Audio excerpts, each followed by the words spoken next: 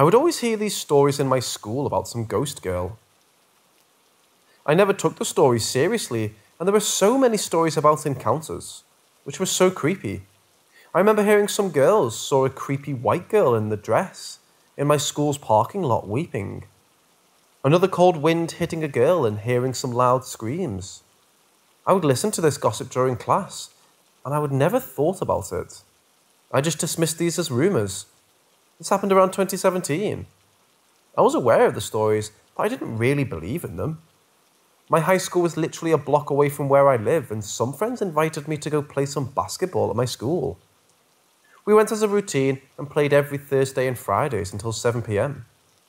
We were playing some basketball courts outside the gym. It wasn't until daylight savings, when the days were getting darker. We decided to stay longer and mess around at my school. We'd walk around the cafeteria or sit on some benches in some classrooms. No big deal. We were just hanging out. But we would see weird stuff like flickering lights and felt like we were being watched. We made the assumption that it's probably the custodians. It wasn't until I brought up the ghost girl that me and friends jokingly said we were going to go look for the ghost girl. And I got my phone out to see if we could record something. My friend told me about a ghost app, but I dismissed it because I heard a girl say, Hi. It freaked me out. Especially since it came from the cafeteria. I ran out and was really afraid to go back. I got these unwelcome vibes and decided to take a break from basketball. I returned again with my friends to go play some basketball. I completely dismissed my experience and just went to have fun. When it got dark, we took a break and began exploring around the school, laughing and just gossiping. We went by the outdoor cafeteria tables and we were looking for leftover food in the trash bin. Don't ask why. And I started hearing the wind whistle. I ignored it because of the nearby airport. We kept digging for trash and we went to the school's auditorium. That's when my friend noticed the whistling too. You guys hear that? he says. We all got quiet, and those whistles soon turned into bone chilling weeping.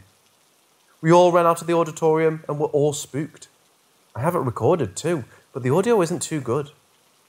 One night, I got up from bed to use the restroom, and I could hear the weeping from outside my apartment. I kept going back despite me getting scared, but I did stop exploring my high school at night. During summer school, the second floor of my school was going through construction. Me and my friend ran up the stairs, and in the corner of our eyes, we saw someone standing in the dark hallway.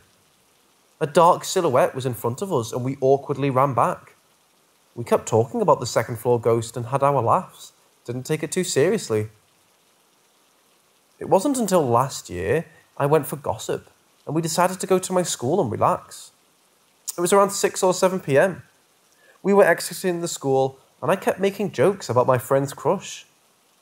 That was when I felt a gust of wind hit me, and I felt like it wrapped around me and pulled me back. I soon had someone yell in my ear, Hey! And I screamed like a girl and ran out. I turned and saw no one near but my clueless friend. I was trembling and I didn't want to go back to my school again during the night. This experience still taunts me, especially because my high school is still a block away and I had similar encounters as mine as well. There were many other stories, such as teachers and staff talking about their experiences. I stayed quiet most of the time, but I actually have one recording and I sometimes like bragging about it. I do want to visit my school again and talk to some of my old teachers and staff to see if I get any similar stories. I haven't had the time to.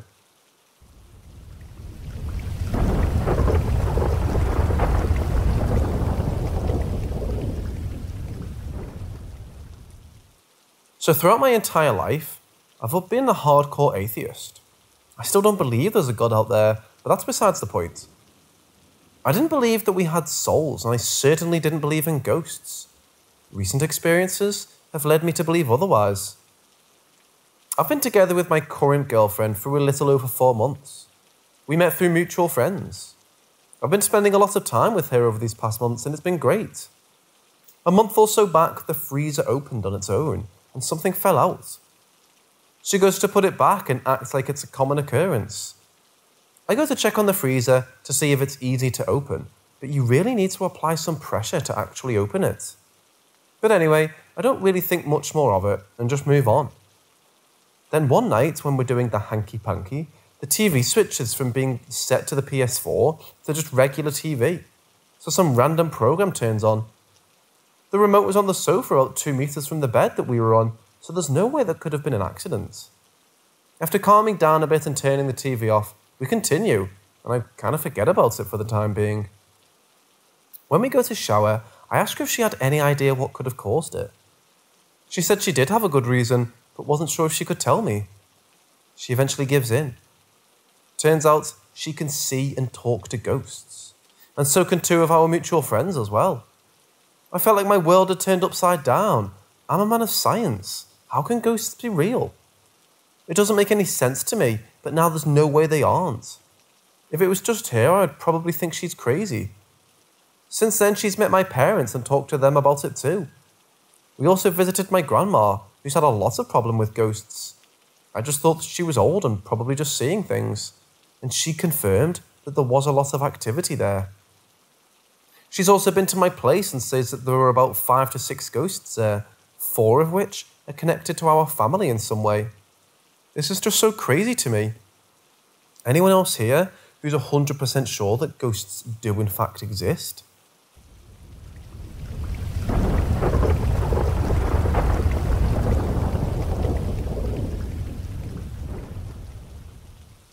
I grew up in a house that's well over 100 years old by now.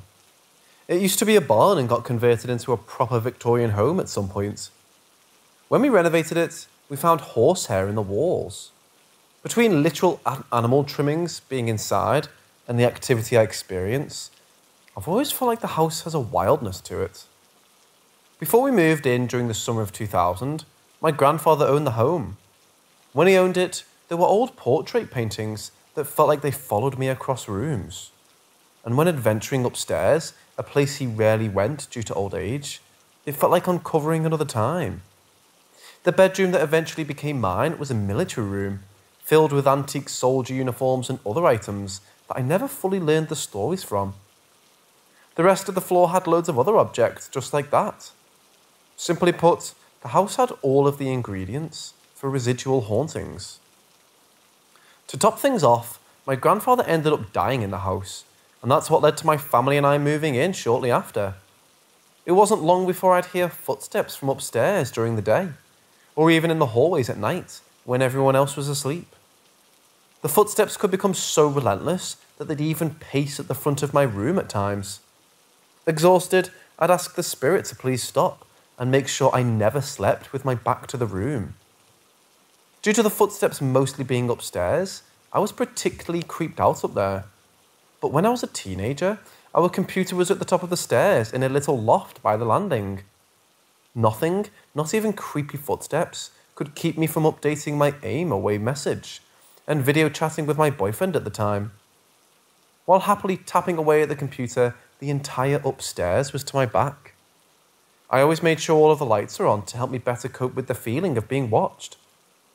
One evening, I was alone upstairs as I video chatted away. I was laughing so much that I wasn't thinking at all about the room behind me. It was at that moment that I felt the unmistakable feeling of a hand coming down on my left shoulder and firmly resting there. It was so fast, I didn't make a sound. Wide eyed, I grasped my shoulder and twisted my neck to see who was there. No one. My head spun back to the screen and I asked my boyfriend if he saw who was behind me. He said he didn't know. The video cut out right before I turned my head.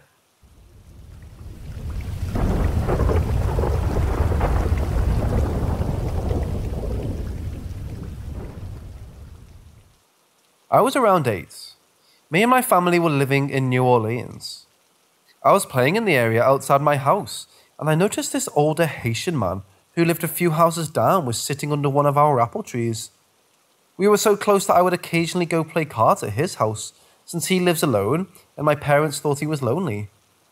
The man was in a wheelchair, and I sat down near him and talked to him. He gave me an apple, but it was incredibly sweet and unlike anything I had tasted before or since. We talked a bit, and he told me that he will see me again and walked away.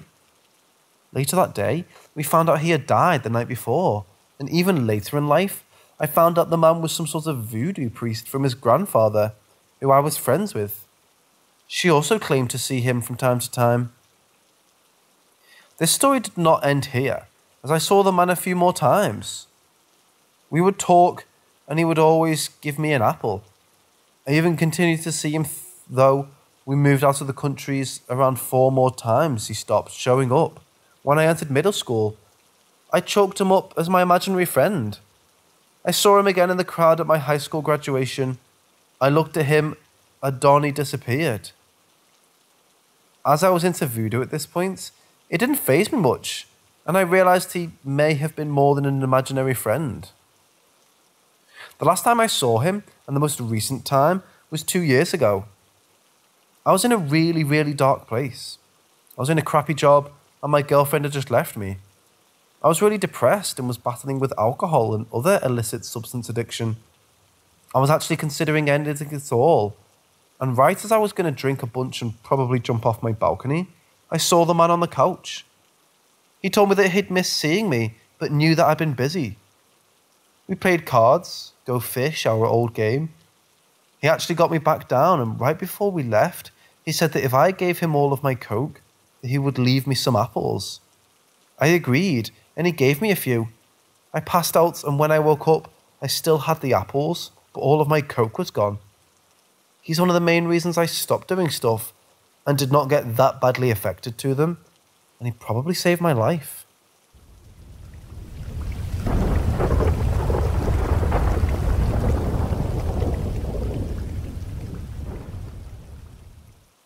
Have you ever felt a shiver down your spine?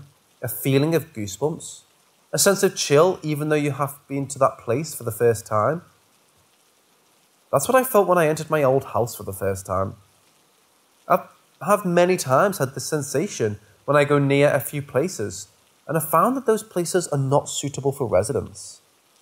But this time I wanted to be skeptical about it, just because every member in my family, including me, had fallen in love with it. It had a big backyard, a beautiful garden. It was just perfect. Things went well for months. Days were beautiful, except that I always felt that something wrong was going to happen. I, a messy and clumsy person, suddenly had urges to keep my wardrobe doors closed all the time. It may seem silly, but the people who know me know it's a fact that I always keep my wardrobe doors open, just to get easy access to my dresses. But now, I really wanted to keep the doors closed because I could feel someone standing there, just standing. Though they were just standing there, what I sensed there was absolute hatred. Level of hatred that I've never felt before. Even now, thinking about it makes me shudder. One night, I was so tired from my schoolwork that I hit my bed without even minding my surroundings. In my dream, I saw myself sleeping, but what I saw after shook me. I saw what seemed like a small boy, but without a head. At first, he seemed playful, but as he came near me, I felt the same hatred I felt near the wardrobe. Before I could do anything, he started squeezing my throat with his bony yet soft fingers. Grip tightened every time I struggled to free myself from it.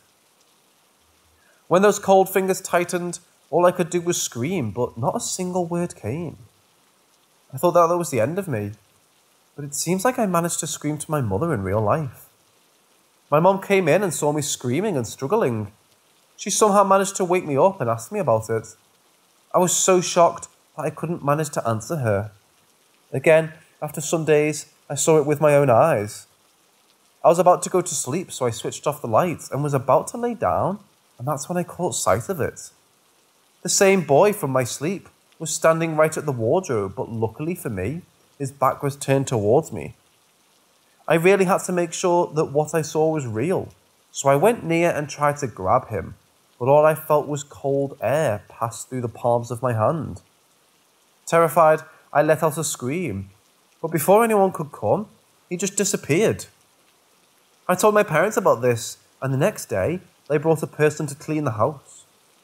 I felt that after the purification, the house had really brightened up and after a few years, my dad got a transfer, so we had to move. I didn't have the heart to leave, but I had to. On the day of the move, after packing everything, I took a last look at the house, and no one would believe me. I saw a beautiful child waving at me.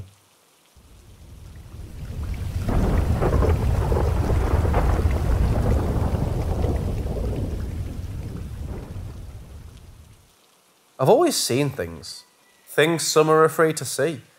Things some are afraid even to think about. During my younger days, I thought nothing of it, just that it was part of our everyday life.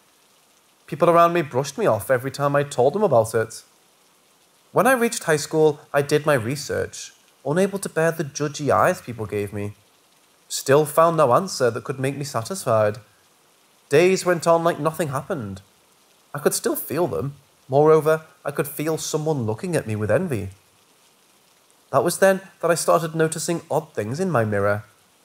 Every time I look into it, I feel that the reflection doesn't belong to me. Since then, I was afraid to look into a mirror, just the mirror in my bedroom. My mother always sleeps with me, so I always felt safe, but it all changed one night. As usual, my mother and I slept, but that day I felt uneasy. It felt as if something bad was going to happen. In my sleep, I could feel someone caressing my face. I thought it was my mother, but no, I could feel her right next to me snoring. So, mustering up all my courage, I slightly opened my eyes, not fully, just a bit. What I saw that night haunts me even today. I saw myself standing and staring at me. At this point, people would say it was a dream, but I know that I was fully awake. I think you almost know what scared me that day. It wasn't seeing myself, but its lifeless eyes that looked at me with envy, the same envy that I saw in my reflection. I slowly covered my face with the sheets without making it realize I was awake. Suddenly, I felt a spiky hand touch my eyes, trying to grab them. This moment, I could only pray. I heard a sigh and could hear it leave, so I pulled my sheets down a bit and watched myself go into the mirror. I know it was no sleep paralysis because, of course, I was awake and saw it happen before my eyes. You may believe it or not, from that day, my mirror is covered. To some, it may be like a story, but to me, it was a nightmare that I still try to forget. Even now, I see things, and that's a story for another time. But this is a true story that haunts me.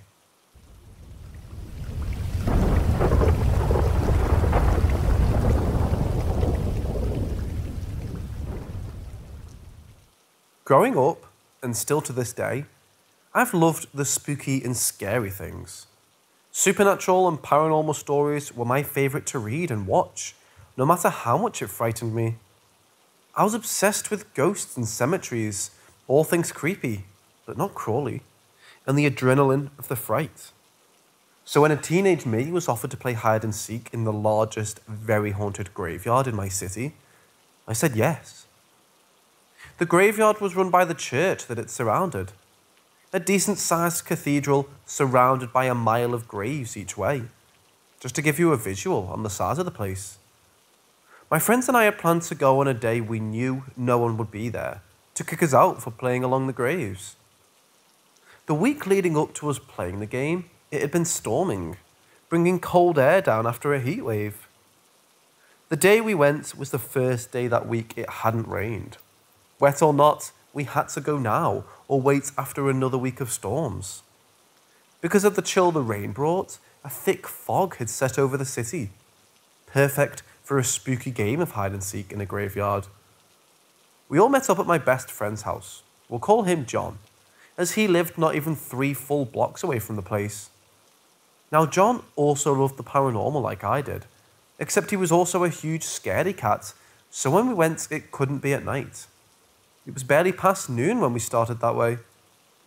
A common friend of mine and John's, Hannah, the one who came up with the idea, and my boyfriend Greg at the time, were the other two people to play this game with us. Greg was a comfort for John, as Greg was, and still is, a skeptic of all this. We didn't have much trouble getting in, and after a long minute of walking, we made it to the cathedral. It was still decently bright outside for being a cloudy day with thick fog. But in the graveyard, everything felt darker. Maybe it was because it was littered with as many trees as there were graves, or maybe it was because superstitions were getting to us. But either way, John and I came down with bad feelings. While Hannah was explaining how she will be the seeker first, since she came up with the idea, John whispered in my ear about his bad feeling. Admitting to him about mine, though, would have only scared him more. And really wanting to do this with everyone. I told him not to worry while I pushed my own instincts aside. Anything for the adrenaline, right? And if anyone sees a ghost, make sure you record it, Hannah had said. Greg rolled his eyes, not saying anything, but he was right. Almost everyone in our city had a personal scary story about this graveyard specifically, but no one had ever provided sufficient evidence. And if a bunch of professionals couldn't capture anything, I doubted four teenagers would be able to. I was about to ask her if this was the point of getting us here when John pulled on my shirt and asked everyone if they heard a noise. Like a little girl giggling, he had said. Hannah laughed excitedly, telling us the story of the little kids rumoured to be haunting this place.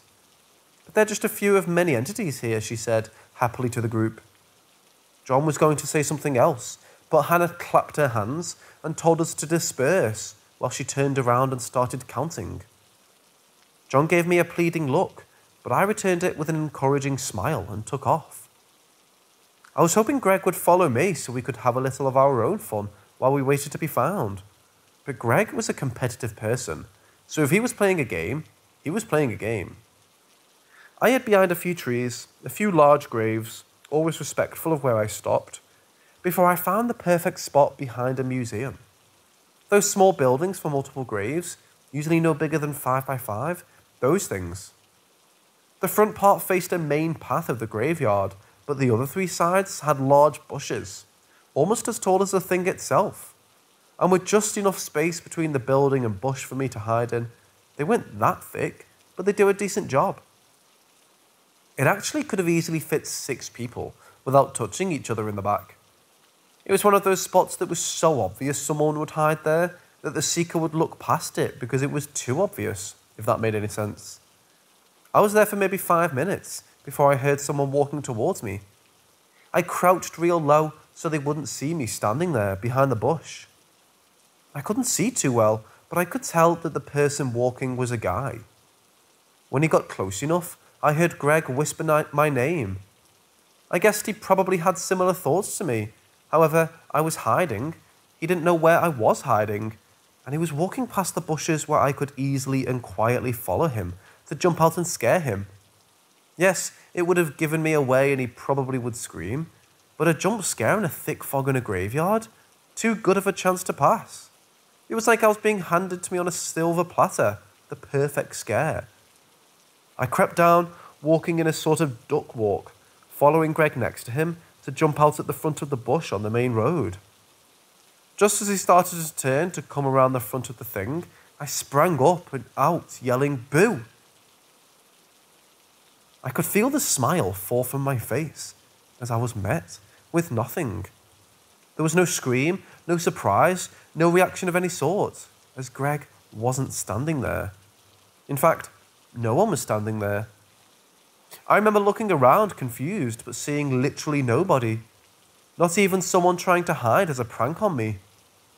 Something cold passed through me and I shivered. Maybe I should find a different spot, I remember thinking to myself. So there I was, 10 minutes later, in a new spot, tucked in between a grave and a tree, directly behind it. I kept peering around to make sure if I saw someone. They didn't see me. It was maybe two minutes, if that, when I heard crunching of the gravel that made up the pathways. I peeked over the grave and saw Hannah and John walking on one path over, meaning six rows of graves in between the path in front of me and the path they were on. I quietly giggled watching them each look behind things or up trees, as if any of us would climb, and talking to each other. Greg, Hannah called out in a singing type voice, followed by my name. Like she was taunting us to come out. Didn't she know the rules of the game? I jerked my leg back when I felt something touch it, relieved to see it was just a leaf that scrapped up against me. Hannah and John were now further away, still walking away from me, and I had the brilliant idea to follow them. I figured they'd never suspect to look behind them for me. I had just taken a step when something full on grabbed my ankle and pulled. I'm not sure how it happened, but when it pulled at the same time, looked down to see what it was. But when the pull knocked my balance off and I fell, my head collided with the grave right above my eyes. But it wasn't done when I was on the ground. Oh no. My vision was blurring and I couldn't see what it was, but it started dragging me. I was on my stomach, screaming, pulling up grass and weeds, trying to find something to grip as I was being dragged God knows where. Hannah and John weren't even out of my sight when I went down. I knew they had to hear me, that they'd come running to help, but they didn't. Finally, my fingers caught the edge of one of those plaque graves, the ones where the stone lays flat on the ground. There wasn't much to help, but it provided me with enough edge to use to pull against whatever was pulling me. The slightest resistance, and I was let go. I didn't know if my vision was blurry still from hitting my head or from my tears, but I saw nothing and scrambled up quickly. Running in the last direction, I saw someone. However, when I started running, something else did too, following close behind me. I found Greg first, basically running smack dab into him, who was panicking and looking me over. He told me he heard my screams and ran as fast as he could to get me. He asked me why my shirt and pants were covered in mud and if I knew my forehead was bleeding. One of that mattered to me though, because something was chasing me. And I had said as much, but Greg assured me that when he saw me running towards me, no one was behind me. Game or not, we're finished. Let's go find Hannah and John, Greg said, and he took my hand. I remember just crying the entire way after telling Greg that the last direction I saw them going it didn't take long for us to find them, and an even shorter time for us to leave. Greg didn't fully believe me when I told him what happened, but he knew me well enough to know that I don't scare, like truly be terrified scare, that easily. He wouldn't say it was a ghost, but he would admit it was something. His thoughts were more along the lines of a crazy hobo, though. Hannah was pissed at me. She was mad that I didn't pull out my phone and record anything. Got even more upset when I sarcastically apologised because reaching for my phone was the least of my concerns, which she countered with, You should have been recording the whole time like me. Yeah, we aren't really friends anymore. John didn't say anything to me besides if I was okay and what he could do to help me. It wasn't until after I was okay that he let me know he had been upset with me. I guess he wasn't alright with me brushing off his concerns and then turning around and getting attacked. Irony or karma on me, I guess. I had gotten a concussion from slamming my head on the grave, but no other damage had been done. And it was another two months after that before I'd even look at what Hannah had recorded. But eventually I did, and I still wish I hadn't. Hannah and John might not have seen me peeking over the graves looking at them, but her camera did. Almost clear as day, you can see my head a little ways off, popping up behind the grave, and just behind me where a huge ass tree was supposed to be, was a very tall and very dark figure lowering over me. Then they continued walking. The camera was slightly swaying back and forth, meaning they weren't really holding it to record anything, but it still should have picked up my screams. It didn't. In fact, you couldn't hear anything, not even Hannah and John talking. Just a white static noise, even though Hannah's camera was basically new at that point. Hannah eventually sent the footage to our city's local paranormal investigative team, who took one look at it and claimed it was faked. It's been years, but every time I drive by that graveyard, I feel that thing staring at me, waiting for me to come back inside. But I haven't. Haven't gone into any cemetery or graveyard since. And if you do go to one, make sure it's to respect the dead.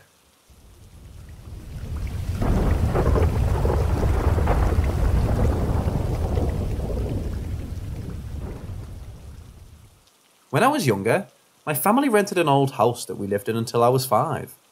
At this point, it's quite hard for me to remember much from that time since I was so young. There are a handful of things that I've been told that happened, mostly having to do with me at that house, so I decided to finally share some. My father told me that when I was very young, before I could even walk, I would sit on the living room floor and just stare at something. My eyes would follow something that he couldn't see until one day.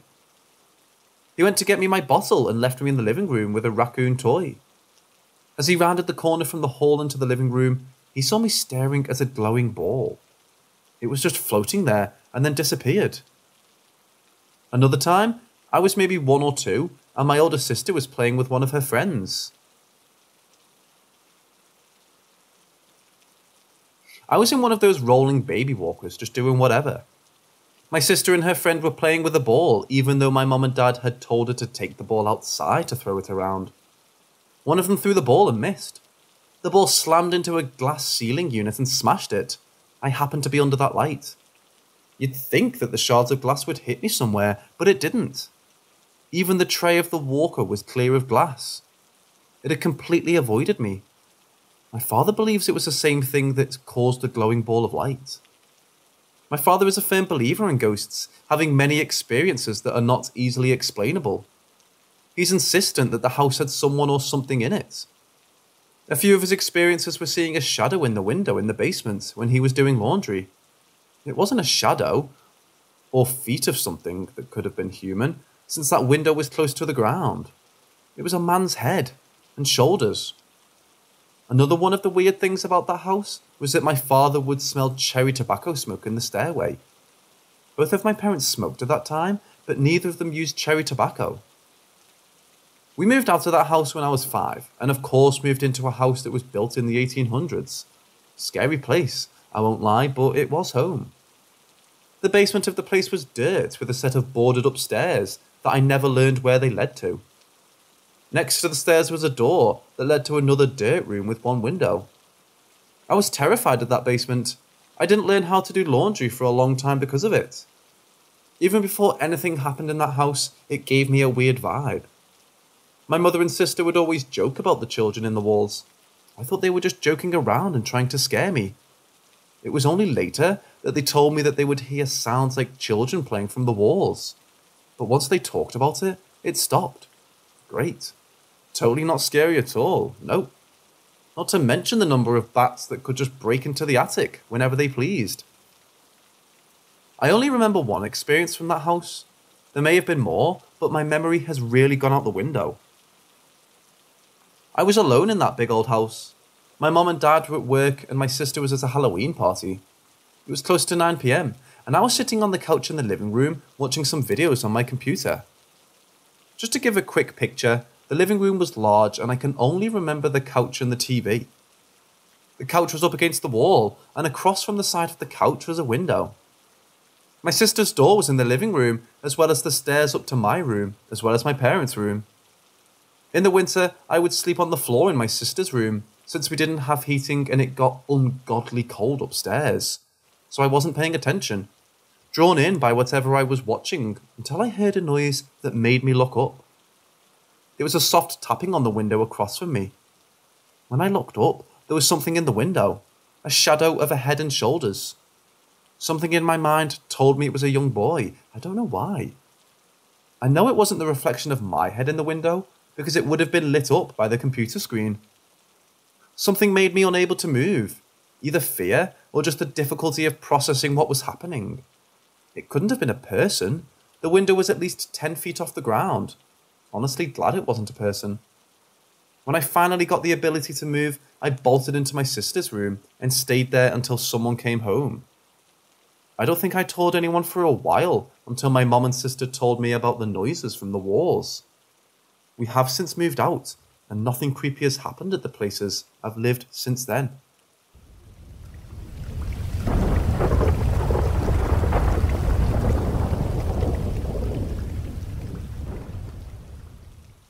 When I was about 15 or 16, I was doing my Duke of Edinburgh Award, which involves camping and orienteering. We pitched our tents in a low valley in the mountains. It was at the foot of Slieve Donard in Northern Ireland. Me and my friend carelessly made our guide ropes super long. We made them so long everyone was tripping over them in the daylight, but the tent was up and we couldn't be bothered to fix it. I woke in the night to footsteps and heard someone brush against our tent. I didn't think much of it, assuming one of the boys was taking a leak, and tried to get back to sleep. The next morning, as the aroma of sizzling bacon was filling the air, I asked who bumped our tent last night. Everyone denied it. But someone walked around our tent. A few other people heard the same thing, and the two class clowns or jokers in the group said, We were fast asleep. We didn't hear anything. I thought they would have at least joined in with the I heard it, I heard something, trying to freak us out. One of the most sensible guys in our group said, Someone walked around my tent, but I noticed they didn't have a light.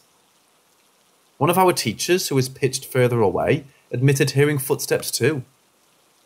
Our Duke of Ed facilitator finally said, You're not the first group to hear those footsteps, you know. We all turned round, perplexed now. He asked us if we had seen the ice house further down the valley. This was built to persevere ice for food storage before electricity. Yes, we all had seen it. Did you read the plaque on it? I hadn't noticed it. No one seemed to. But my buddy Andrew spoke up. Yeah, for the man who died in it. The facilitator nodded. I laughed it off and headed back to my tent to get my mug for a hot cup of tea, and tripped over the guide ropes. It suddenly struck me. How did the person who walked around our tent so close he could touch not trip over the guide ropes?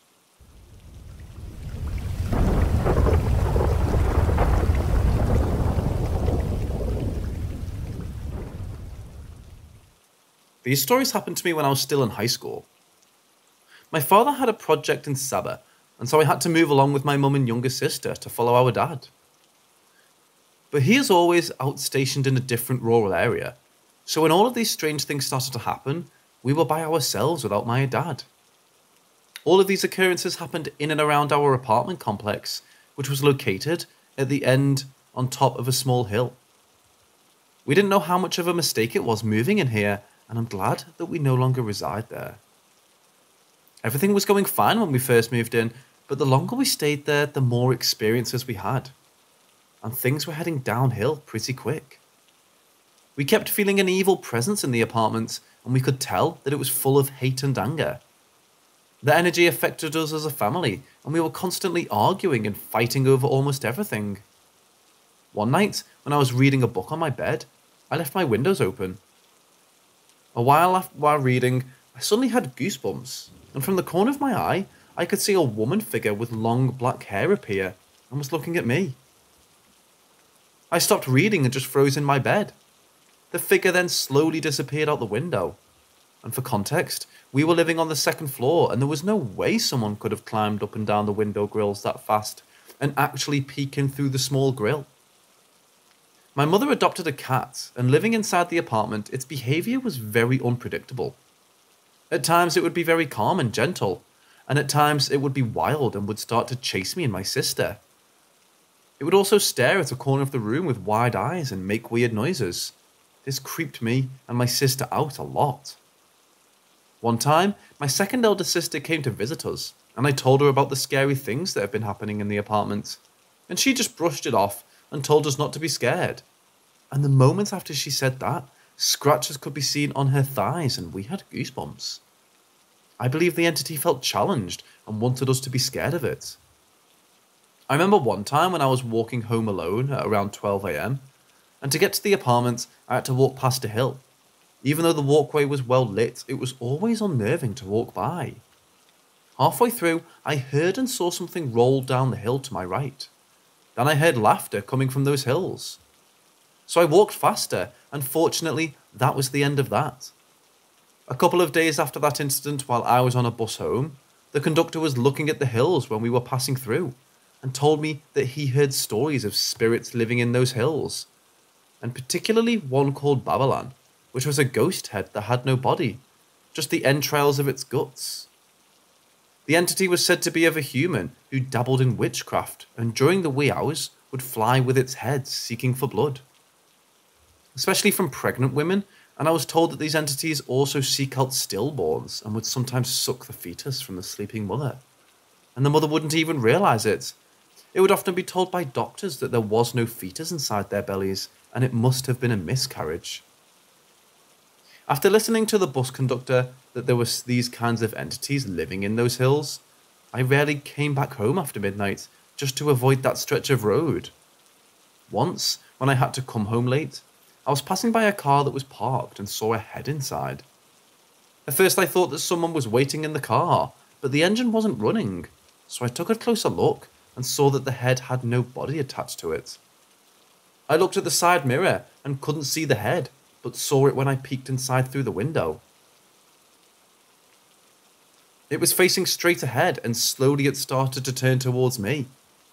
I ran home as fast as I could and locked the door behind me. I came down with a bad fever the next day, and it only got better in a week. A lot of bad things were happening in that area, as tensions of the families staying there were visibly strained. My neighbours living below me were constantly fighting as well, to a point where the husband wanted to commit suicide. And on this topic, my family also suffered the same. Let's start off with my eldest sister, who changed her ID address to the apartment X62 and was plagued with so much negativity that she tried to kill herself by swallowing a bunch of pills. But fortunately, she survived and was hospitalized. Her life only became better once she changed the address on her ID. My mother was going through depression and was also a wreck at the time. My youngest sister, who was living with me and my mum, always saw things that I couldn't understand. She was really young at the time and was always afraid to be alone in the apartment. I wasn't spared from the negativity as well and tried to end my life three times during the period I was living in that apartment. My family was falling apart and times were really tough. I always felt abandoned and alone while I was living there, even though I had close friends. Even the security guards were seeing things around the apartment, especially at our block. They would see a woman dressed in white walking around the block and would disappear into the hills. So much negativity, so much suffering was felt during our stay there. It was said that the land was plagued by a woman spirit who committed suicide a while back, where the block stood, and has been spreading her negative energy and hatefulness towards the tenants there. The management denied all of these, but we knew what we experienced there, and what we saw and felt was real. So, to the tenants living there now, I pray that this woman doesn't put you through what we had to go through as I'm never going back there again.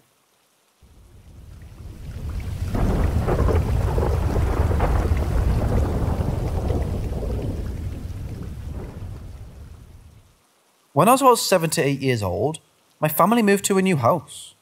We had to move because my dad was renovating the old one, so we had to stay at this new place for the time being. The new house was located close to the main hospital, and within the housing area was a graveyard, an old one, might I add. The new house we stayed in used to belong to a small family, and for some reason, they reluctantly sold it to my dad. This will play into what happens after we move in. Weird things started happening during the first few nights of staying in that house. We could hear all kinds of noises like random knocking on the doors, especially the kitchen door. Now, to explain a little about the layout. This was a semi detached house, and the kitchen was at the back, overlooking a jungle. The whole area used to be a swamp before it was turned into a residential plot, and because of this, the jungle part of it was thick and had lots of banana trees. So every time you went to the kitchen sink, you would face the jungle, and at night, this was very creepy. More and more strange incidents started happening. Me as a kid used to see shadows passing by the rooms. Hear strange voices, and sometimes out of nowhere, I would hear my dad sneezing or coughing when he wasn't even home yet. And I remember after seeing these shadows, I would get sick and had to stay home instead of going to school. Yes, it was that bad, and to call that coincidence just wasn't right. One time, when we had some family friends staying over, me and one of them were on our bikes when the rest of the family was in the house, just hanging out and playing video games. It was about 7 pm, and we were told by our mums to come back into the house, but we just ignored them and continued playing on our bikes. We dared to ignore their advice due to the fact that my dad was out of stationed. When all of a sudden, I heard really loud footsteps coming from the jungle area heading towards us. It was the sound of heavy boots and then I realized that it was marching. I couldn't believe my ears, but I heard it clearly and it was loud. It sounded like a platoon of soldiers, and their movements were in sync. I froze for a few seconds, and when I snapped out of it, I screamed at the top of my lungs, calling my friend to run to the main door and get inside. We threw our bikes on the floor and ran for our lives. When we got to the door, it wouldn't budge and so we screamed for them to open it up. It felt like hours waiting for them to let us in, and I could hear the marching getting closer and closer. Then all of a sudden, the door opened, and we flew inside the house and locked it behind us.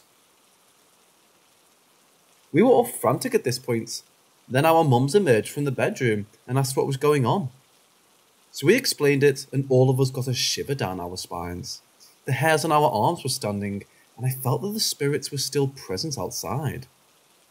Being devout Christians, our mum started praying and decided to go outside to the back of the kitchen to see what was scaring all of us.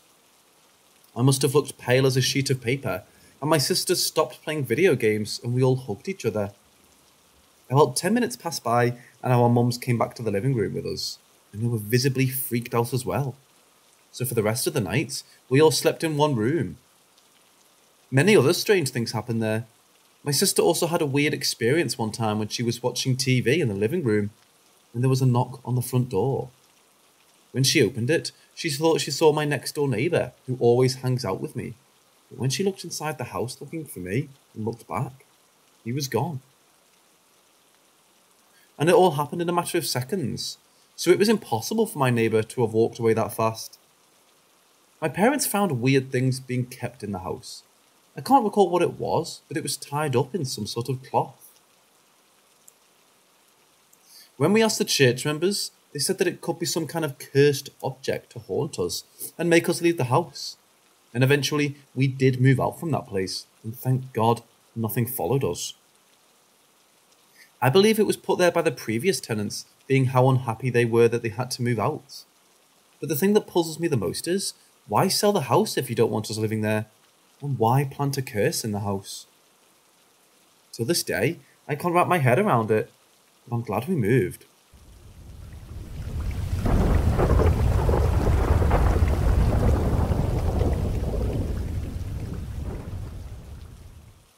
Let me start off by telling you about the creepy things that happened to me these past few years, and then I'll get into the backstory.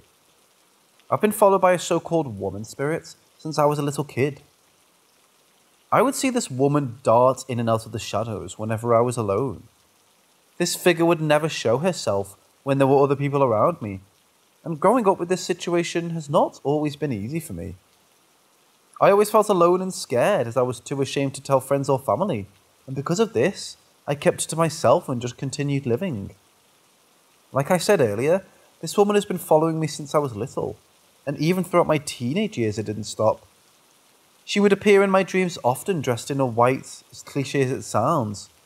It's how I remembered her. When I was in the shower, I would often feel eyes watching me, and on a few occasions I would actually see red glowing eyes staring intently at me. But as I grew older, I was less intimidated by her presence.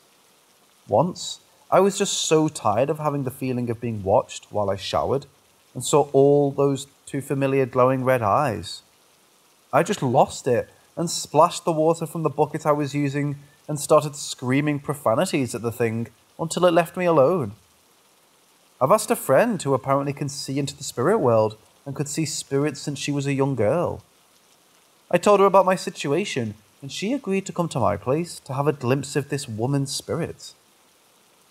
I didn't tell her about how the spirit looked, but after her visit, she explained to me what she saw.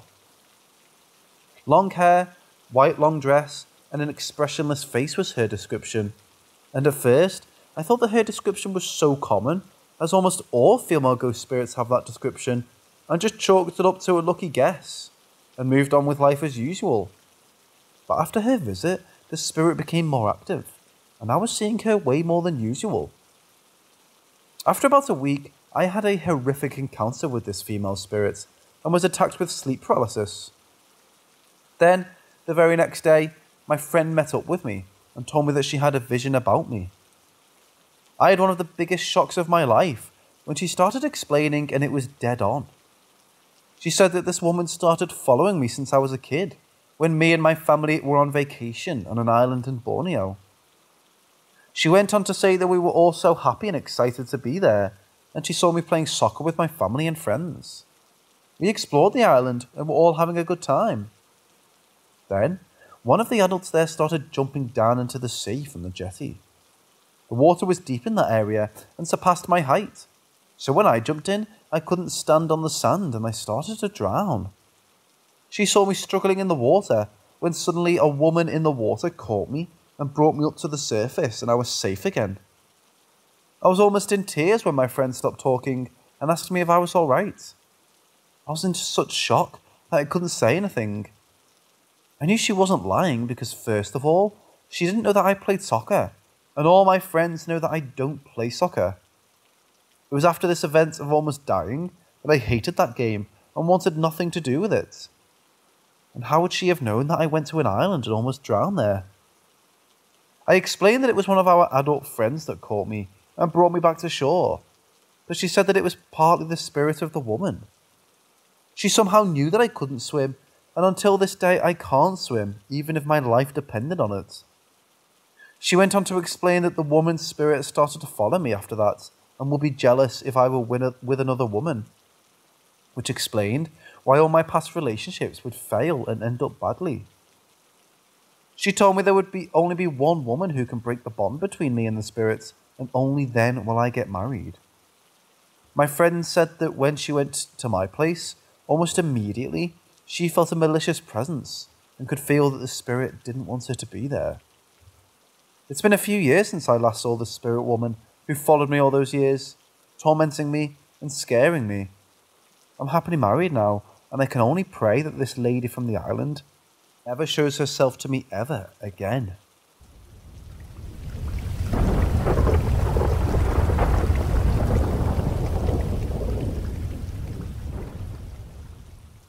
Place where I live is a forest area on a small island in Borneo. We've been living here for quite a while, about 40 years or more. This was and still is my parents' place. We were always told by our late grandfather that the trees have spirits living in them.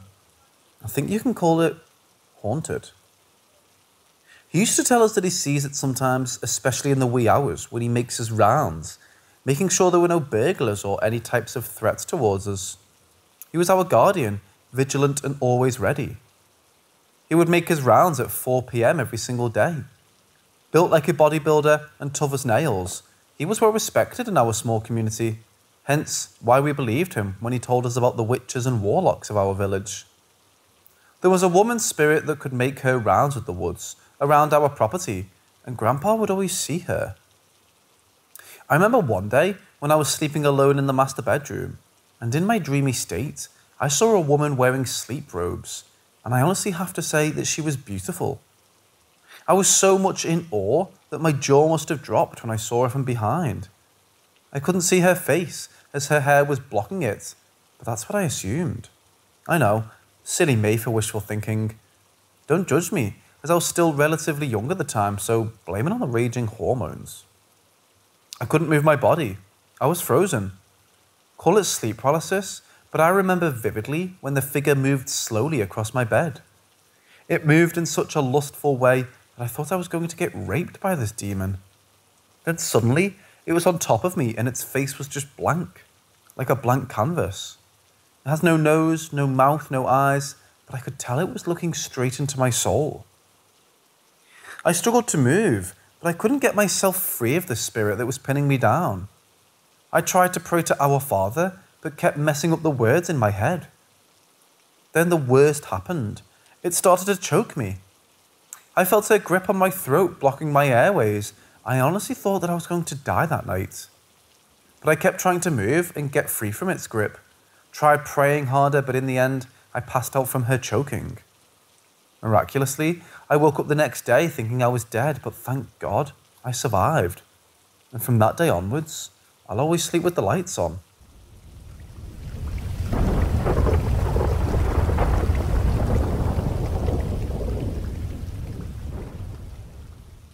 The area where I live is somewhat of a rural part of the island.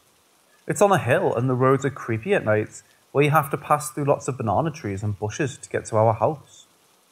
So the setting at night can give someone who's not brave the shivers if you're not used to the kind of place where no one hears you if you scream, as the next neighbours are not close by. When I was about 10 years old, I used to see a bonfire at the front yard and people around it chanting and dancing like in the movies. And that was all I thought of it, me imagining them in my head. But unfortunately, that wasn't the case. I could really see spirits when I was younger, and now thinking back, I know that I had actually seen these chantings like it was some kind of ritual. And that brings us to this story. The local folk here know that there was a shaman living within the village among the many residents here. But what many of them didn't know was that this shaman performed abortions and was dwelling in the dark arts of black magic.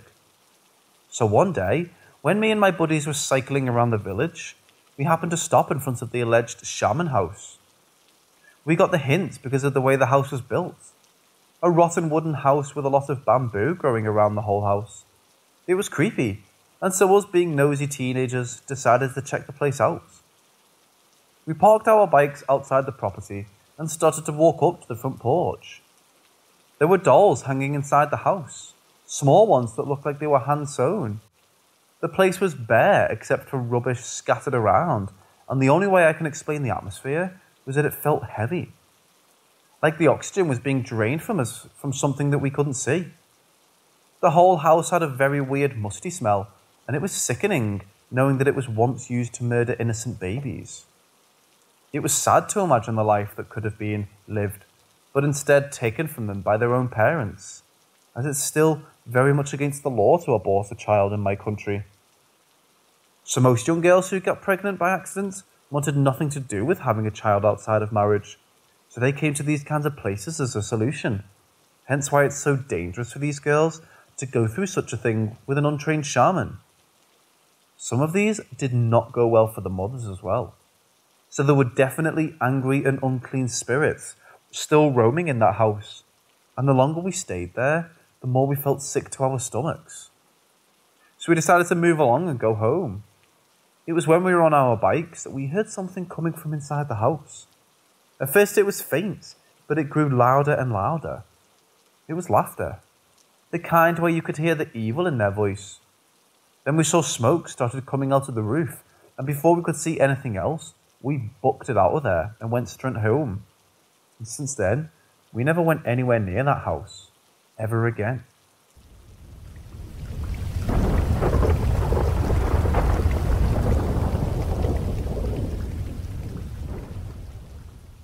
I used to sleep with my window wide open to let in the cold air, as the island that I reside in is quite hot and humid. So, with the safety grill and also mosquito nets, it was very soothing to let the fresh air into the room at nights when I sleep. It was the whole night experience of insects and the occasional wind noise that was also soothing. I also loved to leave the windows wide open so I could see the light of the moon and, like I said, the night experience. However, one night changed it all when I was about to sleep and still looking out the wide open window. I felt a cold breeze pass through, and all of a sudden I could hear Manic laughing. At first, I thought I was dreaming, but I knew at that moment that I've not fallen asleep and was very much awake. Then, as if on cue, I saw what looked like a woman's figure flying past. Then I closed and opened my eyes again to make sure, and there it was a woman flying past my open window. The woman was on a broomstick and had a nose like a bird's, like the ones you see in cartoons and movies with witches in them. You heard me right. I saw a living witch, and the only way I can describe her laugh was maniacal. I froze in my bed and didn't know what to do at the moment. I perched up to see if the woman would pass again, but the laughing disappeared and all went silent. I got up and closed all the windows and blinds and never opened the windows at night again to avoid seeing that again. I believe that these were witches roaming around my village as it was a full moon at the time this part of the island has always had a creepy vibe to it. I was told by my late grandmother that these parts of our land were once used as a spot where during World War II, the Japanese used to massacre their captives by chopping off their heads and making a dumping ground around our property. Coupled with thick jungle, you can imagine the aura that we are living in, which is dark and unnerving. Yet we managed to live here until now. I remember one time that our gate was pushed as it was not fully installed in place while my mother was pregnant with my younger sister. I saw the whole incident in front of me, and I was only about eight or nine years old at the time, but I remember vividly how it happened. The gate only started to fall when my mother turned her back to it, and it looked like it was deliberately pushed, and my mother fell to her knees while the heavy gate was on top of her. It all happened in a matter of seconds, and all I could remember was that my father and cousins screaming and running towards my mother to lift up the gate. It took three of them to lift the gate, and fortunately, my sister didn't sustain any injuries as she came out a healthy kid. My father was a big skeptic regarding the paranormal and always told us that it was all coincidence and that we imagined it all, as he never saw or experienced it himself. Until one day, when he was sleeping on his bed alone and felt someone kick him off the bed. Dazed and still in a sleepy state, he told us about the incident, but still didn't believe it was paranormal. He just said that it was unexplainable and was never deterred from staying on this land. One time, I also saw a figure pass by our kitchen when I went to get some water. The figure was a black mass like a shadow on the wall, but I knew that the thing was looking straight at me, and with eyes wide open, I just froze and stared at it. Then, in a few seconds, which felt like hours, the figure just disappeared into the window, but I was already so spooked that I ran back to the hall where my whole family was watching television. I came in screaming, telling them what I had just witnessed, and my mother, being a strong Christian, went into the kitchen. Armed with holy water, I started praying and sprinkling it all over the house.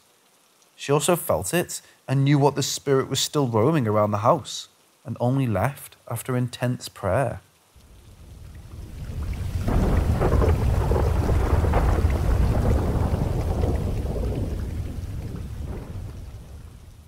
I want to start off by saying that my mother is a devout Christian, and she wasn't afraid of spirits or demons, as she would call them.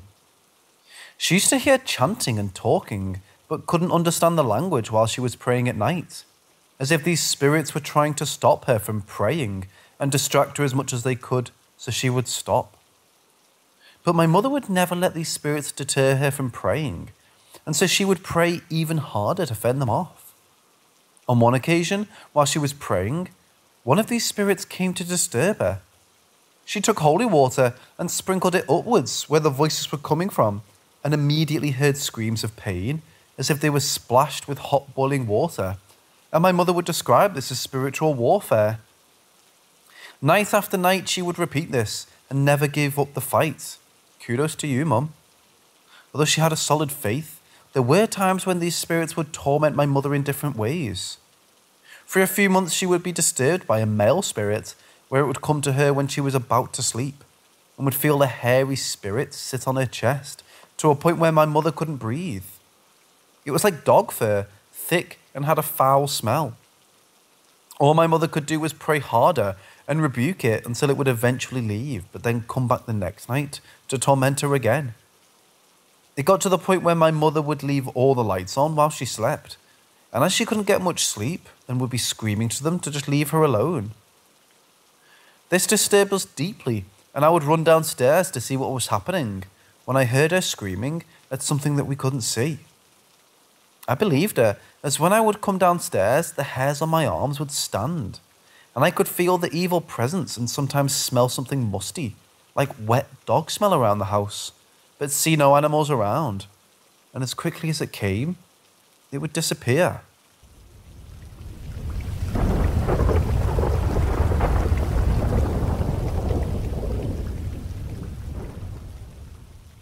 So it was during a really intense examination period when I was having trouble sleeping due to stress.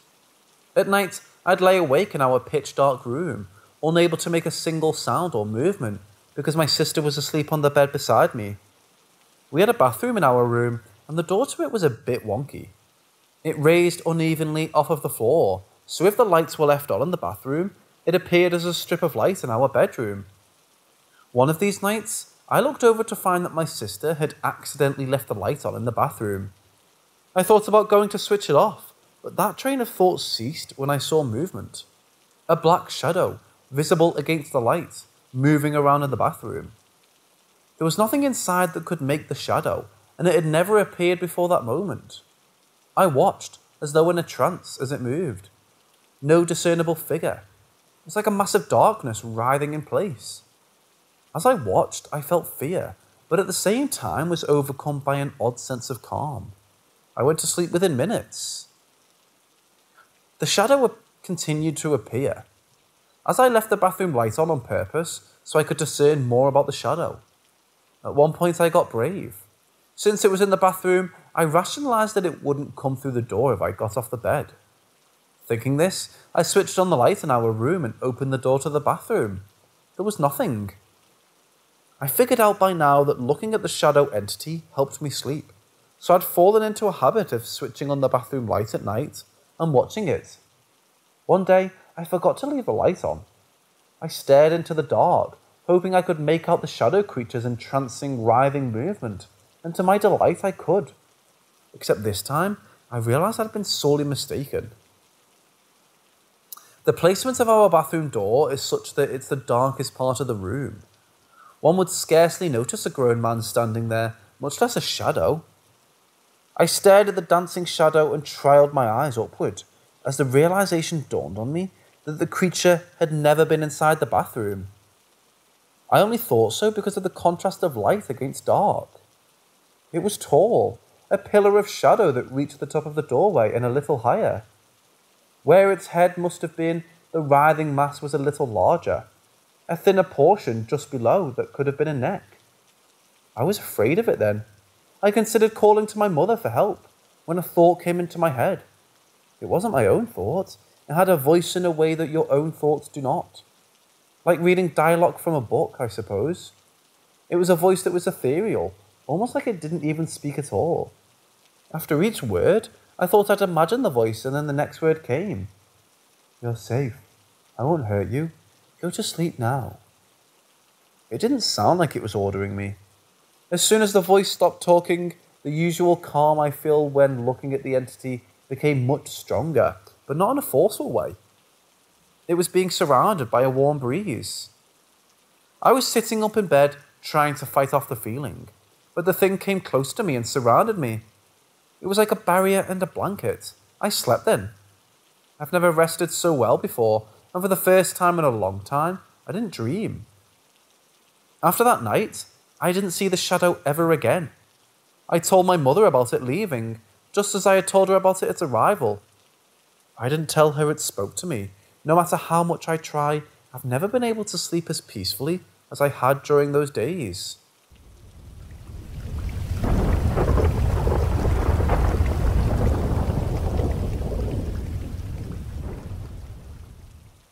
In August of 2019, my family and I went on a trip to Bath, England, as we had been before but hadn't had a chance to visit the Roman sites.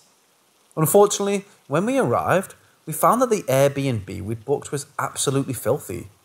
We weren't willing to stay there and couldn't find anything else, so we had to call off the trip and head home. Still haven't seen the Roman sites. It was a really long trip, and we had already been ready to settle down for the evening when we arrived at the holiday flat so the journey back stretched well into the night. My sister was incredibly tired and wanted to stop the night at a hotel, so we pulled into a travel lodge. As soon as we pulled in, I was instantly reminded of various footage I had seen of people moments before they disappeared. I got the inexplicable and chilling feeling that had we stayed, the hotel CCTV would be the last thing anyone would see of us. I was absolutely freaking out, but everyone was super tired and fed up, and I didn't want to cause problems. Thankfully, there were some complications with check-in. Despite her being the one who wanted to stop for the night, my sister insisted we leave and push through to home. As soon as we left, the feeling began to dissipate, though I was very shaken.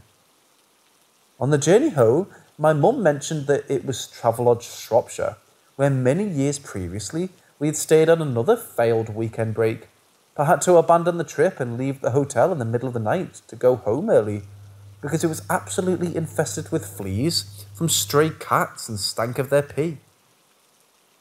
Could I have remembered this and had some sort of flashback to an unpleasant childhood experience? Maybe. Though whilst I do remember that failed trip, all travel lodges look identical, and I couldn't see the building in the pitch darkness anyway. Last week, I told my sister about the ominous feeling I had and she said she had felt exactly the same way, and that's why she insisted we move on. To this day, why we felt like that is a mystery, but I know, had we stayed that night, the unexplained mystery would be our disappearance.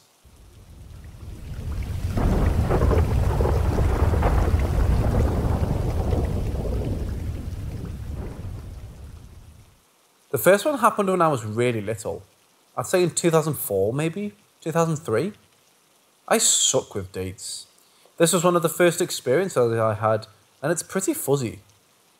All I remember is being at the top of a flight of stairs and jumping down the whole thing, almost like I could float down. I looked back on this one and I thought that maybe I'd fallen down the stairs and didn't remember.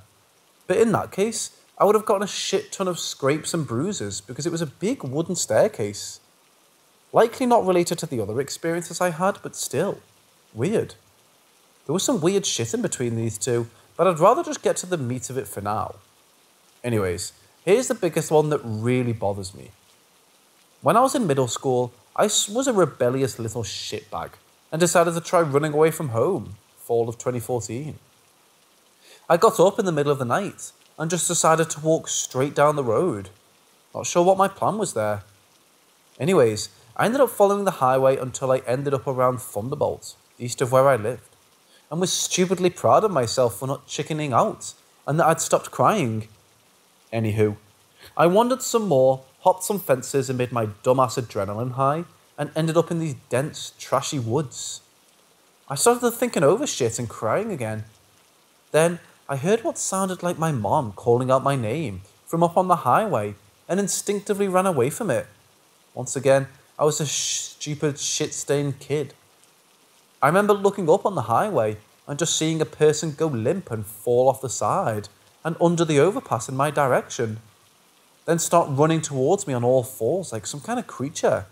It was super dark, and I couldn't make out any features at all, and I wasn't interested in getting closer. I just ran like the damn wind until my legs were shaking, and I sat down in in the underbrush. I was resting for a bit and shaking and crying and all that. Then I heard my mom calling me again. It sounded like it was the exact same volume, like it was from the same distance away. It almost sounded like a mosquito buzzing super quietly in my ear. I passed out for the night and then found my way back home in the morning. It was in June of 1972 that my mom and dad told me that they were taking a couple of our thoroughbred racehorses to Durango, Colorado, where my father owned land, and where we typically boarded some of the animals during the summer. This trip was nothing unusual, as it occurred rather frequently. The only difference this time was that my mother was going with my dad instead of me. I guess dad figured that at 13 I was old enough and responsible enough to do the morning and evening chores, which consisted of feeding and watering the remaining horses, which numbered about eight, a few cows, six pigs, and a coop full of chickens. There were also a few wounds to be smeared with ointment.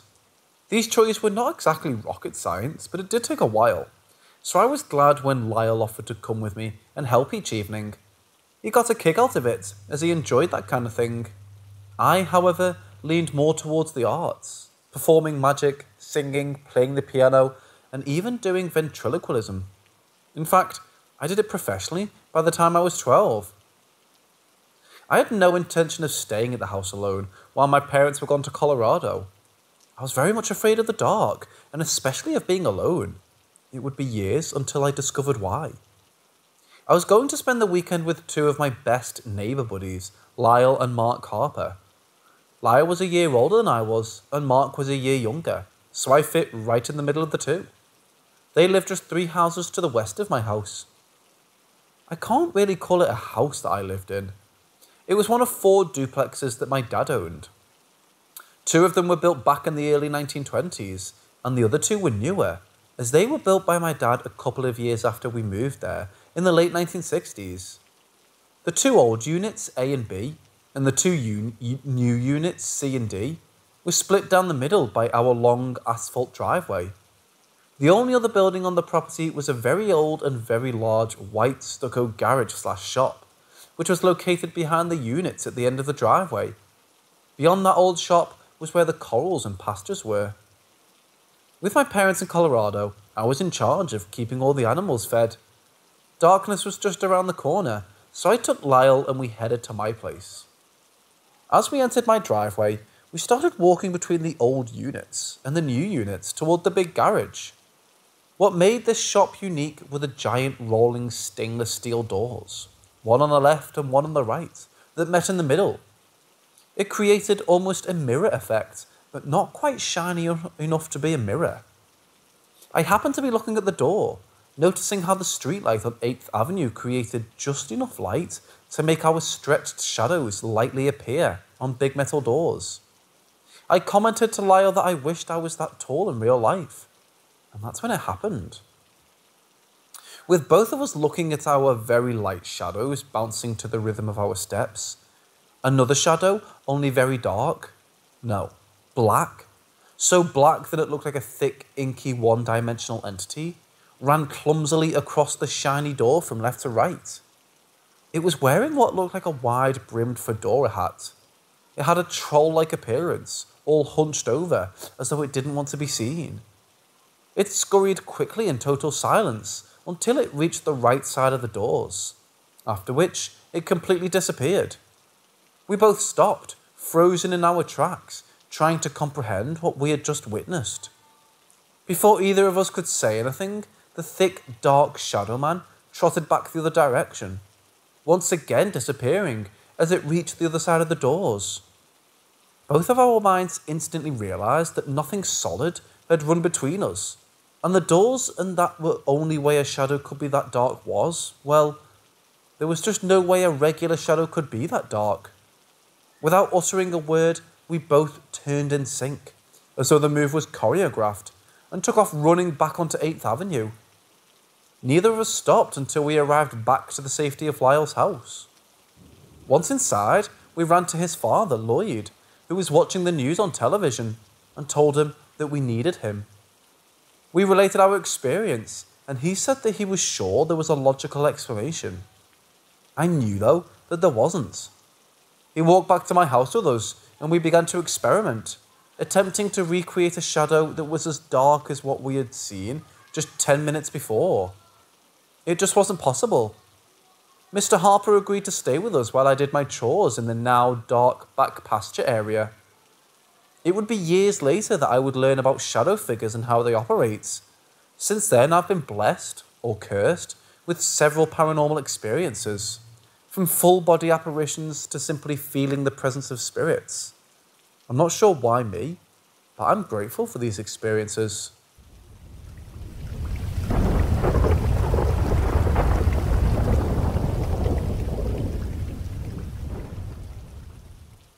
We moved into a house in Northamptonshire a few years ago and instantly felt something was odd with the house. That feeling when someone is watching you, cold drafts. My husband started feeling compelled to say things. For example, he'd tell me that what I'd done during the day with eerie detail. He'd tell me about the girl who talked to him, but in his head. Things started going missing or would be moved to random places. One day, he said gongoozler out of the blue. I've never heard that word, nor has he. I just assumed it was another one of his made up words, but it turns out it's a word meaning someone who enjoys watching canals. There are lots of canals in the area and one in the village. When I asked why he said that word, he told me the girl had said it to him and she loved the canal. The weirdest thing that happened though was one evening when both my husband and our daughter wanted a shower. They decided hubby would go first, but as we sat in our bedroom, we heard the bathroom door close, the light go on, and the shower start. So we assumed our daughter must have just beaten him to it. The shower ran for 45 minutes, and just as we were going to check if she was okay, we heard the shower stop, and she came out of the bathroom and went downstairs. The light was left on. My husband turned off the light and followed her downstairs and watched her go into her bedroom, which was downstairs. As he walked into the kitchen, though, our daughter walked in the back door. When he asked how she got undressed and out so quickly, she told him she'd been out for the last hour seeing her horses. So who was in the shower? He saw a girl again a few weeks later and also stood in our daughter's wall- doorway. Lots of other strange things happened there, but never anything scary, just freaky. Anyway, we moved a couple of years ago and nothing has happened since. Until this weekend. We went away to a hotel in Cornwall. On the first night, it was very foggy and cold. As we stood outside having a cig, he suddenly said, Joan. Joan is waiting in the summer house. I asked what on earth he was talking about. He had a strange look on his face and just said, Joan is waiting in the summer house for Derek. Then he sort of snapped out of it, mouth hanging open, and said, I've no idea where that came from. We talked about it, and he said he felt compelled to say those things. He also felt she was military. We carried on discussing for, for a while, then mid sentence he said, He's married and she's waiting in the summer house. A bit spooked, we decided to go back to our room. We reached on the internet and found out that in 1946, a young woman who was serving in the Navy was stationed at the hotel. Her name was Joan. She was having an affair with a married officer. When they were found out, she was transferred to another site in Devon. On the night she was due to move, she was waiting for him in the summer house, where he shot her twice in the head. Her name was, his name was William. We were totally freaked out. The man's name was wrong, but at that time, people used known my other names frequently. I.e., my granddad was John, but called Jack, and my grandma was Grace, but was known as Queenie. Perhaps he was really known as Derek.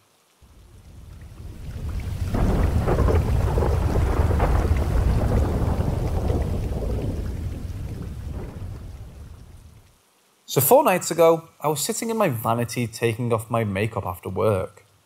My vanity sits directly in front of my window, so when I'm sitting at it, I can see out of it and faces west. Anyway, I'm close to done and reach for my drink, which was just to my right on the vanity, and I heard three very loud knocks on my window. I jumped up and back and threw my can of soda in the process and started looking all around my backyard through the window, thinking someone was out there. The light was on in the back, and I could see everything within at least eight feet of my window. So I decided to brush it off, told myself I was being silly, and it was just the wind as there was a mild breeze. Granted, there was, is absolutely nothing near my window that could hit it, even with strong winds, but whatever. So I sat back down and started cleaning the spilled soda and finishing my makeup removal. Less than five minutes pass, and again, three very distinct knocks directly on my window, but slightly softer this time. Again, I jumped up and looked all around out of my window, only to see absolutely nothing and no one. I said, screw this, and went to shower as I had planned to. A few minutes into my shower, I heard what I thought was my husband walking down the hall. The house sits up about four feet off the ground on 4x4s. I think they're 4x4s anyway. So anytime we walk around, it's very audible due to the space beneath the floor and the actual ground. So I yelled his name and poked my head out of the bathroom because I wanted to tell him about the knocks. Well, from my bathroom, I can see directly into our bedroom, and he was there laying in bed sawing logs, loud enough that I could hear it over the shower running. Not an abnormal thing. I chalked the walking noise I heard to the house settling and shut the bathroom door again. And before I could even turn away from the door, I heard footsteps running back and forth, up and down the hall from the living room towards the end of the hall and back. This only went on for 30, maybe 45 seconds, but it terrified me. I cut my shower short and hopped in bed and fell asleep. Cut to last night, I'm in my den watching TV, and I hear three knocks outside that sounded exactly like the ones I've heard days prior. My window is only about five feet away from the window in the den.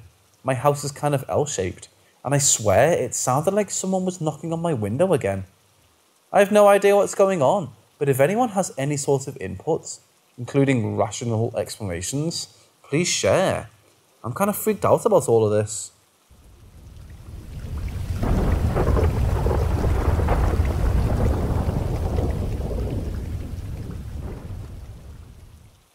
Alright, so this could get long, and I apologise for that in advance. Last night, my girlfriend took me to an allegedly haunted house on the outskirts of our county.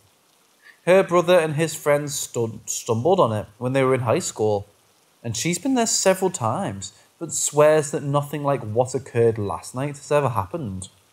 We had to drive down a secluded highway for about 20 minutes, and then turn down a shoddy gravel road for a quarter mile or so, just to reach the place. There's a pull off on the gravel road that leads up to a rusted wrought iron gate and a concrete sign that reads Charlie E., former slave. I can't make out the last name. Girlfriend took a picture the time she went there before with her brother. Anyway, as soon as our headlights hit the gate, I just felt overwhelming dread and fear. I'd felt perfectly fine as we made our way up the gravel road, but as soon as the gate, sign, and forested area around the abandoned house were lit up, I felt incredibly anxious. We sat and talked for a bit, never leaving the car. We talked about what Charlie must have suffered through and how we hoped he'd found happiness and peace in his freedom. We pondered what kind of man he was and how he would feel about events in the world today. It just seemed respectful, almost like visiting a grave or monument. I was mid sentence when another overwhelming wave of dread came out of nowhere. My girlfriend must have felt it too, because she grabbed my arm and said, Okay, we can go now. I hesitated for a moment, and she squeezed and said, Okay, can you back up now? with a slightly panicked tone in her voice. I threw the car in reverse and headed back down the gravel road toward the highway. As soon as our tyres hit the pavement, I started to hear a deep buzzing noise all around us, and the hair on my body stood up straight. The buzzing finally faded into a I don't even know. It was low and high at the same time, almost like a scream and a bellow combined. I could feel it reverberate in my chest, and the noise sounded as though it was coming from inside the car. It only lasted maybe 10 seconds total, and then warped into a twisted cackling sound. I'm not kidding, it sounded just like a stereotypical witch's cackle. I looked over at my girlfriend to ask if she just heard that, but the lack of colour and the look on her face told me all I needed to know. She said quietly for about a minute, and then shakily said, Did, did you hear that? What the fuck was that? I nodded my head and said I had no idea. We hauled ass all the way back to civilization and went to her friend that's a practicing witching's house to clean ourselves and the car with sage. Cleansing didn't make the heavy feeling of dread leave either of us, and I'm still pretty shaken up about it today. I can't find any information about the house, Charlie, or even the road where it's located on Google. I can't get satellite images of the area, but there's no street view. I can't find any information through the county property appraisers websites about who owns the land. I feel like what happened was a clear message that we aren't welcome and to stay away. The intense feelings of dread that are still with me totally reaffirm that. So, first and foremost, how do I protect myself and my girlfriend from anything that may have attached to us or followed us home? Secondly, I'm going back. Alone and during the daytime. I need to know what's there and what happened here. How do I protect myself in that situation? I can't exactly blast a malevolent spirit with buckshot.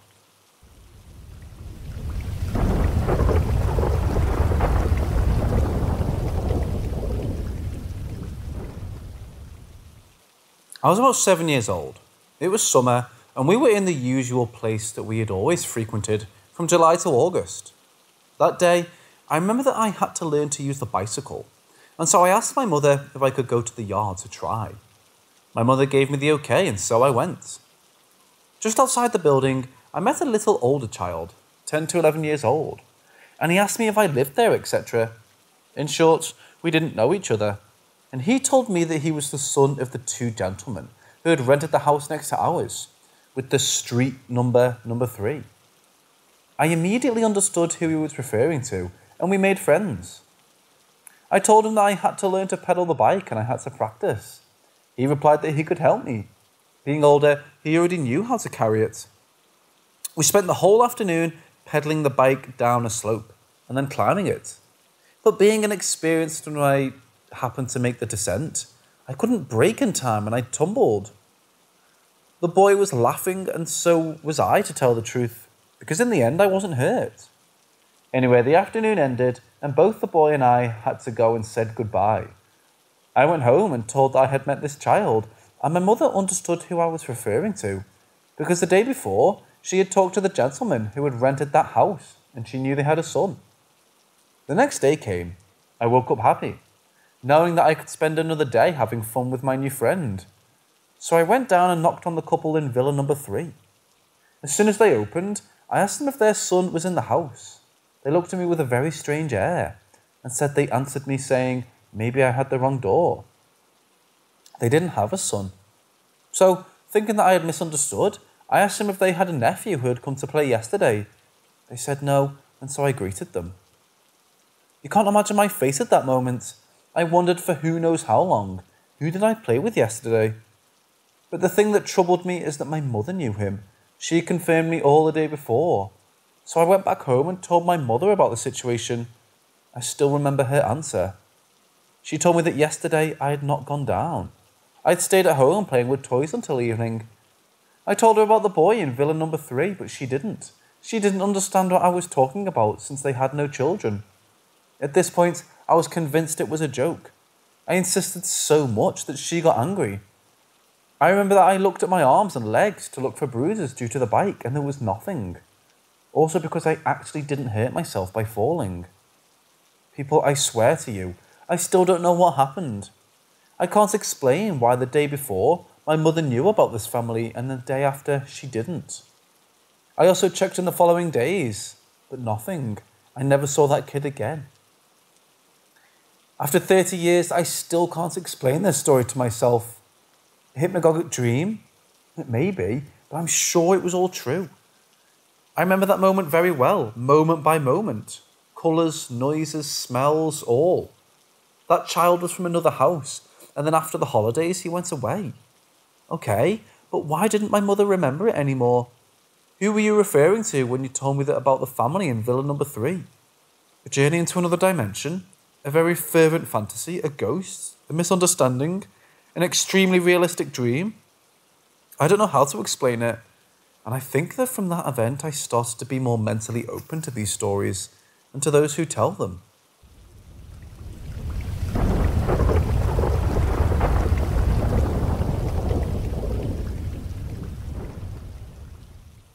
I was walking with two friends to take one home after school. We had to walk up a dodgy country road, and it was away from the surrounding towns. It was still daylight outside, being around four o'clock, and there were tall bushes either side of the road. We got about halfway up onto a straight bit, and I saw on the other side, standing inside the bushes, two really tall, slim, black silhouettes. They didn't look like real people, but had the body of one and about seven foot tall.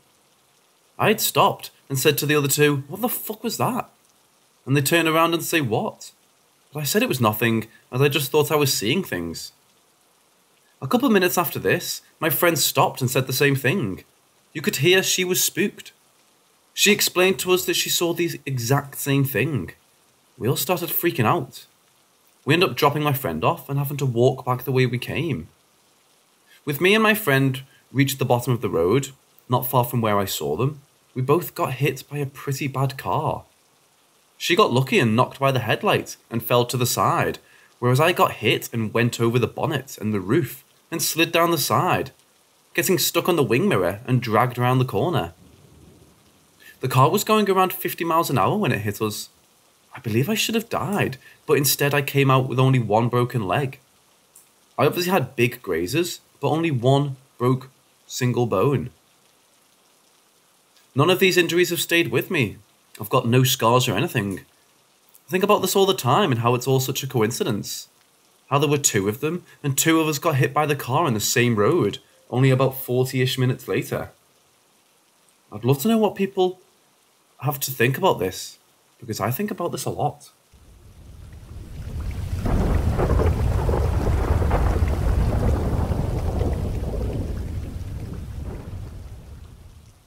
I was about 14 years old and at a church for a Christmas program. During the program, I noticed someone seated nearby that just had something unusual about them, some kind of special energy. I noticed this person watching me several times. I thought it was a little odd, but I wasn't worried about it.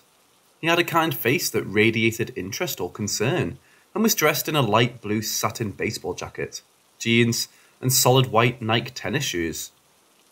After the program was over, I was in another part of the church with family and friends. While we were talking, out of the corner of my eye, I saw the man again. He was at the other end of the room, leaning against a corner that led to a hallway.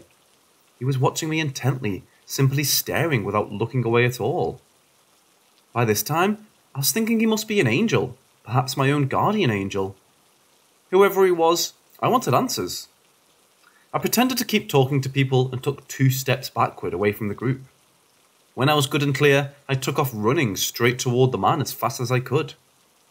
When he saw this, he jumped away from the counter, turned into the hallway, and ran as fast as he could. I was only a few yards behind him. The hallway was a blank wall on the left side, and on the right side were three doors. He went into the middle one. All right, I thought to myself, door number two it is. I caught up within seconds and stepped into the doorway. Just as I spotted him in the room, I saw him throw what looked like a whole ream of copy paper directly at me like a frisbee. The paper came flying right at my face, so I turned my head quickly and covered my face with my arms. A second or two later, when I realized the paper hadn't hit me, I lowered my arms to see a completely empty Sunday school room with sheets of paper going everywhere, drifting toward the floor like giant snowflakes. The man wasn't there. He had vanished. There was only one door into the room, and I was standing in it. He hadn't pushed past me to get out. The only windows were little rectangle ones up high that didn't open, and I don't think a person could have fit through one anyway. I called out after him. That's not fair. I walked away fairly certain my first instinct was correct. I also wondered if all angels wore white Nikes. I didn't pick up the paper either. I was just too stunned.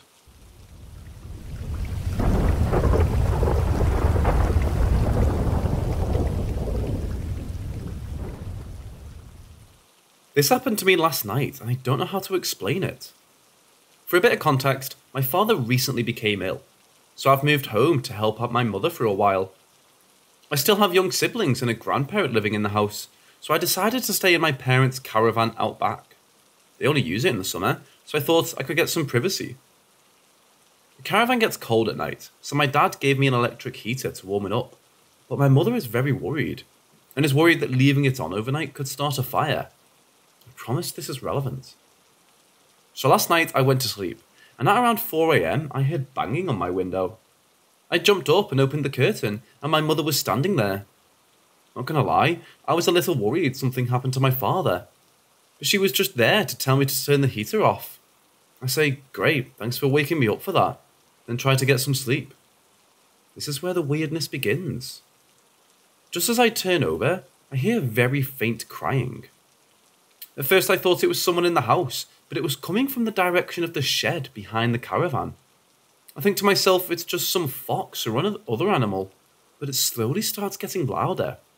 Not extremely loud, but loud enough that it was keeping me up. I fling the curtains open to scare whatever animal was out there, but it was no animal. A child sized shadow thing was sitting against the shed, its head in its knees, crying.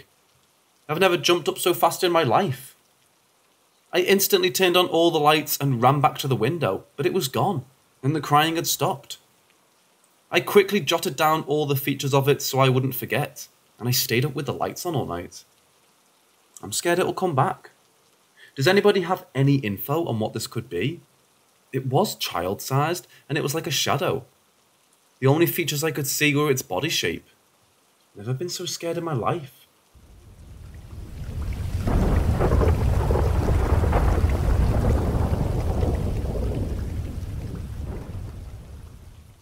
I've just had a baby. Well, just being two months ago. I'm having no sleep, I'm cranky, and those who know this stage know how difficult it is. Regardless, weird things have been going on in our house ever since bringing the baby home from the hospital. It first started with strange smells. I know what you're thinking, nappies and such, but I assure you it wasn't those or my daughter. I'd be feeding her and putting her in the crib next to me and go get a bottle of water out of the fridge. Upon entering the kitchen, which is down the stairs and a few more rooms away, it smelt like rotting garbage. That's the best I can describe it. I thought the kitchen sink was blocked up again and made a mental note to mention it to my husband in the morning. I mentioned it and he took it apart and nothing. No blockage and no smell. It seems the smell moves from room to room. Next, I'm awake mostly all night. I would hear three loud random knocks at our bedroom door. My husband and I would be in bed and no one else would be in the house. We only live with it being us three myself, my husband, and our baby. I thought I was losing my mind or so sleep deprived that I was making it up. Or maybe something fell on time and my imagination hung on to that. I don't know. It happened every night. I'd open the door and see no one there. No windows open, nothing. Like I said, I thought I was going crazy. Until my husband stayed up with her one night while I got some rest. I hastily got into bed and willed myself off to sleep in case he changed his mind, and the next thing, I'm getting shaken awake. It's my husband asking if I heard the knocks. Okay, just not me. I told him not to worry and went back to sleep. No one was going to ruin my very rare nap time. I now keep having dreams of this figure. It's a shadow man, but I can make out some features. It seems to have four sets of horns on its head and is pitch black. Sort of like a black swirl, if that makes sense. In my first dream, it was standing in the door hallway, blocking me from exiting. It was blacker than the room and had red eyes. I started to feel an overwhelming sense of dread, and then my daughter cried. I woke up from that dream. The next one, it's right over my daughter's crib and staring down at us. I told my husband about this, as in a look how crazy I am with no sleep sort of way, and he went white. He grabbed me and the baby, and the next thing was sitting in the car. He said he didn't want it to hear us. He told me that he was trying to nap on lunchtime as I was out with our baby shopping, and he thought, why not? He awoke to this black, swirly thing right next to him, its face inches away from his. He said it didn't have a face, just had four black shadow horn outlines and a wispy black body. Its head was on the same pillow as my husband's, that's how close they were. He told me he'd jumped backwards, as in a sort of oh crap moment, and when he did the figure, folded in on itself and left. Not without that god awful smell. Help, please, guys. What is this? What do we do? I want my daughter to be safe.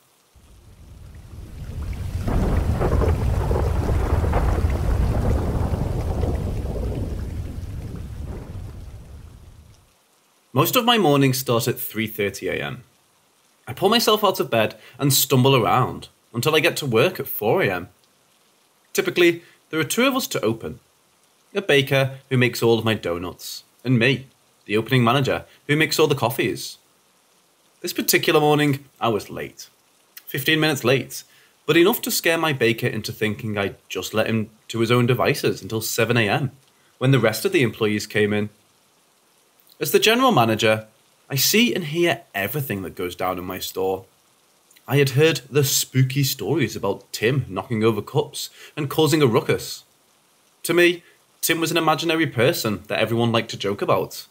Even I did, saying that, oh no, this spill is on the counter. Must have been Tim. Shame on him. We laughed and joked about him and blamed him for all our problems. It kept spirits light and gave us a scapegoat when something went wrong. Tim, however, was a fake ghost. I was sure, just a running joke. Was fake. I walked in at 4:15 a.m. to find my baker standing in the front line, and not in the back where his station was. Eyes wide and a scared expression. I immediately got worried. I asked him what was wrong, and he just said, There's someone else here. So here we are, a small coffee shop located right in front of a city jail. Attempted break ins were a regular thing with the colder weather. Inmates were released, and their ride never showed, just looking for a warm place to spend the night. My baker rattled off how he had heard the cooler door open and shut, then someone shuffling across the beverage station. He went around the corner, thinking I had come in while he was in the freezer. He then heard running down the back hall and our swinging door being slammed open and the person go out into the dining room where I was currently standing. Our security system sends alarms out when the doors are opened without the code. My baker said he hadn't heard the alarm. A manhunt ensued. I searched every single place a person could be. We looked for signs of a break in, signs of a robbery, something. I took him to the office. We locked the doors behind us and checked the cameras. 4:12 a.m. my cooler door opened. A couple seconds later, and the swinging door, just like my baker had said. He sits in the parking lot for me now and waits until I get there. We've been keeping it to ourselves.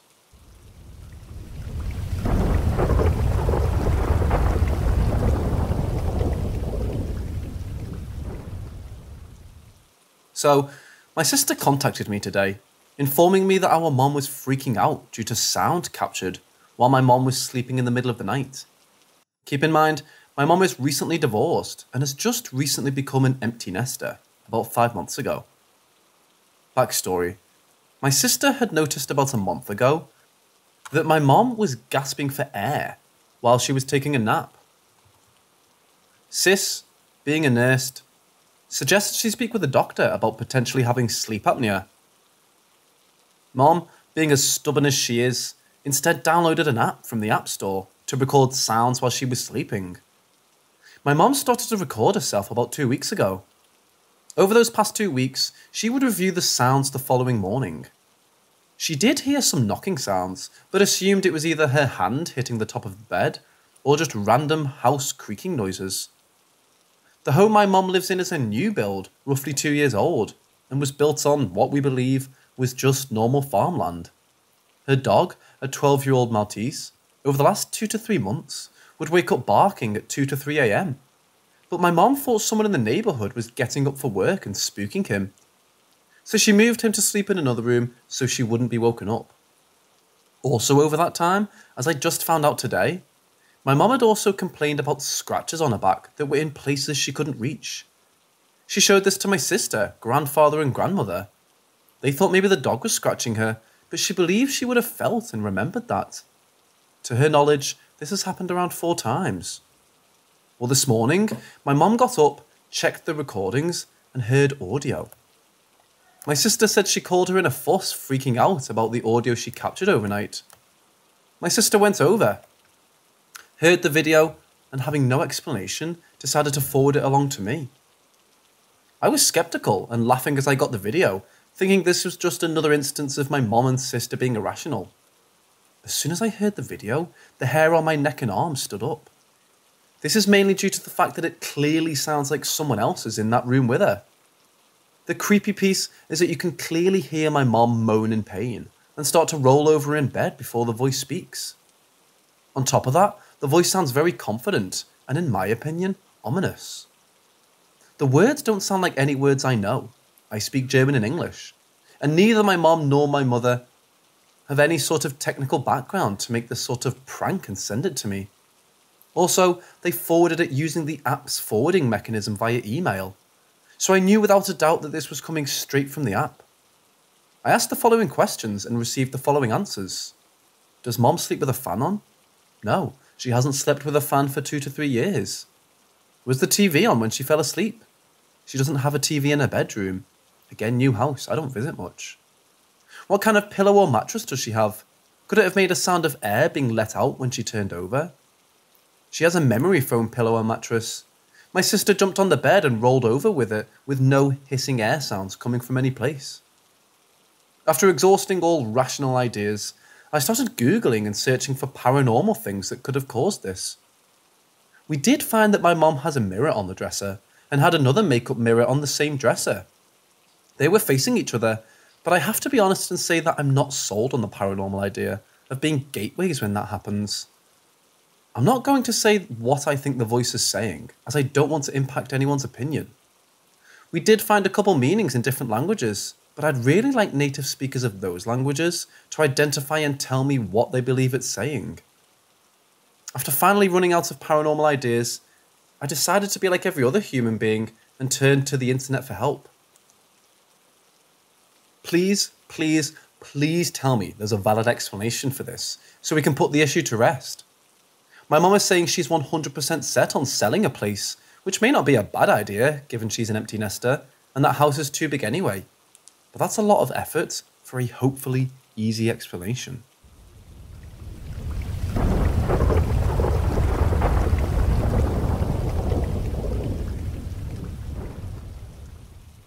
I have a story and question about the paranormal that hopefully maybe someone here can finally answer. Has anyone ever had an experience like this? Or th- something similar, perhaps? My best friend and I were outside having a late night conversation. We live in a very small town on the edge of the forest, in the middle of the Great Canadian Shield, a very large forest that covers central Canada. It was about 2 a.m. when we suddenly heard a howl that picked up a few other calls. Nothing strange yet, but it picked up more and more howls, until the point it sounded like there were hundreds of thousands of wolves. Initially, my friend and I tried yelling over the sound, but even though we were right next to each other, we couldn't hear one another. It got so loud at the end we couldn't even think to ourselves. It was mind numbing. Then, as suddenly as it started, the howls died out. Quickly from hundreds of thousands to four or five, then to one or two, and then silence. Not one howl for the rest of the night. The thing is, we have absolutely no mountains. It's flat forest land. Not only that, we have wolves in the area, though not that many for sure. But no one else in the neighbourhood heard the sounds when we asked around. My best friend's mother lives closer to the sound and is a light sleeper who had her window open. She heard nothing. Neither did my grandmother, whose house we were standing in front of. Nothing. We had no idea what to make of this event. Finally, after about six months, I realised something bone chilling. No one heard us either. What happened to us or our voices? Did we have a shared hallucination? If so, why did no one still hear us screaming to each other then? It's never happened again.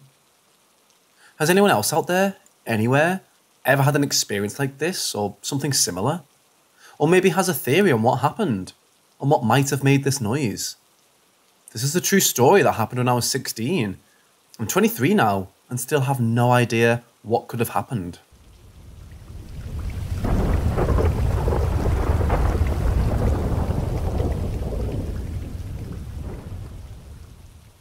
So, this is a story from back when I lived in DeRidder, Louisiana. I was around 12 when this was happening. So, apparently, the house we lived in was beforehand occupied by an older gentleman and his family. Never really knew much about it, but I heard a rumour from neighbours around saying that an older man died in the house we were living in. It was a beautiful big house, four bed, two bath, and a huge living room and dining room. It also had an office room that we later used to turn into a bedroom. But the way the neighbourhood set up was a big square, only one way into the neighbourhood. And our house was on one of the corners of the big square. We didn't have any streetlights around our house, and it was kind of sloped down into a ditch. So when it rained hard, it would usually flood the whole backyard and everything around it. The rest of the neighbourhood was more elevated and had streetlights. Our house was the only house that had no lights around it. It was honestly creepy at night when we were pulling into our driveway. But, anyways, ever since we moved into that house, I always had this weird feeling like someone or something was watching me. It never really did too much damage because I thought that maybe it was just me being young and scared, but boy, was I wrong. Many weird things happened in that house that were unexplainable, but one of the first things that started happening was I would see a dark shadow looking figure run past our garage door. We would usually leave the left garage door open and the right closed. And when the left was open, you could see right through our door that leads into the garage because it had a glass window. But I would randomly see this figure run past really fast. And I thought maybe it was just my eyes, because I would catch it in the corner of my eye. But slowly and surely, all of my siblings started to see it. We never really mentioned it, because it never really bothered any of us like that, I guess. But then it started to get more frequent.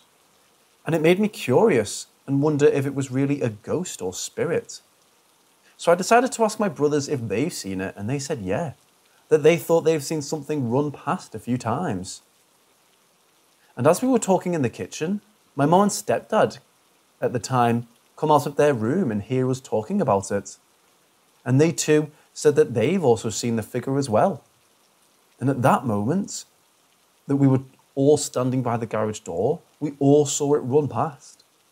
My stepdad swung open the door and ran out.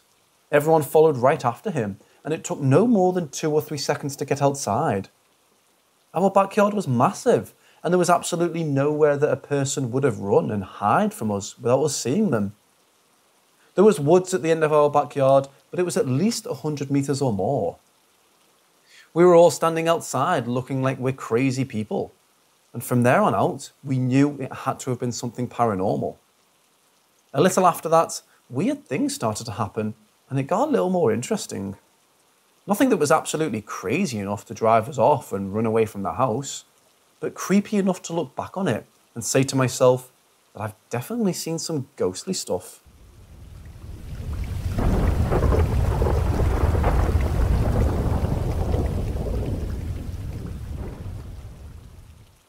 So I live in Anchorage, Alaska.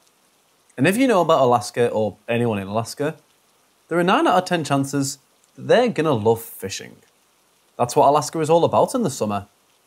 But, anyways, I was chilling at home with my brother, and out of nowhere, he decided to take a drive out to Kenai and do an overnight fishing trip. It was around 10:30 p.m. I had nothing to do considering that it was summer and had no school, so I decided I'd go with him.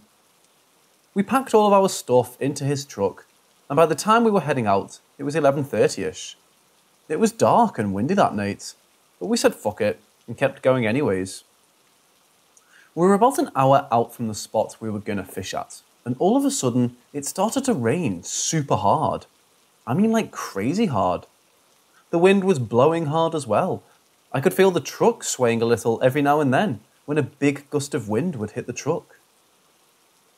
And if you're from Alaska or know about it a little, you'd know that driving from Anchorage to Kenai in that kind of weather ain't fun. And there are also not many places on the way. There are spots where it's nothing but woods for miles, no houses or anything for a while. And out of nowhere, I had this sudden urge to want to put my head down and ask myself or whoever I was asking if there's proof of higher beings or anything out of this world out there, show me yourself. Show me proof of you. And I slowly opened my eyes and tilted my head up. And as soon as I looked up, my heart sank. Off in the distance of my brother's headlights, I seen this bright white. And as soon as we got closer to it, I noticed it was a person walking on the side of the road. And I mean, like, this was white, like the brightest white that I've ever seen. Nothing but white. No coloured shoes, nothing. Just pure bright white. I had chills shoot straight through my body. Looked over at my brother and asked him if he saw that. He nodded and said, yeah. He was confused on why I was tripping out and looking back. And after I told him that I had said to myself, he started tripping out. And to remind you, there was no house or anything around for miles. It was also raining super hard and windy as fuck too. Occasionally, I think about it and it makes me trip. I don't know what to really think about it, other than a higher being or something of that cause. Just really weird. That when I put my head down and asked for something to show itself, it did.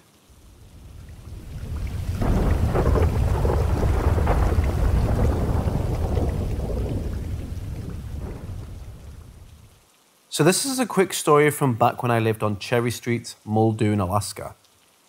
My mom rented out a duplex when I was younger. We lived there for a few years. Weird things did happen in that house, but it never really phased me all too much, besides one time. But that's a different story. But I remember my mom had this grey camera. It was kind of like an old school one. We've taken a few pics on it, and then after a while, we just need to throw it into the bin that we had that was full of electrical stuff. But one day I was going through the box looking for a Wii controller, and I remember the camera catching my eye. For some reason, I felt like I had to charge it up and turn it on, and so I did. Everything was normal until I went into the camera roll, and this is where things just went south. I started going through the pictures and saw three pics that were in black and white grey. I'm not sure if that camera takes black and white pics, or the pics that we've taken beforehand were all colour. But when I looked at the first black and grey pic, I was weirded out.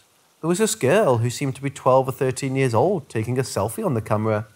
But the weird thing wasn't just me not knowing who that person was, it was also taken in our hallway right next to my bedroom door bookshelf. And the bookshelf that we had was filled with books and random stuff. But in the picture that was on the camera of the girl and the bookshelf, it was empty. And the only things that were on the bookshelf were skulls. But they didn't look like actual skulls. They were like see through, smoky looking skulls. Kind of like a cloud, but in a perfect skull form. There were about three skulls, and the other two pictures that were taken on the camera were just pictures of the bookshelf itself and the skulls on them. To this day, we have no freaking idea who or how that was possible. It's honestly really freaky and weird. It wasn't a previously used camera because my mom bought it brand new. And even if it was previously owned, how would that person or whatever she was have taken the pic in our house? I wish we would have kept the camera, but my grandmother that was living with us at the time was a super Jehovah Witness, so she made us throw it away. No one in the house knew who she was. Some creepy stuff.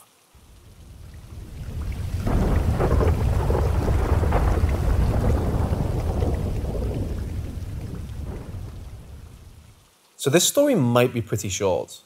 Everything happened relatively fast. So this was back when I lived on Cherry Street, Muldoon, in Anchorage. My dad came up to visit us from Hawaii after he got out of jail. My mum was at work and he was there watching us. It was a pretty chill day. We were going to go to the zoo, so my dad decided that he would do my little sister's hair. They were sitting down in the recliner that was facing down the hallway. Halfway through doing my sister's hair, he asked my older brother to go grab a comb for her hair. And me, being the nosy slash ADHD filled child I was, I got up and followed right behind my brother to go into my mom's room to grab the comb. As soon as we opened the door, we were greeted with an absolute cold breeze and the sight of a teenage looking girl on the far side of mom's bed. The bed wasn't against the wall, it was in the middle of the room, so there was enough room on both sides of the bed to have walking space. Me and my brother both froze instantly and looked down the hallway at my dad and little sister. At first, we thought it was my sister for some reason, but no, she was still there, sitting down getting her hair done. And when me and my brother looked back, the girl was standing right in front of us. I'm talking like some horror movie stuff, like literally The Grudge.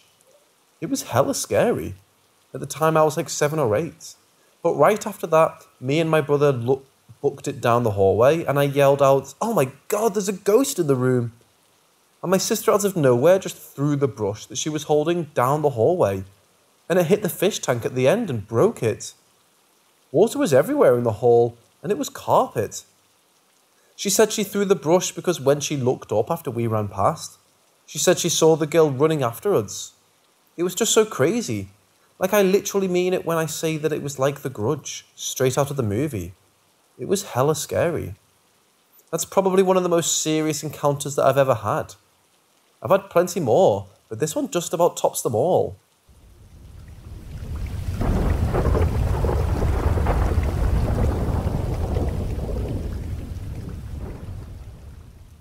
I just finished watching the interview with Joe Rogan and David Fravor about his UFO sighting. Well, I decided I wanted to share an experience me and my brother had several years ago. I've told all of my family and friends, but I've never shared it online other than on my personal Facebook when it happened. My grandpa and two uncles used to work at NASA in various positions. My uncles both denied ever hearing about anything extraterrestrial while working there, whereas my grandpa wouldn't tell me any specific stories, but he told me he knew we weren't alone. Anyway, I grew up in Cape Canaveral, Florida, but I now live in Georgia, about 20 minutes south of Atlanta, which is where this took place. So, several years ago, in the summer, me and my brother rode in his truck to the gas station to get snacks and cigarettes. After we got our things, we decided to park in a space facing the road so we could smoke before we went home. My mom didn't know we smoked at this time. We were sitting there, and I remember distinctly that we were drinking Yoo-Hoos and eating hot Cheetos. Everything about this experience stayed in my mind, and whenever I visit that gas station or drink a Yoo-Hoo now, I think about it and what we saw. So we were sitting there just talking, and I noticed something in the sky, and I said, What's that? My brother looked, and we saw five lights in the sky in a V formation. They weren't moving, but just sitting there. We do live close to Hartsfield Jackson Airport, and we see planes all the time. These were not planes. It was in the middle of the daytime, and the lights were bright, and like I said, not moving. Well, as we were staring at the lights, the two top lights at the top of the V flew in different directions extremely fast and then came back and joined the formation. This happened in about a second. Here's the best way I can describe the way the lights went. After that, the middle two lights did the same thing, flew quickly away and then back into the formation. Next, all of the lights scattered in different directions and didn't return. They disappeared. We were shocked by what we just saw and drove home quickly to tell our mom. I then posted on Facebook asking anyone if they saw the lights in the sky, and two other people who lived near me said they did. Some people asked why I didn't take a picture or video. Well, first of all, when it happened, we were both so enamored by what we were seeing, it didn't occur to me to pull out my phone. It all happened so fast, maybe in the span of about 45 seconds. And we were so focused on what we were seeing, it just didn't cross either of our minds. Second of all, at this time, my brother had an iPhone he left at home, but I only had a slide phone, so the camera wouldn't have been that good. Anyway, I think about the occurrence all the time. My brother is a no nonsense type person. He's a non believer of everything from ghosts, aliens, Bigfoot, etc. I don't know really how to describe him, but definitely not someone who would make up a UFO story.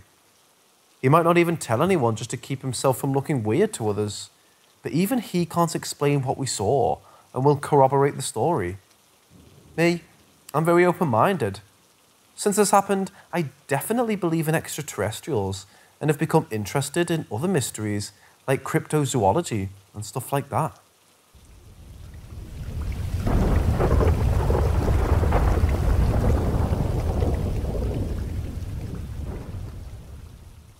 This happened on the White Earth Reservation. The particular town this happened on is built on top of an old burial ground. I've always believed in the spiritual world. I've astral projected, but I always kept my mind closed off to the spirits. White Earth is known to have heavy spiritual activity and many hauntings. Here's my story. On this full moon lit night, I was with a group of five friends, including myself. It was around 2 a.m. We had got on the topic of ghosts, and the oldest friend with us suggested going to look for spirits in some of the known haunting areas. We were hyped and didn't think much of what we were going to do. We grabbed a rifle and we all loaded up into the SUV. There's a trail called Tibet Road on the outskirts of town. There's two houses the first quarter mile, and that it goes very deep into the woods for many miles. During the ride through trail, we were calling out spirits and yelling out the windows talking shit to any spirits around. We arrived about halfway into two old time abandoned cabins on the edge of a swamp that were 15 feet from the truck. When me and the oldest friend, we'll call him T, hopped out, by the first one, something went splashing into the water. We couldn't see anything. He walked over there and started shooting around his gun, trying to humour us. The others didn't want to hop out, and I was kind of spooked with the whole idea. We decided to leave, so we went a bit further by the second cabin to turn around. At this point, I felt safe and opened my mind completely up to the spirits. We stopped and looked towards the second cabin, which was further out. I had front seat next to T. He said, Do you see that? Back behind the cabin? And I couldn't see anything. I focused my eyes, kept looking, and pretty soon this white figure appeared. I kept looking, and it was some sort of white creature peeking its head around the corner with an alien type head and big empty eye sockets. It seemed like it was short or on all fours. It would peek at us, then go behind the cabin. It kept doing this for about a minute. In my head, I was spooked and couldn't believe what I was seeing. T was trying to hop out and go see the creature, but I was panicked and said, This is how people disappear. Finally convinced him not to go. As we started leaving the woods, this really small and long fox looking thing ran up beside the truck, ran in front of us, then cut into the woods. At this point, I started hearing chant like music that was really soft, like women or children singing, and I had the feeling it was a death song. T didn't care, but I, being sober and very intuitive, started to pray out loud and try to block out the song, but I couldn't. We finally made it out, and I was relieved but that experience and the feeling of safety made us want to look some more. He knew of a spot in the middle of town that supposedly had a bad spirit there. The background of this spot is two uncles raped their eight year old niece, killed her, and took her to this short trail. That connects from an old powwow grounds to highway and is heavily wooded, then burnt and left her body within the past 30 years. Apparently, a strong evil spirit now lives where her body lives. This was T's past cousin, so he knew her name. We parked on the trail next to that spot, and I began to call out her name and saying things like, Come play with us. All of a sudden, mid level along the tree line, I saw three black flashes, zigzag, and after the third flash, something snarled and hit the rear of the truck. We got the hell out of there. The young teen guy behind me saw the same flashes, and we all heard the snarl slash attack. The teen girl started crying. This is where it gets wild, and I feel like we were connected or opened a portal. At this point, the whole town was foggy, maybe like 250 population. We made it through the trail and came to a turn on the highway, which connects the trail. There's a big downhill open area that leads to a flattened swamp and this is where a body was found about six years ago. We stopped and decided to take a look down there. Among the fog, I seen spirits for the first time. There was five spirits standing in a circle. They're whitish, smoky blue, human size, human shape, and have holes where the eyes should be. One of them noticed us. He would just turn and look at us. There was a few other spirits wandering around, and there were these black ones that were bigger than human, and once they noticed us, they would start coming towards us in long, slow paced zigzag fashion. I felt like their intent was evil, and we decided to leave before they got any closer. We went to another swampy area, and I couldn't believe it. We saw more spirits and more of the black ones that would then start coming towards us. Around this time, it was 5 am, and the sun was starting to rise. We went back over by where the little girl was killed, except we went on a trail opposite of the flatland swamp, and the trail she died on. We had to walk, so we got out of the vehicle and felt safe, being it was lighter out. Coming directly from where the thing attacked our car, you could hear an adult girl crying and moaning out loud, and it gives me goosebumps to this day. I'm pretty sure it's the soul of the girl or something sinister trying to mimic her. The next night, I was at a different friend's in another town. He has a basement with no door in the living room, and his cat kept sitting at the top looking down, as if something was there, it did it a few times. Then at 3 a.m. that night, exactly around the time the phenomena started happening the night before, I seen a black shadow go along the wall towards the TV, and the cat was running after it. As soon as it got behind the TV, the TV cut out to static, and we had to reset it. For the next year, after all of this, whenever I would think of it, usually at night time, I would wake up the next morning with handprints on my wrist. This happened probably six times before I really put my mind to prayer and cleansing myself of whatever attached to me. Spirits are real, my friends. I know what we did was very disrespectful and obviously disturbed the peace. I've grown in spirituality, energy, and wisdom since then.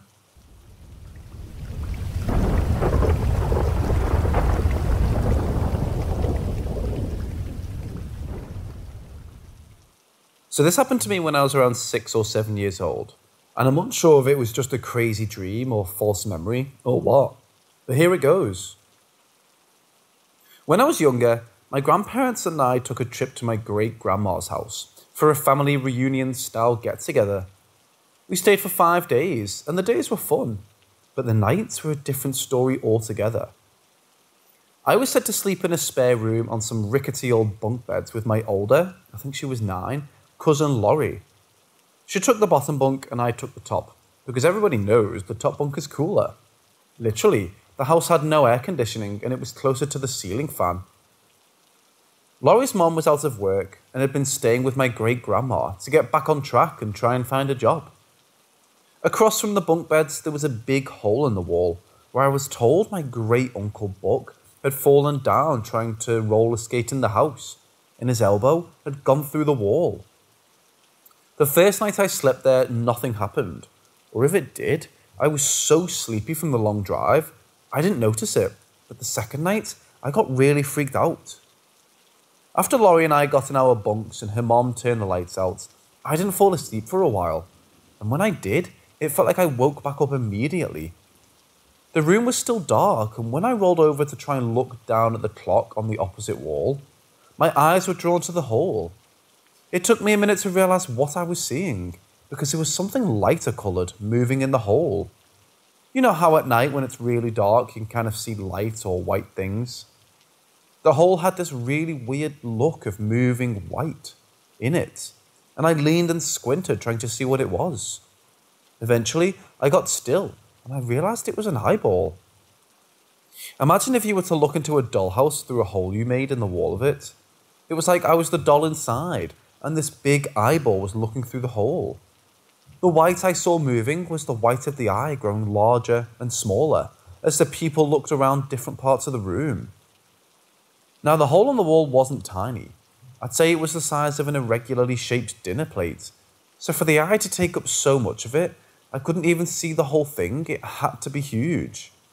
I was paralyzed with fear and pulled the covers up over my head and laid there sweating in total silence until I eventually fell asleep and morning came.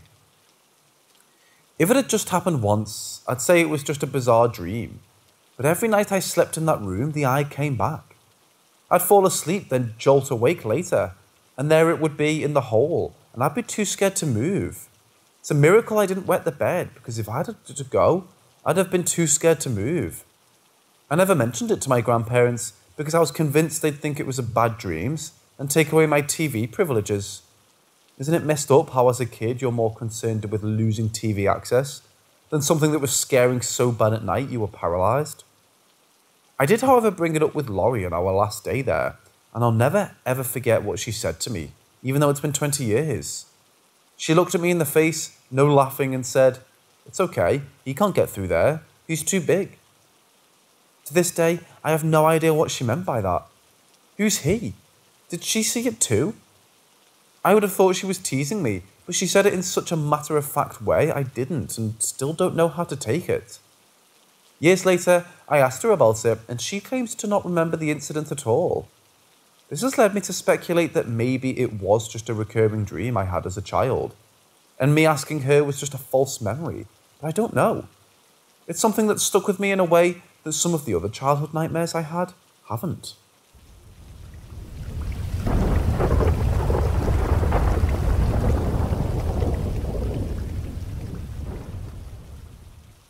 I lived in a haunted house when I was four or five years old. I can remember some things as far as back as about two and a half years old. Some of this, my memory, some of this are things my parents told me when I was a little older. It was probably 1978, and the house we lived in came with my dad's job, since he was a milker. The house was really old. One time, a guy came to work on our bathroom, and he said the nails that we used to hold the house together were square, and they didn't have a round head like nails today. His guess was the house was built before 1920. There were only two things that were unusual about the house. It was a huge two story house, and sometimes when we would come home, there was a bell about 30 feet off the ground that was rusted solid, and it would start ringing. The other thing that happened was at night when we would go to sleep. As long as we didn't have any house guests on the second floor, we would often hear a party going on on the second floor music and people talking and laughing. I do remember when we moved into our next place, I was looking for the ghosts there. I thought they came with every house. The second house I lived in that had a ghost was a house my parents bought when I was still in high school as a junior. Anyways, this ghost was nice. You could normally see her out of the corner of your eye in the living room. I know it wasn't just my imagination, because my friends saw her too, and we all gave the same description Small elderly woman, about five feet tall, dressed all in black, and she would get hazy and disappear from about mid thigh down. Sometimes when I would come home, if I'd had a particularly bad day, she would, for lack of a better term, rub my back. It was a feeling like when someone's hand is as close to your skin as it can get without actually touching it. This is a second hand story in that I heard it from the people who were there when it happened. There's a belief that every good theatre has a ghost.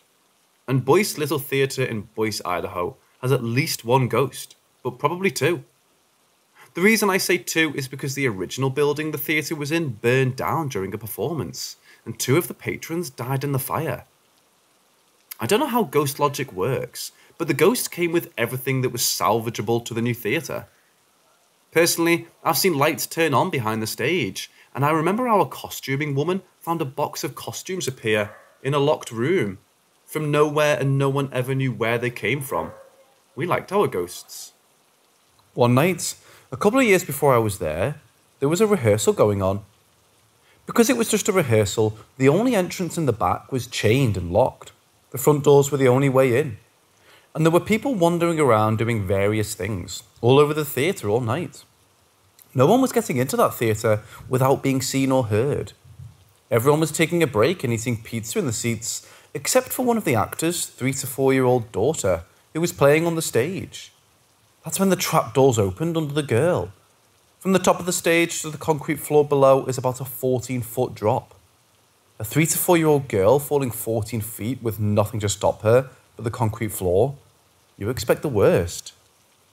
Everyone jumps up and turn, runs to the back, some going to the right of the stage, some going left. The way the theatre is arranged, it only takes 5 to 10 seconds to get to the door going under the stage while running. They get below the stage and they find her, standing under the trap door, not a scratch on her. When her parents ask her what happened, all she would say is, A nice man caught me.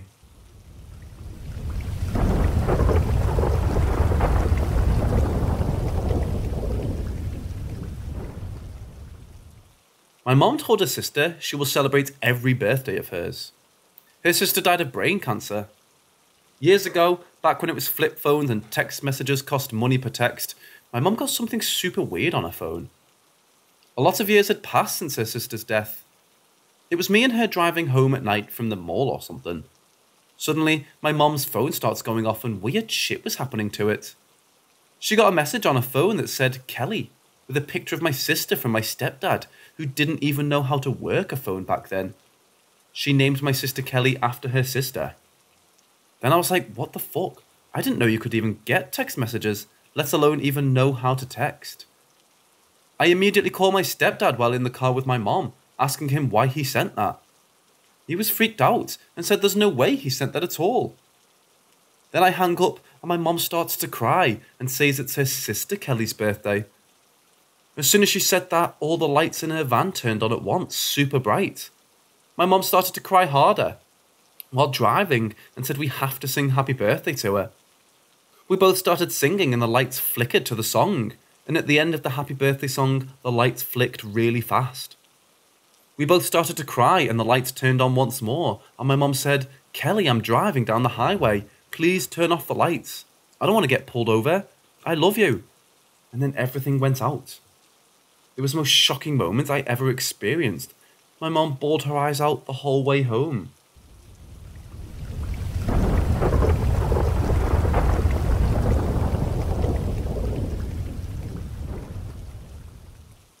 Around the summer of 2012 to 2013, when I was about 13 ish, I spent the summer in South Dakota with my uncle from the middle of June to the middle of August.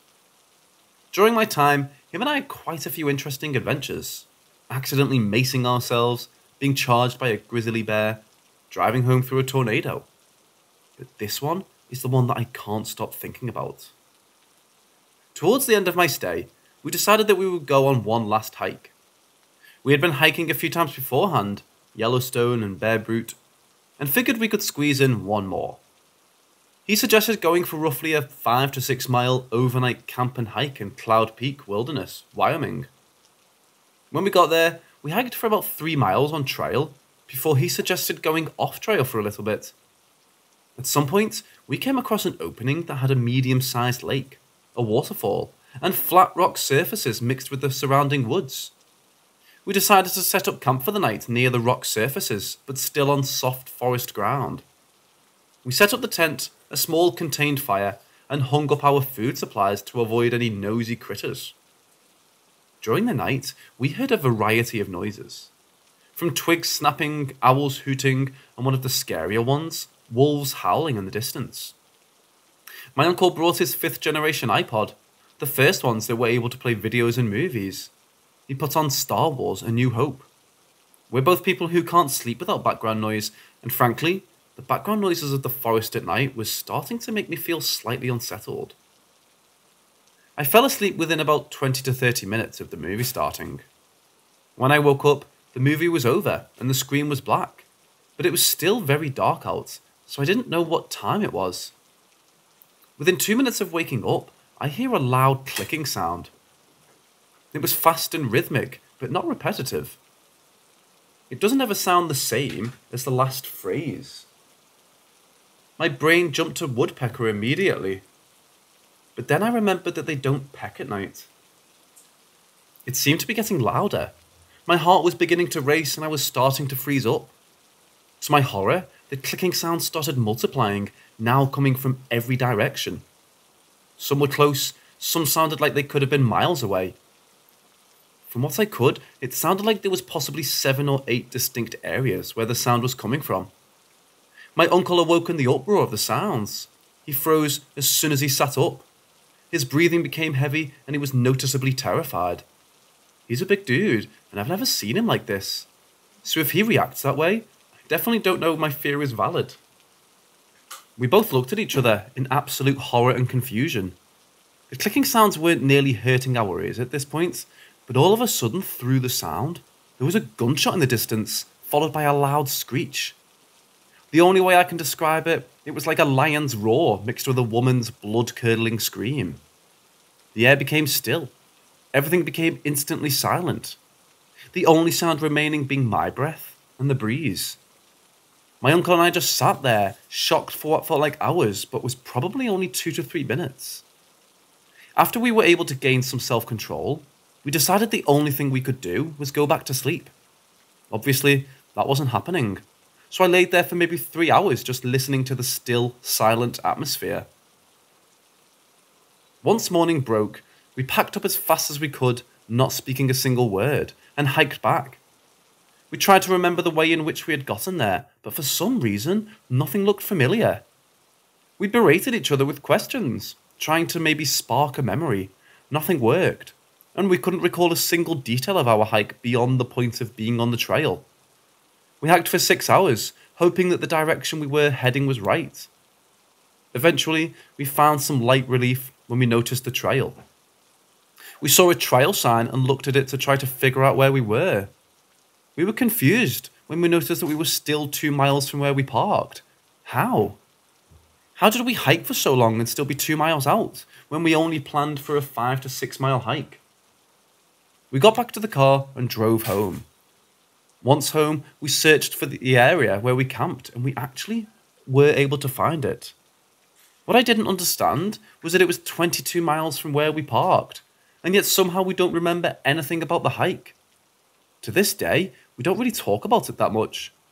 We have some sort of unspoken agreement to acknowledge that what happened wasn't normal, and I think we're still to this day trying to process it. This was and still is one of the most terrifying and strange experiences of my life. So, what the hell happened that day and night?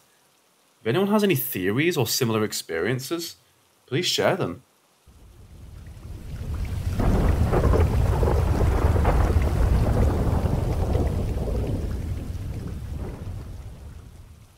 When I was in ninth grade walking to the bus stop near St. Paul, Minnesota, it was still dark out and eerily calm.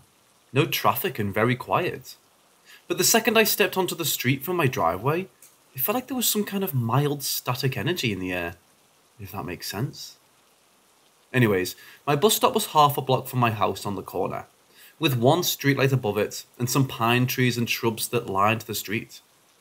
I was looking at the ground as I walked up the hill toward the bus stop and just before I crossed the street, I finally looked up to see if the kid I shared this bus stop with was already there.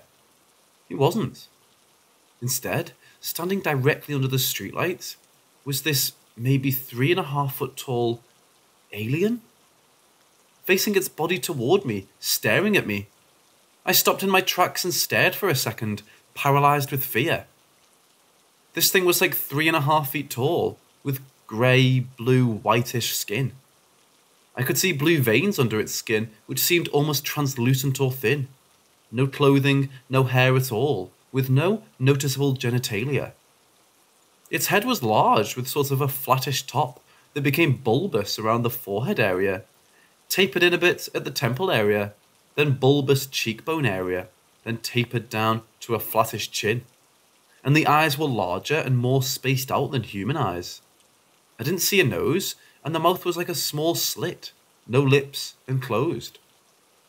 The arms were too long for its body and hung at its side. I guess I didn't take note of its hands. It kind of had a flat chest with small pectoral muscles, but no nipples, with a wider protruding lower stomach, wide set hips, short legs, and looked more like how when a hooved animal stands on their hind legs, but with humanoid feet. This thing just stood there under the streetlight facing me and staring at me, and only 20 to 30 feet away from me. I would guess I stood there for maybe 3 to 5 seconds staring at it, frozen with fear and confusion, trying to figure out what the fuck I was staring at. When my brain caught up with me, I ran as fast as I could back home, slammed the door shut, and was inconsolably crying and hyperventilating. My parents were confused and horrified as to what happened to me in the three minutes I was gone. My mom had to literally help me walk to the nearest chair. I didn't go to school that day. My dad stayed home because I was too scared to be alone. After I calmed down, I took a nap and woke up fucking eight hours later to my mom when she got home from work. It felt like I had literally just closed my eyes, then opened them to my mom, who had worked an entire shift at work. This is long, and hopefully I explained it well enough. Scariest day of my life. Also, when my mom was a little kid, her early teens, she had several encounters, including abduction. She hates talking about it, but my god, her stories are absolutely terrifying. My mum grew up on a farm girl in rural Wisconsin. Who wouldn't make this shit up?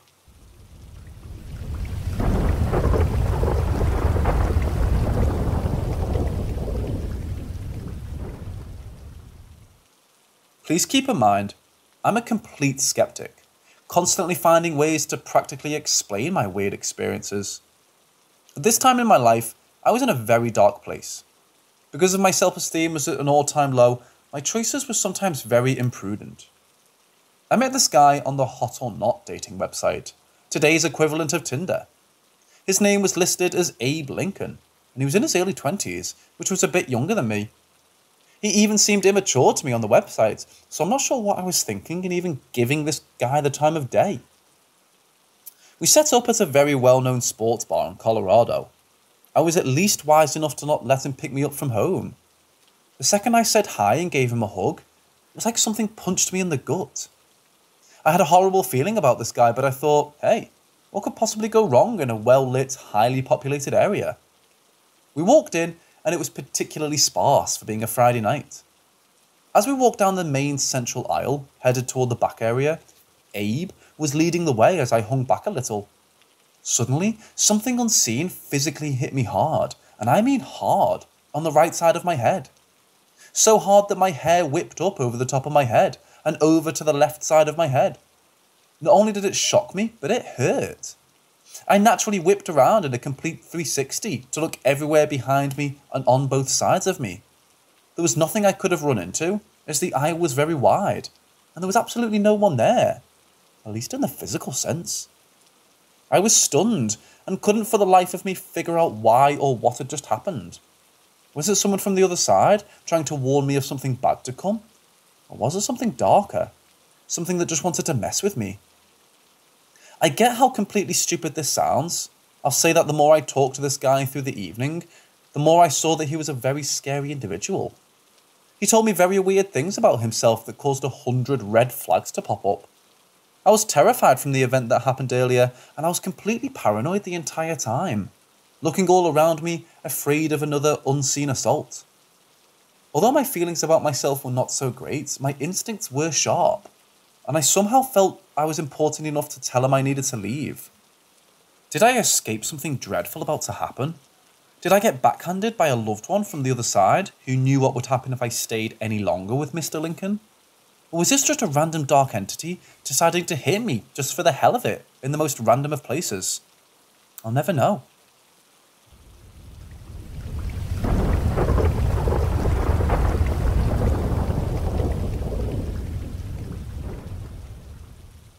Years ago, my friend and I would go explore haunted locations all over Connecticut. Although we never really saw anything, it was always fun to bop around the state and see new sights. One of these adventures took us to my hometown, which is a small tobacco farming community.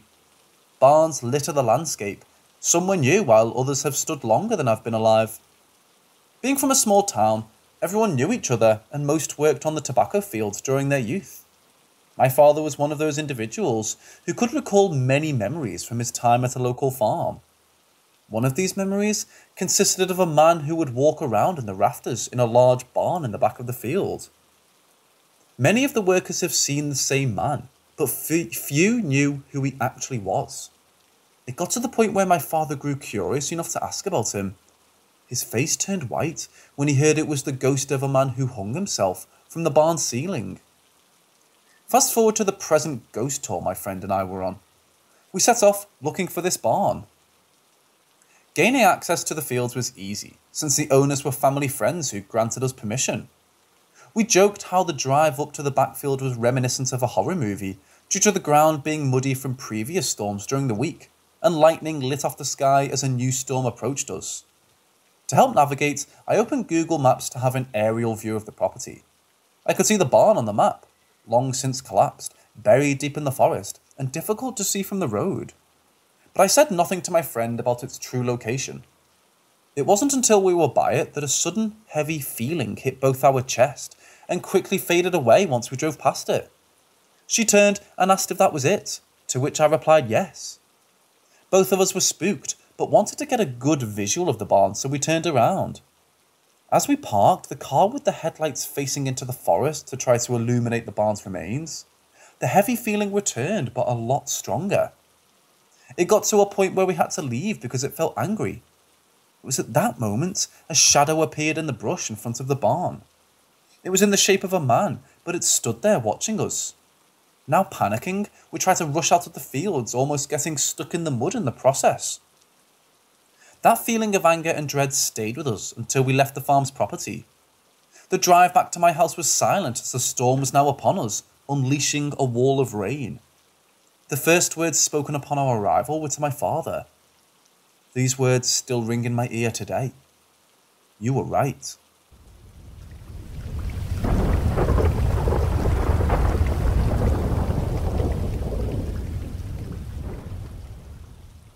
Last night, at around 1am, I saw an apparition float from my bedroom closet and out of my main bedroom door. I was laying in bed with my girlfriend while she was asleep, watching Oh Brother Where Art Thou? The movie was at the part when the girls were in the river, giving the main characters moonshine. Then out of the corner of my eye, I saw it floating from my closet and travelling semi-fast out of my bedroom door. It looked like a fog or exhaust on a cold day or a ghost but in a rectangle form without the edges. I woke my girlfriend up immediately to tell her, and tears started to pour down my eyes. I was in complete shock. My whole life has been shocking since now I know ghosts are real. I felt like I wanted to throw up. I even called and told my mom at 10 past 2 in the morning. I'm a grown ass man with a six year old daughter. My girlfriend's grandpa died exactly two months earlier, at 5 past 2 am and his ashes are in a mini urn in the closet, where I saw the apparitions originate from. Then today, I grilled steak for dinner for my family girlfriend, three girl daughters. When I brought it in from the grill, I covered it with foil. Before I went to uncover it, there was a huge fog, mist, or distortion all around me, right in front of me. I could barely see the counters and cabinets in the kitchen. That happened for about five seconds, then went away. I told my girlfriend, and she said that her grandpa really liked steak and was freaked the fuck out. I don't want to just assume it's my girlfriend's grandpa because of the two month anniversary, Mini Urn and his love for steak. Something definitely happened. I was always super skeptical, and now I just don't know what to think. I'm still in shock, and it's really messing with my mind. Does anyone have any insight on what this is or what I can do? Is this what a ghost really is? It hasn't moved anything, controlled lights, or touched anybody in the house. We live in an old apartment.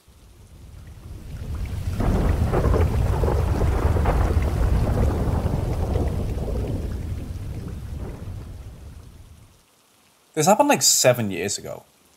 I was invited to a party by my best friend at the time, in his house, which had pretty awesome views of the city, especially at night. I was pretty bored, so I asked my dad to pick me up, and sure he did. It was like 9:30 p.m. or so when he picked me up. We were in the car and we were talking about some kind of nonsense, just having fun and enjoying the city lights and night sky. Suddenly, my dad recognized one of the houses in the neighborhood and told me it was where an old college friend used to live, and I heard the story. Then everything went black. The next thing I remember was us still in the car. My dad stops when he realizes that somehow we were going in circles when we passed again by that old friend's house.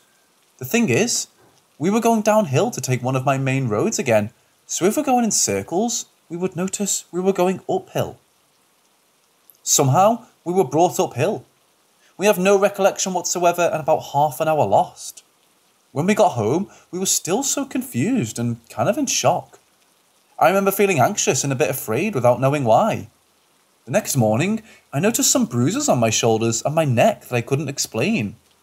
My dad also had some bruises, but I don't remember the exact places.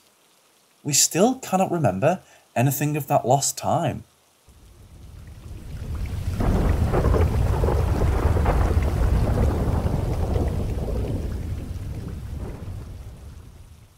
This happened a few months ago. I don't remember the exact date because I tried so hard to forget about the experience, but a month ago it surfaced again. It was pretty late at night, between 4 and 5 am. I fell asleep with my cell phone right beside me and I felt it vibrate. It wasn't that unusual for me to be woken up like this. On weekends, I get up pretty late, and my parents call me to wake me up, or to make sure I'm up and getting ready to go and get lunch somewhere. But it was in the middle of the night, and it was coming from my grandparents. I immediately answered, thinking there was an actual emergency. My grandparents are 90 and 89, and my youngest uncle who lives with them has Down syndrome. They're pretty much vulnerable to a bunch of things. When I answered the phone, my grandpa was on the other side of the line, and his voice sounded as if he was answering the phone to me. And immediately told him who I was and asked him if everything was okay. He sounded confused, which I didn't think was a big deal. He has trouble with hearing because of his age, and I thought he just forgot to put his hearing aids on. But then he started screaming and the phone call ended. All this happened in the course of a minute or so. I immediately tried to call back, absolutely terrified of something happening to them. After three non answered calls, I was on the edge of a panic attack if I didn't have one already. I got out of my room and woke up my dad. I told him what happened and showed him the call record on my phone so he couldn't brush it off, saying to me it was just a nightmare. I begged him to call them just to make sure everything was okay. He told me he'd do it and to go to bed. I didn't sleep much that night. I was absolutely terrified at times imagining the worst, but also ana- analysing what happened and thinking of a logical explanation. But nothing makes sense to me. My grandpa is not the most technological guy. He's pretty old school in that way. My grandma is the one that uses their cell phone or their landline to communicate with us. I'm not really my grandpa's favourite, and I don't know how I would be the first to be contacted if something happened. For me, it's pretty hard to comprehend how the man that doesn't even know how to spell my name correctly knows my phone number. I have to add, also, that my grandpa is a very respected doctor who's won several awards and is the most healthy person I've known in my entire life. He hasn't lost any of his marbles, he's pretty aware and conscious about his surroundings. In the early morning, my dad called and my grandma answered. Fortunately, everything was okay, and my grandma assured him nobody called me that night. My dad kind of tried the you were just dreaming speech, but once again, I showed him the call I received and that I actually talked to someone. He's a logical man, and he would try to give me an explanation, but this time he didn't even try. He was so freaked out that he pretended this conversation never happened and continued with his day.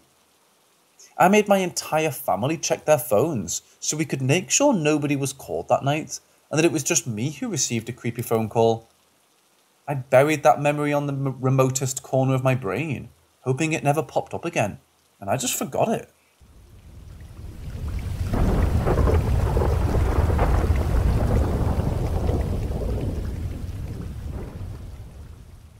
I remember when I was a kid that every school was built over a cemetery cliche, but my elementary school actually was built over one. Ever since I was a little girl, I was heavily interested in the paranormal, and I always thought my school had something weird going on. And for some reason, I was invested in proving to myself that I was right. In fourth grade, my experiments began, I purposefully stayed later in my classroom, hoping something would happen. I was always alone for like 10 minutes every day in the classroom, and I waited for like 5 minutes in silence to hear something. I was slowly getting frustrated and decided to drop my experiments. One day it happened.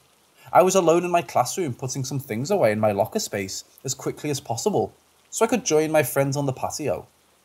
My classroom was at the end of the hallway on the second floor, so I was hurrying to catch up. I could hear the muffled voices of the other kids outside. In one instant, it was like a crowd of people talking out loud just hit me in the ears. I couldn't understand a bit of what they were saying, but it was louder than a bunch of kids playing outside. I grabbed my backpack and ran outside. When I was just by the stairs, I closed my backpack and walked to meet my friends. I was freaked out, but I didn't say anything to anyone. I didn't want a bunch of other kids to stay late in the classroom with me, and if someone told a teacher, they would think I was doing it for attention. Some weeks passed, and I wasn't staying late anymore because I didn't want to hear those voices again. One day, I thought it would be interesting to leave a piece of paper with a message for the ghosts hidden behind my books. I made sure nobody was there and that nobody could see it at plain sight. And sure enough, I received answers written in the paper. There were simple sentences and yes no answers. Since my mom was a teacher at my school, I was the first kid to arrive at the classroom, so before anyone else would come, I would open my message and see the answer. Eventually, I stopped doing that because it felt wrong and I could tell the ghosts were getting a bit annoyed. It wasn't much, but it was enough that made me believe in ghosts and made me think I was as awesome as those ghost hunters on TV.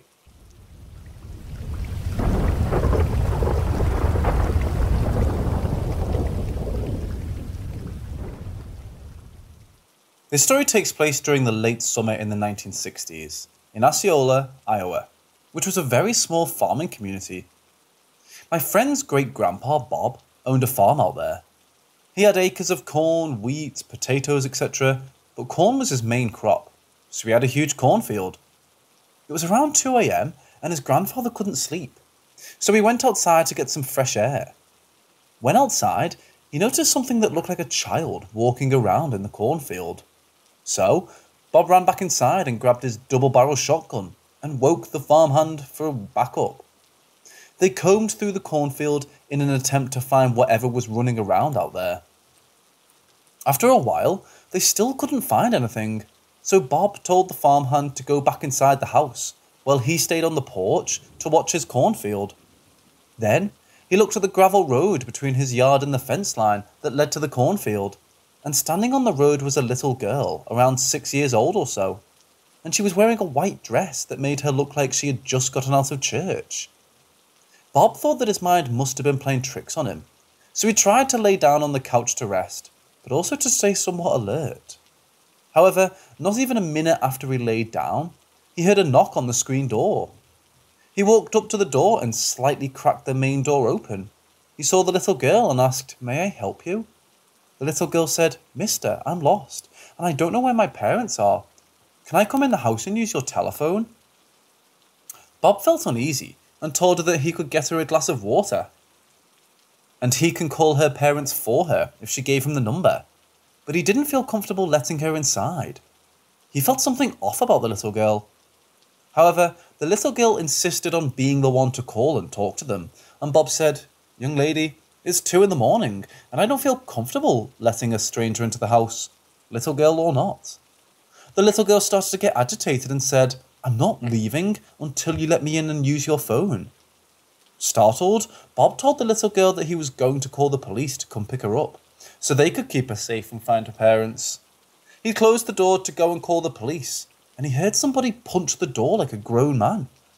He walked back and cracked the door open again, but when he looked, he realised that it was the little girl that punched the door. But when he looked at her this time, she didn't have any eyes. Instead, she had pitch black orbs instead of eyes, and she said in a deep voice, Let me in. So Bob grabbed his shotgun and pointed it at the little girl and told her no, and to go away.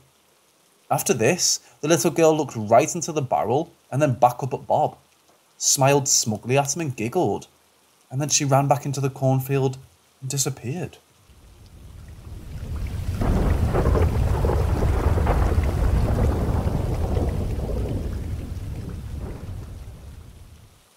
So, back in December 2017, I had finally found a new place to live and was moving out of my ex fiance's apartment. It was in this student housing complex that has a ton of houses in it, and you lease out the rooms. Anyway, I was 20 at the time and took over the lease for this other girl that lived there. I moved into this four bed, four and a half bath house that was two stories. Three other girls lived there with me that I didn't know. It started out as smoothly as it could, given that I had to literally rebuild my life, and I was in a strange new house with people I didn't know. Nothing really happened to me at first. However, it was certainly gradual. Probably the first thing I noticed was the air and atmosphere felt thick and heavy all the time, and I never felt like I was alone. I constantly felt fear or some other negative emotion. I just thought this was because of my situation, and I would get over it once I bounced back. It didn't. Then I would hear clawing, scratching, and thudding at random times. My bedroom was on the top floor, and the door to the attic was just outside my room. We called maintenance on multiple occasions to get an exterminator out. They finally checked it out and couldn't find a single thing wrong in the attic. No nests, droppings, dead animals, insects, etc. Then, the breaker box would constantly have to be reset.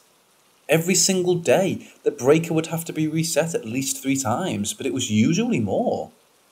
How it would happen is a section of lights would turn off in one room.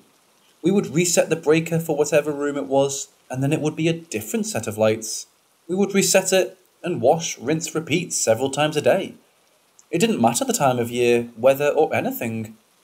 We finally had the complex get an electrician out there, and he said there was nothing wrong with our breaker box or anything like that. It was absolutely terrifying. Sometimes you'd be in the bathroom or shower and the lights would just go off in your bathroom and that's it. There was no rhyme or reason. Another thing that started happening was things would fly off my wall. I would never see it, admittedly, but I knew they did just based on how and where they landed and what the object was. Whatever the entity was, it did not like my Mardi Gras mask that I had on my shelf. There was no reason for this thing to fall off. I had it anchored to the shelf with hooks and a stopper in front of it. Either way, sometimes I would turn around or walk in my room, even if I just left for a few minutes, and find this mask six to ten feet away from the shelf. Doesn't make sense because it was heavy and an odd shape, so it shouldn't have been able to roll that far if it somehow just magically fell off. Side note, my room is carpeted, so that adds another obstacle. I wanted to test it, so I put a lot of noisy plastic stuff right underneath the shelf. Cellophane mostly, but anything that was loud, crinkly, and I would definitely hear. But I never heard it fall onto that pile of cellophane, even though it continued to wind up like six to ten feet away from the shelf. There was a lot of minor things as well drops in temperature, shadows, whispering downstairs, but we could never tell what they were saying. My roommates all got sleep paralysis. It would always be one of their worst fears. I never slept well. Things would disappear and reappear, strange sounds, etc. Another thing is I find and resell various oddities. So I had a vintage Ouija board there, but I sold it within the same week I got it. Never even opened the thing. Just sold it as to make a profit. During the first few days I had it, I would awaken at night and as crazy as it seems, something was telling me to open it and play with it. Felt like the thoughts weren't my own because I've never and would never play with one. I never caved in, but I thought that was odd. However, it started coming to a head after I'd been there a few months, and it was just before summer break. My roommates had a big party there, and I invited a friend to it. My friend told me years later that when they went downstairs after the party, about 4am it was so, to get some water, they said that they heard hundreds of flies flying towards them, but they couldn't see any. And they said while this happened, the room smelled of rotting meat. There weren't any flies or rotting meat in this house, FYI. So we moved out of that house after our lease was up, and we moved to another house within the same complex, and haven't had any problems. Still creeped out when I drove by the house on Winter Park Drive.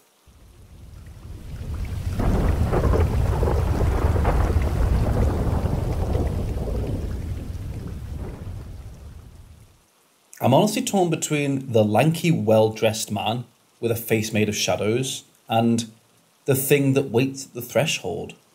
Both have their pros and cons. They actually both showed up at the same time once. I keep a journal of my sleep paralysis episodes. Here's the time they both showed up. The entry is from July 14th, 2019. For context, I work at a group home where I sometimes have to spend the night. Occasionally, I'm able to sleep while I'm there. Occasionally, I bring my dog with me.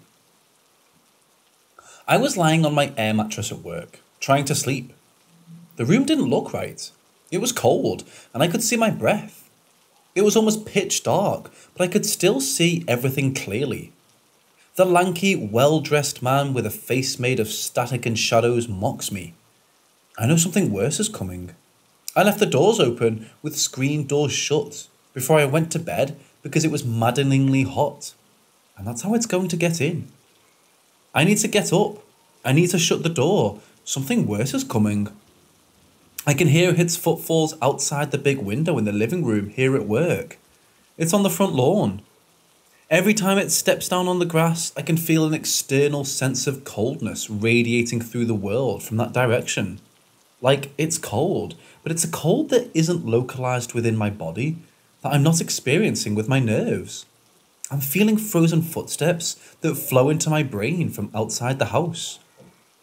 The lanky, well dressed man with a face made of static and shadows asks if I'm really going to just lie there and let the other come in through the door I left open. He says the horseshoe above the door won't be enough to stop it. I try to scream and can't. I try to get up and can't. I try to turn my head and it happens so, so slowly.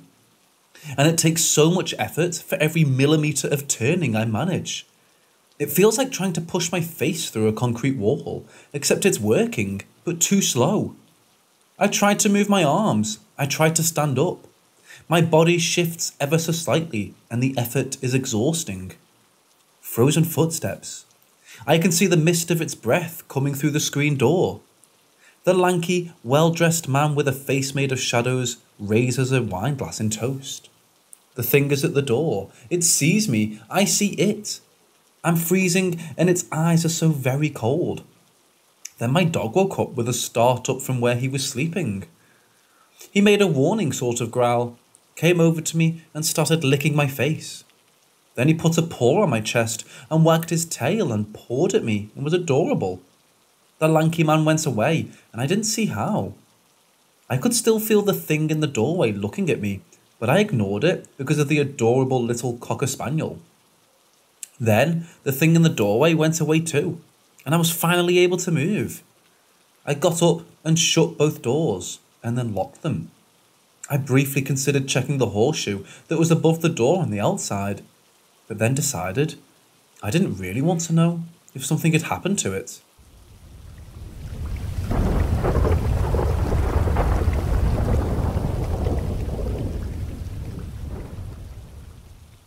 I'm a student at a pontifical university in the Philippines.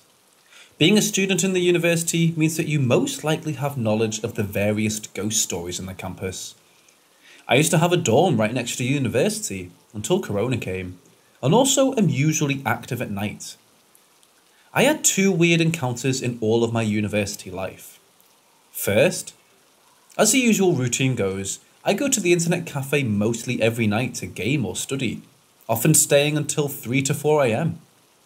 I usually do this alone and would usually take the route through the university to reach the internet cafe. University's gates close around 10 pm, so I make sure that I'll be able to reach the internet cafe by then. As I walked past the university gate at 9 o'clock, I took a long walk trying to get ready for my sitting session later. I was approaching a fountain and arc when I realised I wasn't alone. I was walking along the corridor of trees when I noticed two people were sitting by a certain tree. I felt disturbed as I spotted them because the ground where they sat was probably mud. I picked up the pace a bit after I slowed down. I heard one of them laugh and two sets of footsteps trail behind me. I was immensely disturbed and my heart felt heavy. They were chasing me. Maybe I violated their privacy, or they were the type of people who would ask for a fight, I'm not sure. When I approached the end of the corridor, I turned around and saw no one was ever following me. I didn't want to stay and ran towards the gate near the internet cafe. I approached a guard and reported the two people, and he told his colleague, who was re- readying for a patrol. Looks like it isn't only you. Second, I heard my assignment partner was busy doing her part at the library, so I decided to check it out. When I reached the place, I found out she was with a boyfriend who wanted to help. Her boyfriend and I went and tried searching for the book, while she stayed to read what she gathered. He found the first and fourth books on the list, while I found the third. Still looking for the second on the list, he told me he'd ask the librarian who was walking around the bookcases. He disappeared while looking after her. I found the book before he even returned and decided to head back after sending him a text. I got to meet my partner again and we waited for her boyfriend to return. After a few minutes, he did return, but he was teary eyed and his skin pores were acting up. He said that the librarian he saw was in one of the portraits of the staff a few decades ago. My partner told him that what he experienced was one of the few ghost rumours in the library. I had doubts. Maybe it was the librarian's kid who identically looked like the one he saw.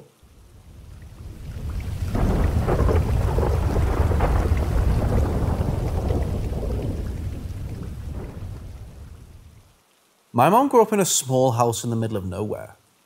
The home is located in the middle of a forest that was previously Chickasaw tribe land. My grandparents bought the home in the 50s or 60s, and relatively nothing is known about the home prior to them moving in. As a young girl, she lived there with my grandparents and her three sisters, along with family pets. From the time she was six, she would have recurring dreams of a woman crawling on all fours to the foot of her bed and then violently jumping into the bed with her. My family dismissed these dreams as the workings of a child's overactive imagination, with the exception of my grandmother and one of the aunts who we will refer to as Kay. These two had always felt uneasy in the home and saw my mom's dreams as validation to the negative energy surrounding them. The dreams that my mom would have of this woman occurred frequently, and each one was the same. Same woman, same path to the bed, same conclusion. They continued to live there until my mom was around 12, at which point they moved into a home closer to my grandfather's job. The old home was kept as a rental property since it had long been paid off. My mom was still having the dreams, and my grandmother hoped that the new home would offer my mom and her some well needed rest from the dream. Unfortunately for them, this was not the case, and the dreams began occurring more and more frequently. By the time my mother was 14, the dream would happen every single night. My mom was doing bad in school, and the family was beginning to grow tired of the screaming that would come from my mother's room at all hours of the night. Kay had moved away by this point, as she is about 10 years older than my mom. Kay was visiting home one weekend and had nowhere to sleep, since the new home was smaller than the previous one and so she had to sleep with my mom. At some point on the first night, Kay woke up because she could hear my mom moaning in her sleep. She sat up in the bed as my mom's moans got louder and louder, and Kay began to hear the sound of trotting coming down the hallway. Obviously, this scared the shit out of her, but curiosity got the best of her, and she continued listening as the trotting got louder. When the sound was essentially on top of them, my mother sat up straight in the bed, panting and crying. The sound had stopped, but Kay still felt uneasy. She went to try and console my mom, but at that moment it felt to them like something large leapt onto the foot of the bed. This sent both of them into a screaming fit that I'm sure woke everyone up in the neighbourhood.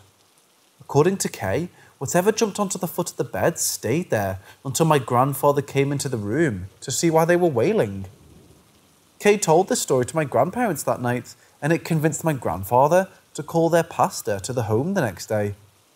The pastor blessed the home and my mom in an attempt to get rid of whatever this was. The blessing worked for a time, but it was not an end all be end all.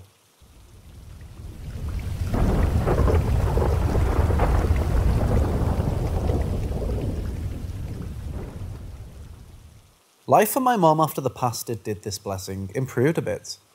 The dream stopped becoming an everyday thing, and eventually became something that would only happen once every couple of years. In October of 2008, my parents divorced and my mom became a single mother of two during one of the worst recessions in decades. We were flat broke with nowhere to live, and my grandparents offered to let us move in to the old family home rent free. My grandmother wasn't too thrilled about us living in that house, but she knew that we had no other option. My Aunt Kay was already living there in one of the bedrooms, and my grandmother felt better about us being there with Kay, keeping a watchful eye out. The day we moved in was a sad and stressful day for all of us. My mom was on edge, and young me was oblivious to all the bad history that my family had with the home. One of the most prominent things in my mind when I think of that place is the stench of the water. The stuff was littered with sulphur and would stink up any room where the tap was on. We couldn't wash clothes in the home because it would dye them a yellowish orange colour, and it was certainly not safe to drink. The house was far from a mansion, with three small bedrooms and only one bathroom. Me, my sister, and my mom slept in the master bedroom located in the back of the house, across from the bathroom. This bedroom was isolated from the rest of the home by one of the other bedrooms, which had been converted into an office space for my Aunt Kay. Daytime in the home was relatively normal, with only the slight feeling of anticipation for the night to come. The moment that the sun went down, the entire personality of the property switched into a sinister and angry being that loomed over everyone. It was a rule for most of the family that they would not be caught dead there after the sunset. I only recently learned of this rule and was furious that anyone let us live there, knowing that it was no place for children, or even adults for that matter. One of the earliest experiences that I can recall occurred only about a week after we moved in. I was in the kitchen with Kay while she was making dinner for the two of us. My mum and sister were at my grandparents' house helping them clean up after a yard sale. As she was making dinner, we heard a sound like furniture being moved coming from the office. Being the inquisitive child I was, I went to investigate the sound but found nothing out of place. I returned to my spot at the kitchen table while Kay finished up dinner. As she sat down, we heard the sound of air rushing like the house had taken a deep breath in. At that moment, as we sat there silently staring at each other, the drawers and cabinets in the kitchen flung open, spilling silverware, pots, pans, and other miscellaneous kitchen junk into the floor.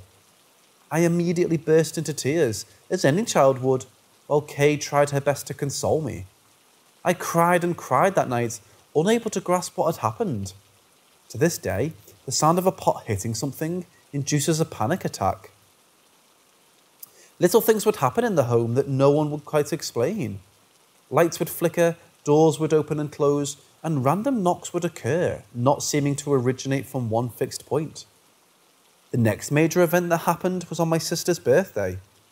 My whole family was over celebrating at the home, but as night approached, most of the family cleared out according to their rule. By sunset, all that were left were me, my mom, my sister, Kay, my grandparents, my Kay's daughter B. We were cleaning up the house after the party when the door to the office slammed shut. No one was in that part of the house, so we were confused as to how the door had shut. My grandfather went to investigate and found that he couldn't open the door, which was a little unsettling as there was no lock on the door. Attached to the office was a closet, when was a conjoined closet with Kay's room, in the front of the house. The passage was narrow, and they had to send someone small enough to fit in the small gap. You guessed it, that was me. I made my way through the closet and into the office, where I found myself staring and the door and trembling. Something had pushed a small bookshelf against the door and jammed it under the handle. I pushed and pushed on the shelf, trying to clear the door, and that's when I heard it. It started off quiet and distant, but grew louder with every passing second. The sound of trotting. I panicked and started kicking the shelf with all of my might, and thankfully it budged.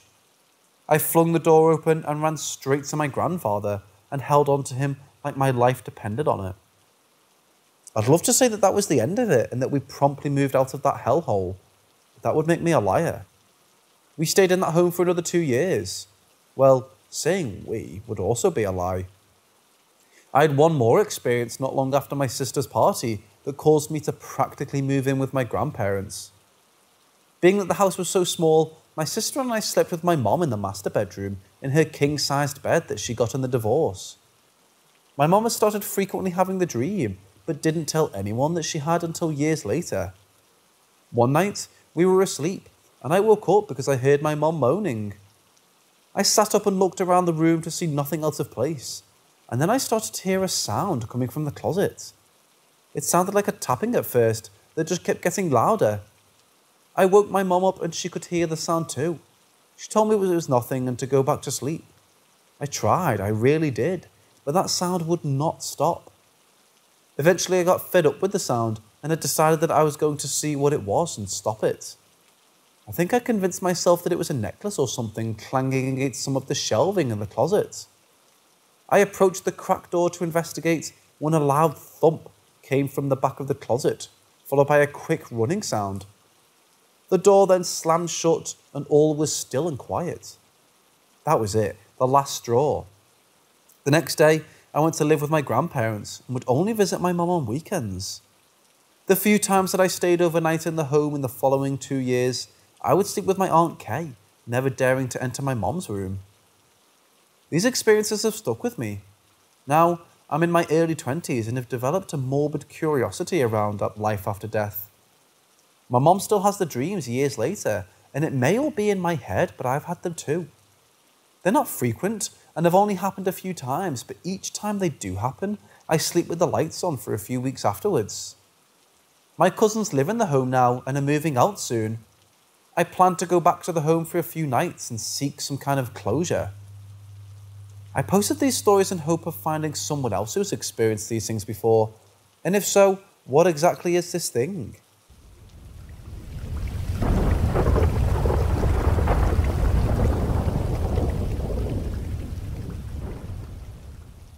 We have lived in our 1963 house since 2017.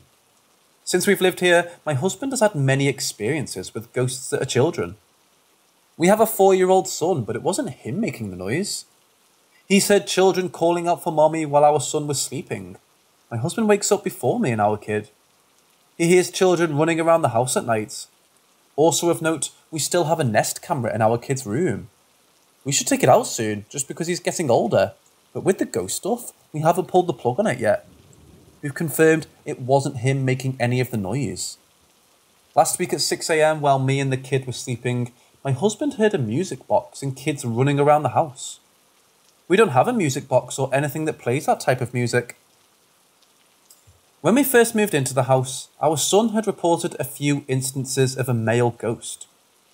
We didn't make a big thing out of it, and we suspect he was dreaming, because when checking the Nest camera, he was asleep all night but he would routinely talk about a man who was a lava monster. How he'd refer to anyone with burns or red skin at that age, and he'd talk to him. He said he wasn't very nice. He hasn't reported anything to use in the past year, but he wouldn't talk about this visitor for two years off and on. I've never had any experience in our house, and the ghosts don't seem bad. At least my son's visitor hasn't reappeared, who was suspicious. I burned sage a few times throughout the house, but that didn't seem to do anything and would tell spirits to move on or leave. To our knowledge, no children have died in the house unless it's before the house was built. There have only been three owners before us, and one of those was the daughter of the original owner. She inherited it from her parents.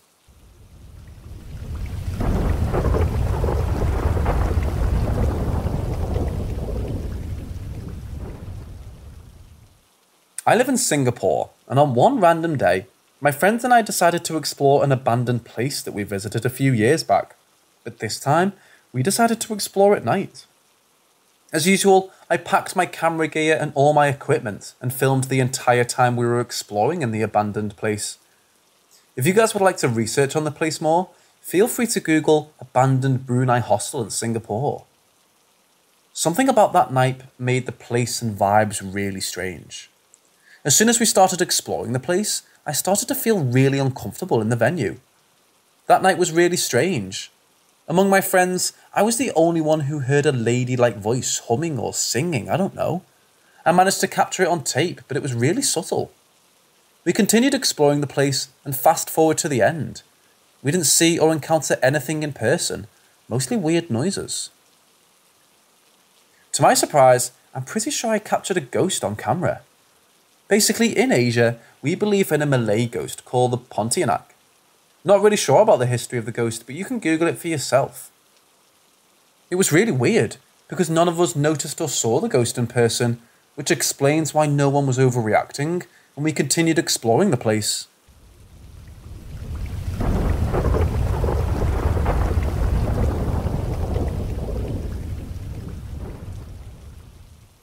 My friend and I decided one summer night to go to this place called the Slaughterhouse one evening.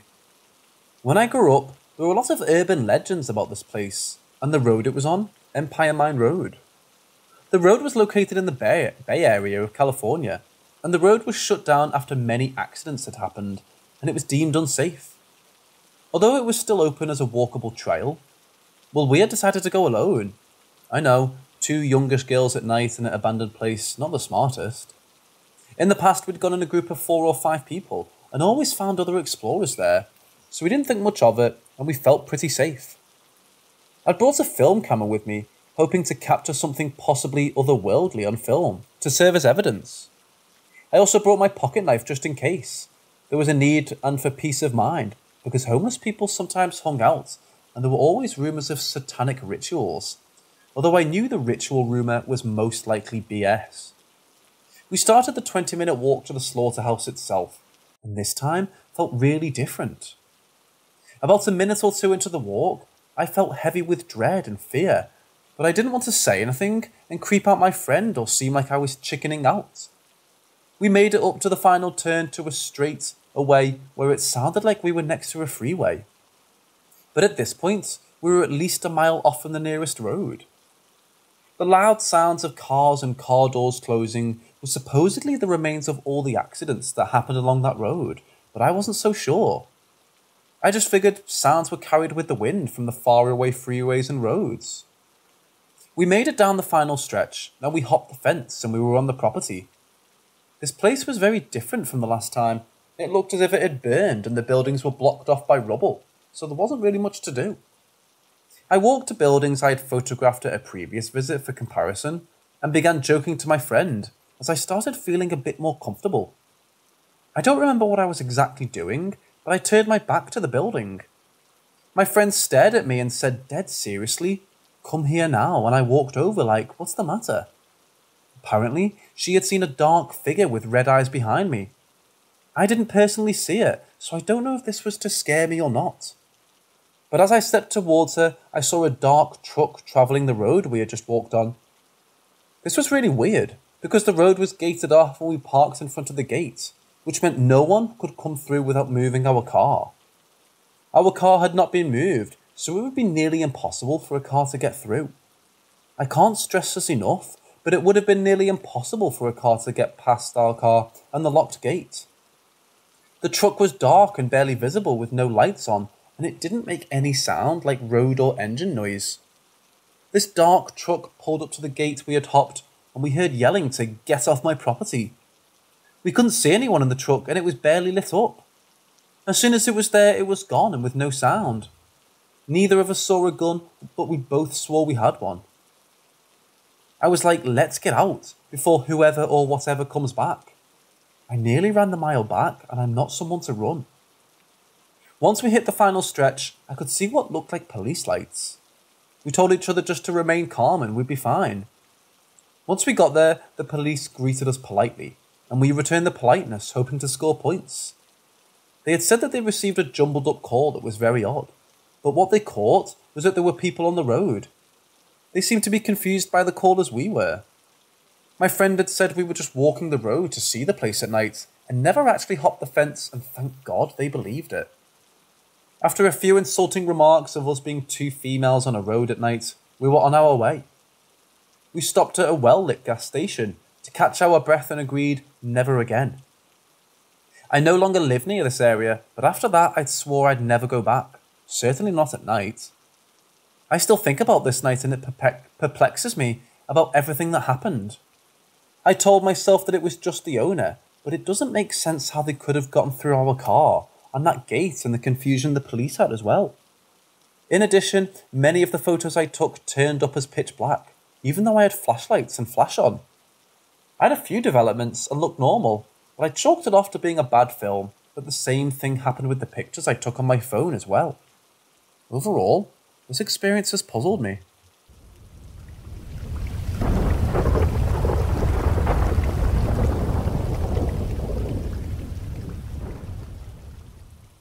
When I was in middle school, I went to a friend's birthday sleepover, where we did the typical girl things, painted nails, did makeovers, and watched a movie. It was all normal, until my friend suggested we make a Ouija board. On a sheet of paper, we scribbled out yes, no, goodbye, along with numbers and the alphabet. She told us all the rules, and we nodded in agreement we would follow. I remember being scared and wanting to fit in, but also wondering if it was a good idea. I remember the first movement happened, and I looked across to the girl facing me, insisting she had moved it. She had said it was not her that moved the clear pebble we all were using as a planchette. We asked dumb questions like who we each liked and if our crushes liked us. Typical middle school girl things. I don't remember much of these sessions, other than a particular name, Wanda, and that we had asked her if she was a demon, and she had told us she was not. After a while, this was no longer scary, and we began to enjoy it more and more.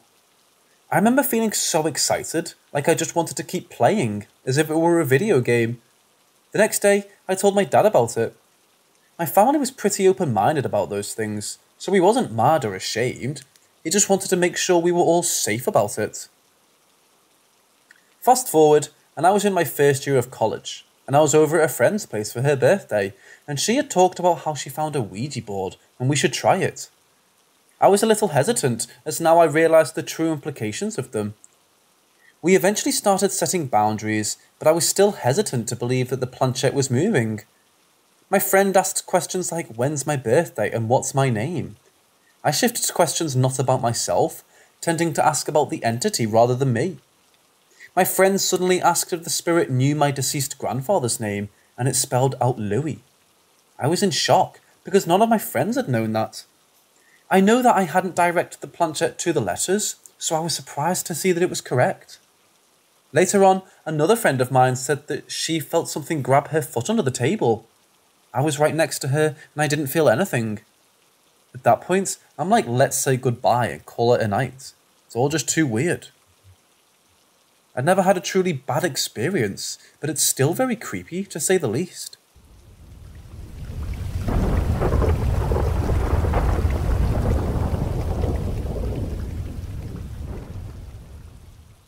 We went back into the woods, saw it again. So after some internal debate, I decided I was going to go back because otherwise it would eat me up not knowing what this was. When I first saw it, I had zero idea what it could be. I figured some drugged out or mentally ill man, a prankster, or a sickly, deformed animal. After letting it all settle, though, there's no way any of that was the case. I was trying to justify it in my mind because I've always been a heavy skeptic of anything paranormal. Still am, to be fair. But I'm warming up to the idea that crawlers may actually exist. So I messaged three of my buddies, told them everything that happened in detail over text, and asked if they'd come look with me. Them being non believers like me, and also just loving adventure and spooky stuff, were more than excited to go. Two of my friends have guns, and so do I, so we brought all them. The other friend was in charge of holding two flashlights to give us some light, one being a phone flashlight so we would be ready to take a picture at a moment's notice. We waited until about 9:30 p.m. when it was completely dark out and headed down the same trail I did last time. My heart was pumping out of my chest, but I felt more confident having friends. They were joking around and thought this was cool, and I tried joking back a few times, but the reality was I was pretty nervous. We walked the full one and a half miles I had planned on walking last time and didn't encounter a thing. We'd prepped for so long though and didn't want to give up quite yet, so we kept walking. About five to eight minutes later, at close to the two mile mark, we started hearing some noises way back in the woods. It wasn't close, but it was loud enough for us to take notice. I told my friend to turn off the flashlight for a second and we listened. Bipedal footsteps made their way closer to us. Still far, but definitely coming our way. sounded like they were wearing boots or something because the heaviness of the steps was quite loud. That, or there were a lot of leaves, which to be fair is a possibility. It was off the trail, so it's all woods back there. Once the footsteps made it to about 20 to 30 yards away, I called out asking if someone was there. The footsteps stopped, but only for a brief second. A second later, the bipedal footsteps turned to what sounded like something sprinting in all fours direction. My friend immediately turned on the flashlights, but there was nothing visible through the dense forest. At the beginning of the trail, the forest is pretty clear, but further back it gets a lot more dense, so it was hard to tell. Once he turned on the light, the footsteps stopped as well. None of my friends were talking. Paranormal believer or not, hearing that will scare the shit out of you. My friend unholstered his pistol and kept it by his side.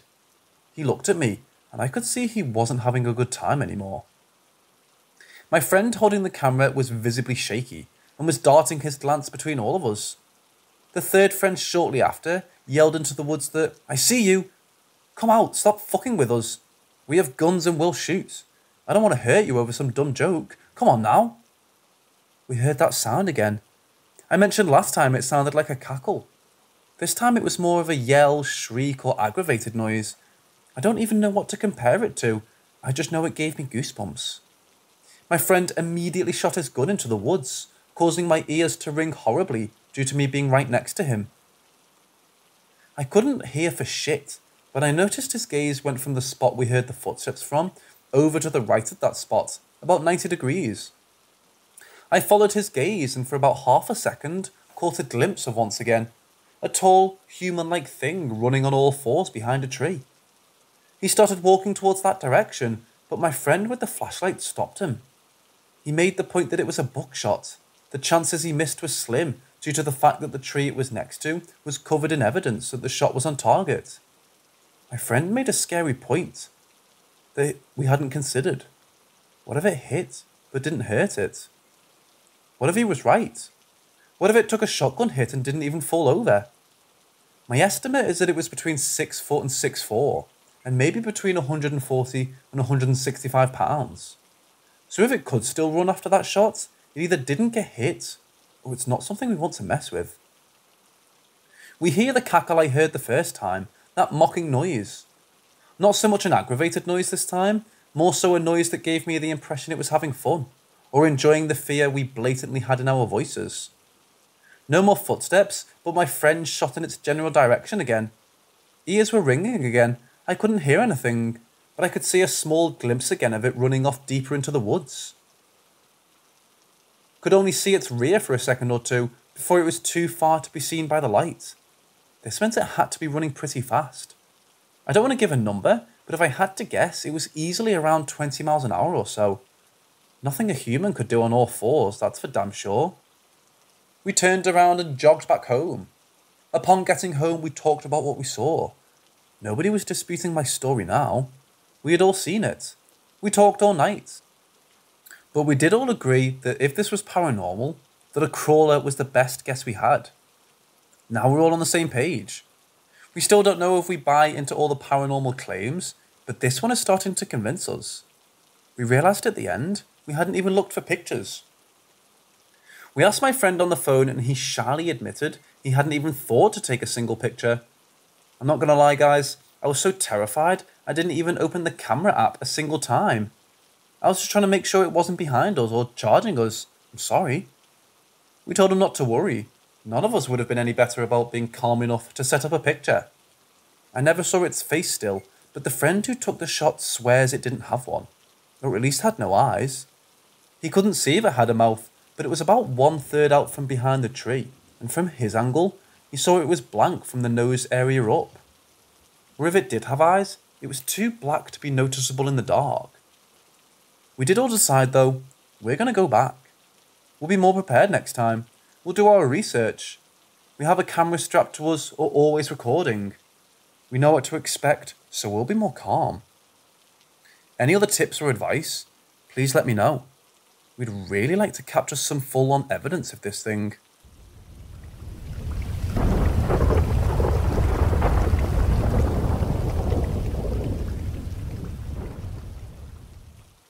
I haven't had much time for leisure with work recently.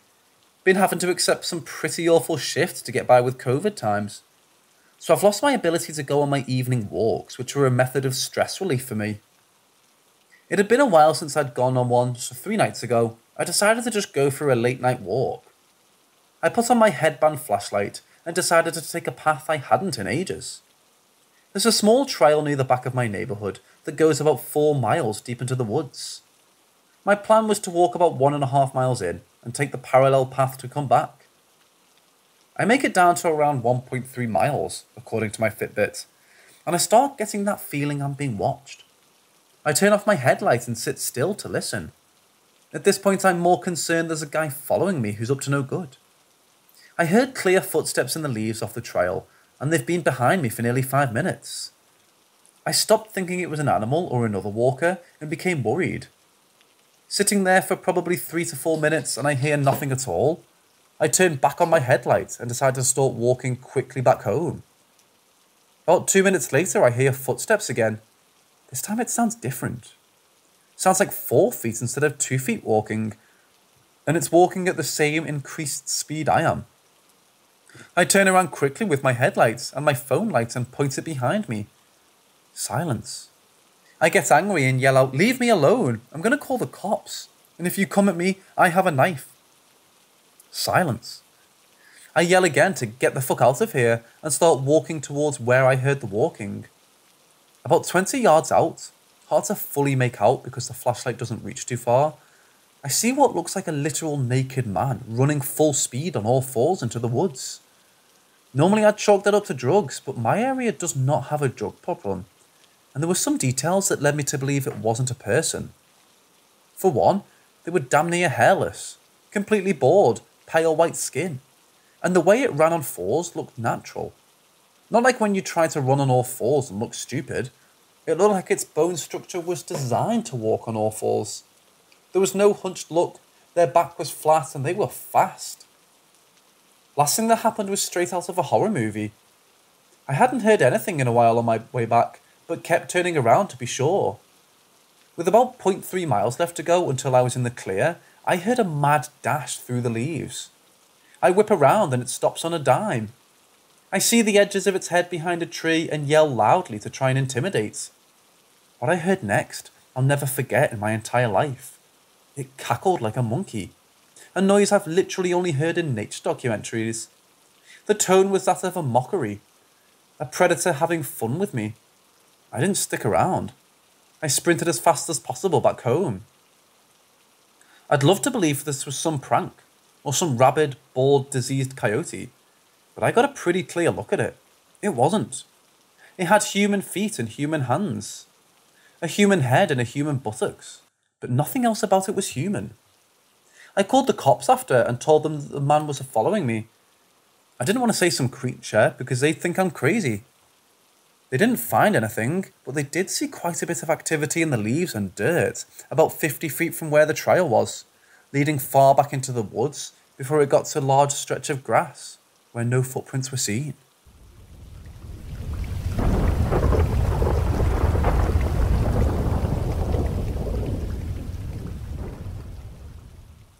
I moved into that home around 9 years old, and moved out at 13. It was a very old house, Victorian age, but not as beautiful as the ones that come to mind. It was run down but big and cheap, and my parents wanted to build onto it. An older married couple died in the kitchen at that house. They tried to keep warm by laying near the stove, but it didn't work. The house was also built on top of a cemetery. If anyone's curious, it was called the Boneyard in Houghton, Michigan. Anyways, the second I went to the upstairs of that house as a kid, I felt a presence I hated. It made me want to cry. I was nine. Ghosts were never a thought in my mind. I just knew I didn't like the feeling. I cried to my mom about how I wanted to sleep in the living room. It was my safe place. I didn't feel watched and was scared. I ended up crying every time to the point where we had a mattress in the back of the living room for me to sleep. It went on until I was 11. When I used to go up there to grab anything, I would cover my ears and repeat what I'm doing, such as I'm grabbing my pants. I'll leave right after, I promise. And I felt like I was being stared at. I never actually heard voices, but I felt like my ears were heavy if I didn't plug them. More stuff happened in between, but once I turned 11, I slept upstairs for the very first time because my parents thought it was ridiculous. At first, it was hard, but then I ended up just trying to pretend it was me. Keeping in mind my best friend felt the same way, we both swear it till this day. And my parents admitted they felt the same once we moved out. Okay, skipping to the point. I had no door in my room, it was just a walkway. I knew something was there every night. Eventually, when we moved, I was 14 now, at this point, a year of my new home. I had a long dream of me watching my younger self sleep. The whole dream of me tossing and turning. Everything was detailed. I was standing at the doorway, and there was nothing else to the dream, just my younger self laying there. I knew it could just be my subconscious thinking about it, and it came into my dreams. But it sticks to me to this day. It made my experiences there feel more real, if that makes any sense. I know it sounds like I was young and it's whatever, but I'm 20 years old now. I remember the feeling, the stories, it's all vivid. It'll never leave my mind. And at that age, my parents never let me around ghost stories, scary movies, or anything of that sort.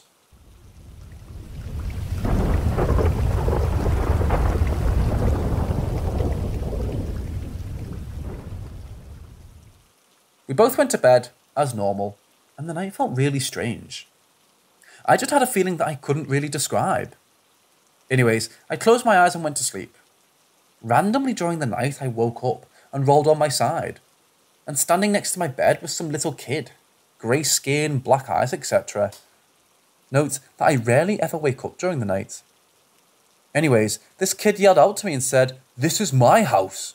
The voice was quite deep. Then I yelled back and said, No, this is my house.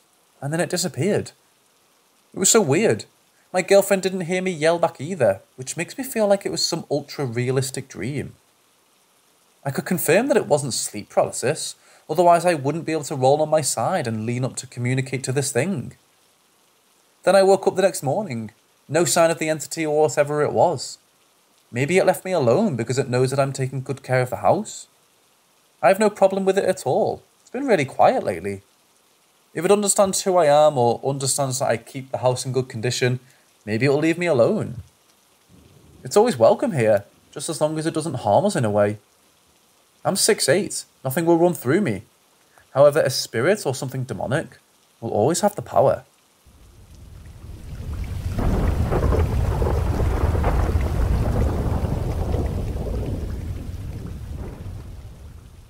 Immediately after the car accident that started all of this, I was in the hospital getting patched up. On the third day, the doctors were starting to reduce the quantity of painkillers and sedatives they were pumping into my system, and I started to experience longer periods of lucidity. As shift change, a new nurse came in to care for me. He introduced himself, cracked a joke, and I felt connected to him immediately. He was obviously great at his job and skilled at calming people down, while they went through the most traumatic experience of their lives. He told me he'd be back to check on me soon, showed me how to use the call button, and left the room. Almost immediately, I started feeling an immense amount of pressure on my head, which I can only describe as the feeling in your ears during aggressive altitude changes. I hope I'm describing this in a useful way. It's super hard to describe. I felt like someone was yelling at me. Imagine what it feels like to be screamed at but the room was silent except for the mechanical noises of the machines I was connected to. This feeling grew and grew steadily for about an hour until I felt like I couldn't take it anymore. Without knowing what else to do, I opened my mouth and verbally said, Please back away, you're crowding me. To my surprise, the sensation lightened some. I said thank you out loud and felt even more relief. At this point, I started to get the impression that I was feeling a female presence. Again, I cannot explain why I knew this. I did my best to relax into the feeling, and I started to feel like I was getting more information. I felt confident I was speaking to a woman named Anne or Anna, who had died in an adjacent room a few days ago. I felt that she wanted me to thank the male nurse for preserving her dignity as she passed. About this time, the nurse walked back into the room and started checking my vitals. My heart was racing, and he noticed. He asked if I was feeling okay, and I told him that I was. I couldn't bring myself to bring this up to him. I felt like I was losing my mind. He left again, and the feeling of pressure intensified continuously until he returned an hour later. By this point, I felt like I would burst if I didn't comply with this request. So I'd said something to the effect of Listen, I know this sounds insane, and I'm mostly telling you this so that you can identify if I'm having a mental break or not. Ever since you walked into this room, an older woman has been asking me to thank you for helping her pass with dignity. I will absolutely never forget the look on his face as long as I live. A handful of emotions flashed across his face shock, fear, suspicion, and then, to my surprise, empathy. He said, I know exactly what you're talking about. Is she here now? I told him that she was, and he said, You're welcome, ma'am. I hope you're feeling better. My head exploded. I had never told him that I thought her name was Anne or Anna. As soon as he left the room again, I immediately felt better. I never ran into Anne again during my stay in the hospital, but Mike, the nurse, worked my room as often as he could during the next three months while I was there. This was my first experience I had after my NDE, and since then, I have literally thousands of experiences. As I said, as I get a moment or two here and there, I'll add some more stories for you guys. I know how crazy this stuff sounds, and half the time, I think I'm nuts.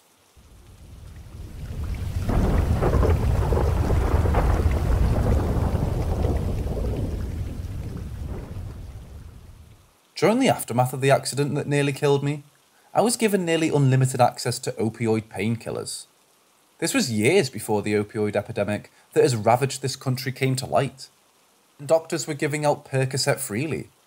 As a direct result, I was addicted to these drugs and spent a number of years dulling my senses. I've come to believe that the drugs were interfering with these abilities, and I can't recall any meaningful experiences through this period. In retrospect, I can't help but wonder if dulling these experiences made the drugs feel that much better. Fast forward about five years, I've gotten clean. I met a girl who would become my wife and the mother of my child. We had been dating for a few months, and I had been fighting the urge to share this with her. I was falling in love, and I was afraid that she'd think I was crazy and withdraw. For weeks, I'd been getting very insistent messages that her late mother wanted me to pass along. She hadn't fully processed her mother's passing, understandably, and she'd been coping with destructive behaviour up to the point we met. After weeks of constant pressure when we were together, my ability to fight was waning, and I finally decided that I had to take the risk and tell her about my abilities, even if that meant her pushing me away. I knew that I had to tell her, but I wanted to be sure that I approached the conversation in a way that would give me the best chance of convincing her without pushing her away. I decided that asking her mother to share something with me that I could use to validate the fact that I was telling the truth would give me the best chance. It would have to be something that I could never know, that no one else could know. Being in proximity to the living person sharpens the messages and provides better clarity. So I decided that the next time we were together, I would speak with her mother and ask her to give me something indisputably. A few hours later, I was sitting in her bedroom with her and worked up the courage to get it over with. I went through an exercise I used to open. I can share if anyone's interested. Usually, thinking of a deceased person brings them to me, and this day was no different. I asked her mom to share something unique with me and held myself open to receive whatever she decided to share. Two things happened immediately. Firstly, I was overwhelmed by a floral scent which her mother told me was a blackberry scented lotion she loved and wore every day. Secondly, I immediately began rubbing the pad of my pointer finger and my thumb compulsively. Her mother didn't explain this, but assured me that it would mean something to her. Now comes the tricky part. How do I start this conversation? If you have a gift like mine or think you might, you may have found yourself asking a similar question. It's a constant struggle. I fought with it for about an hour and finally decided to go for broke. I can't remember now exactly what I said. This happened in 2010, but I said something like this. So listen, the next few minutes are going to be strange. I need you to hear me out, and then, if you want me to leave, I will. She was obviously concerned, but agreed to hear me out, so I continued. You know about the accident I was in when I was a teenager? You've seen the scars. But there's one other lasting symptom. Since that day, I've gotten messages from the other side every day. Every time we are together, I have someone trying to get through to you, and I can't fight it anymore. I'm afraid this will scare you away, but I have to share this with you if we're going to be together. To her credit, she assured me that she could handle it and knew me well enough to know that I wasn't crazy or a liar. I decided not to come right out and say that I was speaking with her mother, because I wanted her to make that connection on her own. She told me to go ahead, and I started with the scent.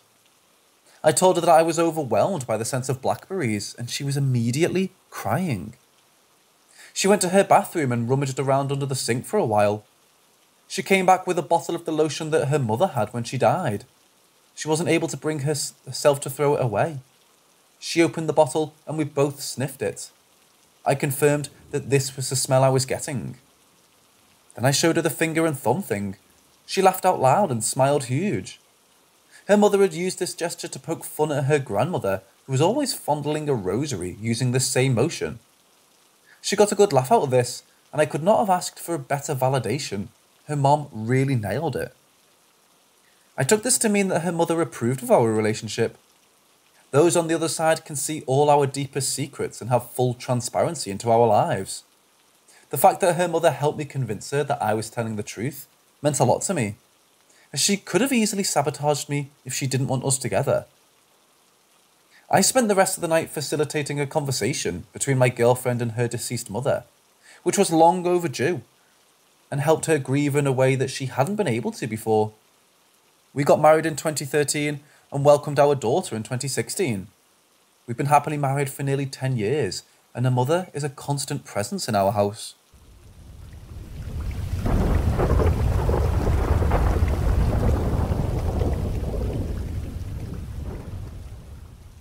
How do spirits communicate with me? People often ask me if I see dead people, and thankfully, the answer is mostly no. Every once in a while, I'll see a person on the street that looks different to me. Really hard to explain. And after asking my wife, she'll tell me that she didn't see anyone matching my description. This most often happens to me in the car for some reason. No clue why. People also ask me if I hear audible voices, and again, thankfully, the answer is mostly no, with some exception. In general, spirits don't speak to me at all. Most commonly, spirits insert imagery into my head. And that they mean to be representative of the concept they want me to share with their living friend or relative. As an example, if his deceased father was a mechanic in life, he may show me a wrench or a car, or something else that he thinks will make sense to his child. If a person was a drug addict in life that played a role in their death, they might show me a syringe or some other paraphernalia. I also have some empathetic ability, so a spirit might impress upon me the feeling of love, guilt, or anything else they want their loved one to understand. My particular gifts are not great with names or numbers. It's very rare that I'll completely and correctly get a name. Much more commonly, I'll get a first initial or a nickname, or something else that validates for the person I'm reading that I'm communicating with a specific person. Numbers are also tricky. As an example, if someone asks me how old a loved one was when they passed, the best I can generally do is a range. This person was a teenager, etc. People often ask me for guidance on the future, and my personal experience has been that the other side has very little to offer as it relates to the future. I believe that the future is too variable, based on individual choice, for any accurate, consistent prediction. That being said, I've heard other mediums claim the ability to predict the future to one extent or another, and I think that's totally possible. That isn't, however, my personal experience. I sure do wish my guides would share the Powerball numbers with me though. My gifts are super visual in my mind, so as a result, I have had an abnormally high level of success describing people and places that I've never seen or been to. One complication, though, is that spirits must describe themselves, and often describe themselves as they were when they were younger and more self confident. In rare instances, a spirit will show me what they look like near death, if doing so will help to validate their loved one. But that's rare. More commonly, a person who died in their 50s might show me an image of them in their 30s. This can, at times, make it harder to validate. If I'm describing a fit man with black hair in his 30s, but a person's husband passed away with grey hair in his 60s, that can be understandably confusing. It's important to keep in mind that each person's gift is unique, and each medium is giving different gifts. My gifts require a high level of interpretation at times, which complicates things for me. The opening of many doors. This exercise is one that I've developed in the 17 years that I've been dealing with this. Firstly, a quiet, comfortable place helps immensely. You can do this anytime, any place, but doing it in a quiet, dark room will help. I'll close my eyes and picture a door in my mind. I spend a substantial amount of time visualizing an extremely intricate door. I think about the details, the hardware, the embellishments, everything. I imagine this door standing in a black void, with no consideration to where this door may be. Once I have a very clear and detailed image of the door in my mind, I imagine myself stepping forward, opening the door, passing the threshold, and pulling the door closed behind me. Once on the other side of this first door, I imagine a second, completely different door. I repeat all the steps above numerous times until I've passed through many different doors. I believe that each of these doors represents increasingly deep levels of consciousness.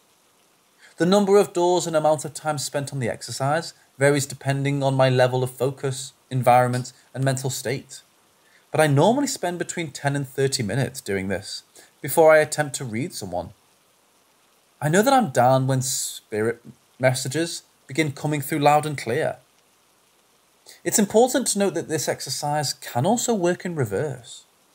If I'm feeling particularly overwhelmed, I'll use this exercise to quiet things down. The only difference when I'm trying to close is I'll imagine the doors starting with the doors open, and I'll step through and close them behind me. I don't normally do this after every reading, but after a particularly emotional reading or after a very loud day, I may use this to wind down and protect myself.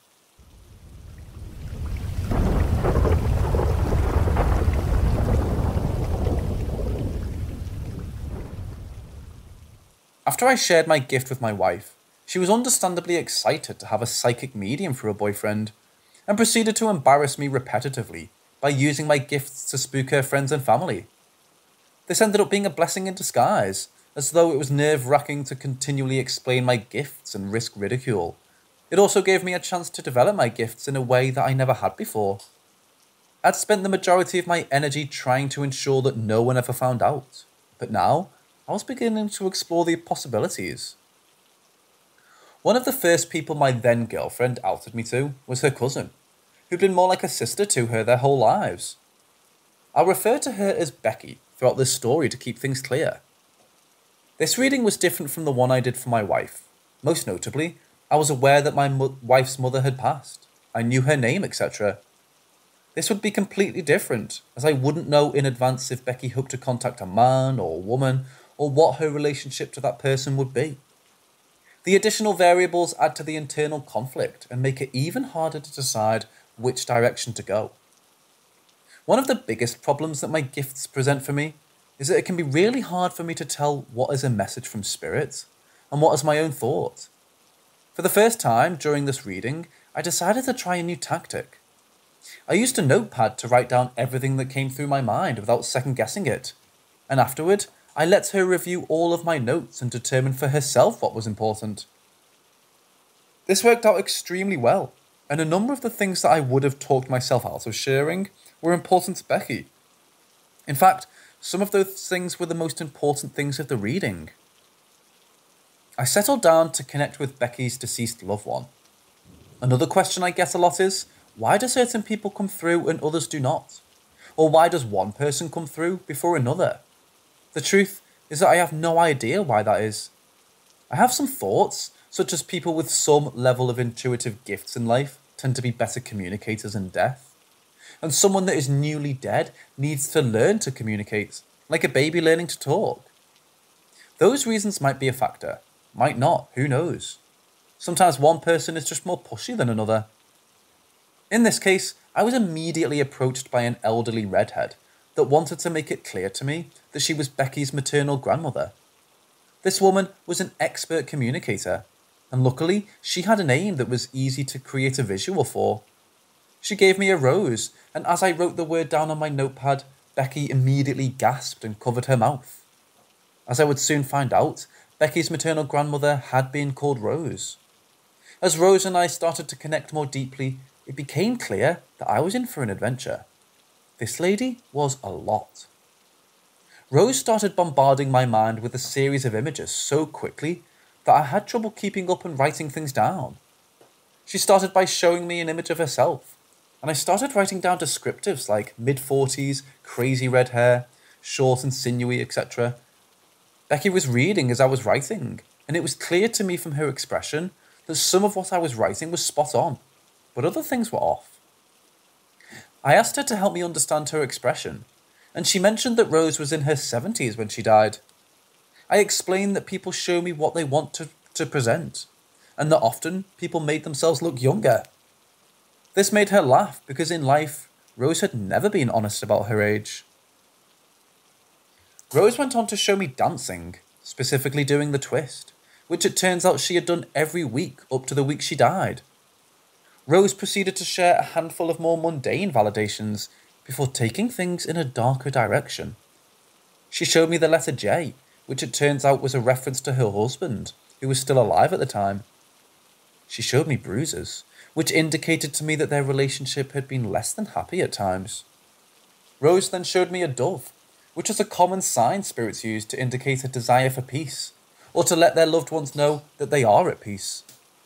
When I wrote J and then dove and peace, Becky's face soured, and she explained that her grandfather's name was Joe, and they were estranged due to his treatment of her grandmother.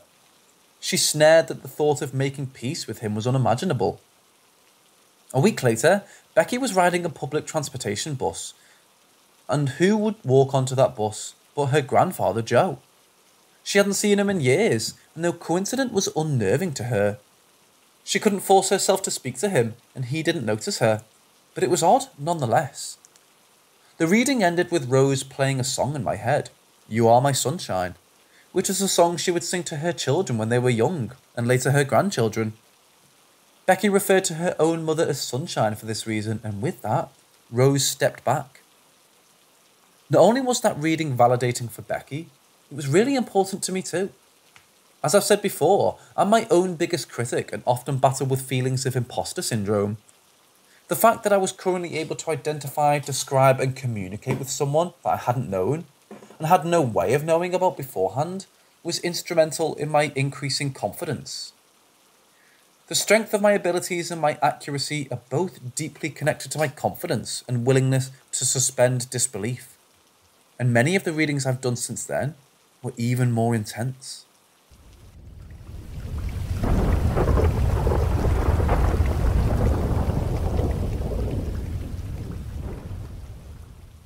In the summer of 2012, my wife and I decided to go to the shore for the weekend. We would be staying with her brother and his girlfriend, now my sister in law, who I'll refer to as Jimmy and Anne, at Anne's shore house. The house belonged to Anne's grandparents, which will come into play later. In addition to me, my wife, Jimmy, and Anne, we would also be joined by Becky, my wife's cousin, and another of my wife's cousins who I'll call Joe. Joe brought along his friend Matt, who I had met once before. Pretty much as soon as we arrived, my wife outed me to her brother. She told him about the experience we had shared with her late mother, his mother too, and about the reading I had done for Becky. Becky confirmed everything my wife said, but Jimmy was understandably hesitant to believe anything he was hearing. Anne was present during the conversation and immediately jumped in, asking, Do you feel any spirits in this house? I told her that nothing was jumping out at me, but I'd be willing to try and do a reading for her later that evening, half hoping that she'd forget. Her eyes lit up, and I knew I wouldn't get that lucky. We all settled in and unpacked, at which point Joe and Matt arrived. We started drinking and proceeded to have a really great night. We drank a lot. We had a barbecue, we played drinking games, and then ended up all skinny dipping in the bay. At one point, Jimmy fired up a neighbour's jet ski, naked, and did a few laps around the bay. Needless to say, it was a ton of fun. We got back to the house, cleaned up, and settled in to drink some more and chill out. Not more than 10 minutes after we settled into the couches around the living room, Anne reminded me about my promise to try a reading for her. This was obviously news to Joe and Matt, who hadn't yet arrived when my wife and Becky were telling the stories earlier, so we had to go back through all that and bring them up to speed. I agreed and started my exercise to open up for reading. Almost immediately, I started receiving messages from spirits. I was approached by a man who appeared to be in his late 30s. He had grey hair beginning to grow in his temples, a sharp nose, and a receding hairline. I started to describe him, and Anne recognized him and didn't seem surprised in the least that he was the person that would step forward. This was her late Uncle Calvin. The house we sat in belonged to her grandparents, who had been Calvin's parents. Calvin had lived at the Shaw house in the months preceding his death. There were no pictures of Calvin in the house, as his parents were still heartbroken about his passing and couldn't bear to look at them. Anne started rifling through a nearby drawer and produced a photo of four men in baseball jerseys. She asked which of the four was Calvin, and I was able to pick him out of the photo easily. This impressed everyone in the room, but I had a quarter chance, not that impressive, to me at least. I asked Anne for a notepad and started writing the messages I was receiving from Calvin. He started by showing me a very strange image. I took it to myself but wrote purple octopus as he was showing. Anne reacted visually, then said, No fucking way. I dressed as a purple octopus one year for Halloween when I was four or five. Clearly, I couldn't have known this. I pressed on with the reading, but noticed that Jimmy, Joe, and Matt were all paying closer attention now. I proceeded to write a number of things on the page, including pills, shower, shore, tools, and Southside. Calvin stopped there, and I took that to mean that he wanted me to show Anne before moving forward. After reading my notes, Anne went on to tell me that Calvin had battled addiction for years before his death. He had died under slightly mysterious circumstances and was found dead in a motel shower at another shore point a few hours from where we were. She also told me that he had lived on the south side of the largest local city and had been a tradesman in life. She asked if I could work with Calvin to provide some clarity around his death, so I asked Calvin to show me things that might help clear up the mystery. Calvin proceeded to show me a sequence of images, which I interpreted and started writing. I wrote drugs, friend, accident, fear, and shame. Then Calvin did something that no other spirit had done for me to that point. I saw in my mind's eye that he had been on a bender with a friend. He got too high and decided to take a shower to try and sober up a bit. He slipped in the shower, and on the way down, he smashed his left temple on the soap holder and went unconscious, doing significant damage to his skull and brain. A few minutes later, his friend found him dead in the shower and decided not to call for help, fearing that he would face legal issues due to the drugs they'd both been taking. I wrote fell, shower, left temple, brain damage. I also got the distinct impression that Calvin didn't want Anne to feel guilty in relation to his passing. I felt strongly that Calvin wanted me to tell her that there was nothing she could have done. I shared all of the above with Anne, who promptly devolved into an emotional sobbing state for about 10 minutes. When she composed herself, she confirmed that everything I had said to that point was absolutely correct. The most astounding thing to me personally was that I had correctly detailed his manner of death. Down to the location of the injury. Her family had wondered whether Calvin's friend's decision had cost him his life, and it gave us some peace to know that it wouldn't have mattered. She also shared with me that the night Calvin died, he had texted her, but she hadn't answered. Coincidentally, Anne was in the same shore town at the time and was the person who had identified Calvin's body. She had always felt tremendous guilt that she hadn't answered him and had wondered if things would be different if she had. Calvin began to step away, and I thought we were done for the night. But oddly, another man stepped forward and started communicating with me. Everyone was pretty shook at this point, but you can't really turn this stuff off, so I tore off the page of notes from Calvin and started a new page. This man was quite large and showed himself wearing a US Postal Service uniform. I found this oddly specific and said to no one in particular, Calvin has stepped back, but does anyone know a portly man that was a mail carrier in his life? Matt's head snapped around and he said, That's my uncle. Matt's uncle, whose name was Chris, went on to validate a few other things that he had driven a unique, large truck in life, the fact that he was married to Matt's maternal aunt, and that he had died of a heart attack. This particular part of the reading was extremely impactful for me personally, because I didn't know a thing about Matt. There was no possible way that I could have provided that level of detail that I had. This made me much more confident.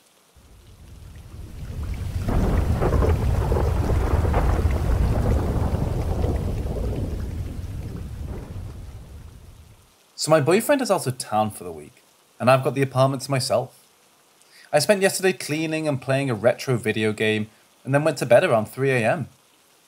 We've known for a while that our apartment is haunted, and as I've said before, it's just a block away from a graveyard. Anyway, I always sleep facing the wall that our bed is up against, with just a pillow between me and it.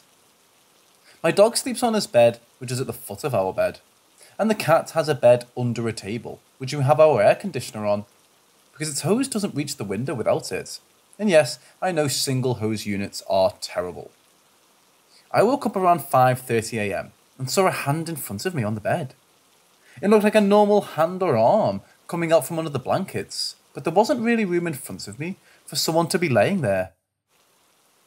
I grabbed the hand, I don't know why, and I felt it jump like it startled whoever it was attached to. Then I heard a voice come from under the bed saying, Huh? My dog and cat bolted out of their beds and ran out of the room. Then the hand just vanished, and I was laying there holding nothing. I had a feeling that I shouldn't reply, though whatever, and went back to sleep. I don't know why I felt impelled to grab the hand, and I don't know why it didn't scare me. Maybe my pre- previous experiences with disembodied voices and shadow people? I know I wasn't dreaming because I could read the clock. And when I'm dreaming, I have a sort of hazy pressure feeling. And I know it wasn't sleep paralysis because my pets reacted to it. Maybe one of our ghosts? Big things never happen when my boyfriend is home. The occasional light will turn on or off, and the cupboards sometimes open and close themselves. We've seen a shadow peek into our room, but we've never felt like we were in danger from the usual stuff.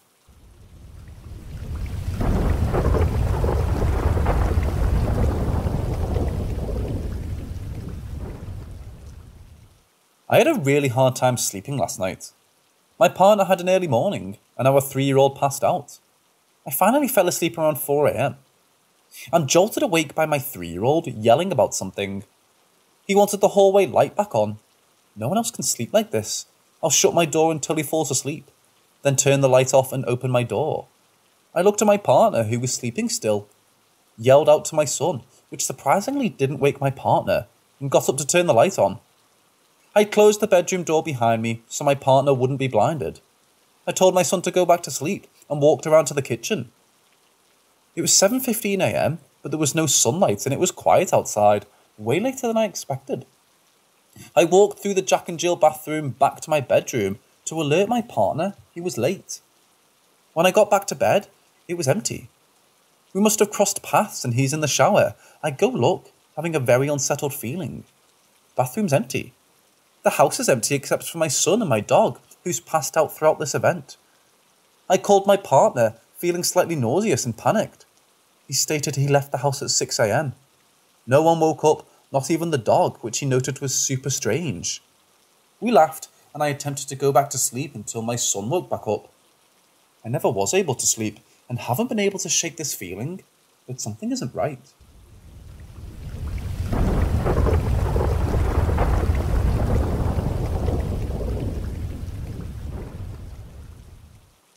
Growing up, we lived in a small two up, two down council house in a rural town.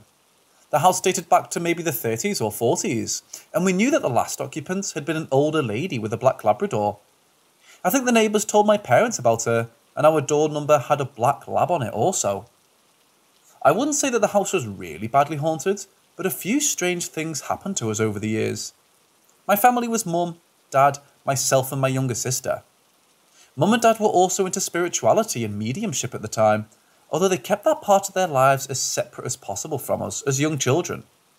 Whether or not that affected activity in the house, I don't know. My mum had a few strange experiences that I only heard about later on, and she wouldn't want to frighten us while we lived there. I remember playing in the front room, and when I heard my mum scream out as she was going up the stairs. We all ran to get to her as we thought she'd fallen. Mum was fine, just shaken, but she wouldn't tell us what had made her scream. I had a young kid's attention span, so I went back to my dolls or toys and largely forgot about it. Later on, my mum told me that she had been carrying washing up the stairs and had nearly tripped over a large black dog that just appeared and then disappeared on the middle step. This happened twice, I think during a span of maybe 10 years. She also saw our lovely ginger cat on the stairs, who'd been hit by a car and passed away a few months back. My parents told me that when I was maybe six or so, I used to tell them about an old man or lady who used to visit me at night and stand over my bed. I have no recollection of this, which is strange, but maybe I just blanked it out. By far the strangest thing that happened to myself and my younger sister. I was eight and she was seven. My parents didn't know anything about this. As being kids, we didn't really say anything about it too much.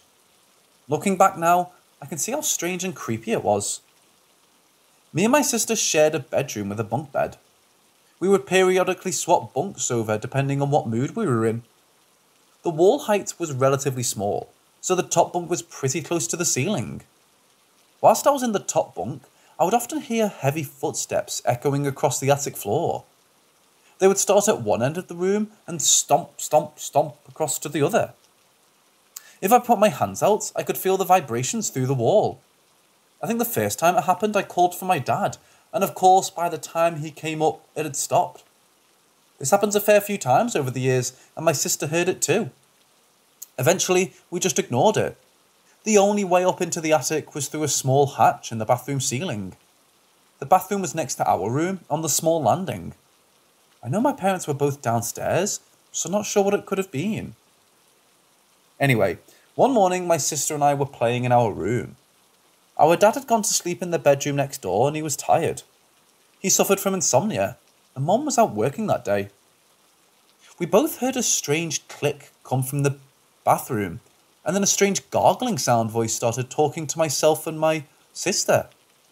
For the life of me, I can't really remember what it said, only that it made us laugh a bit. It was fairly loud, and it sounded like my dad's deep voice, but as if it had been out through some weird echoing gargling filter. We were convinced it was our dad, as he used to put in strange voices to make us laugh. Something definitely felt off though, and I do remember that it asked us to go to the bathroom. We just looked at each other at that point and didn't move. The voice carried on for a bit, and at one point, I think we both laughed quite loudly.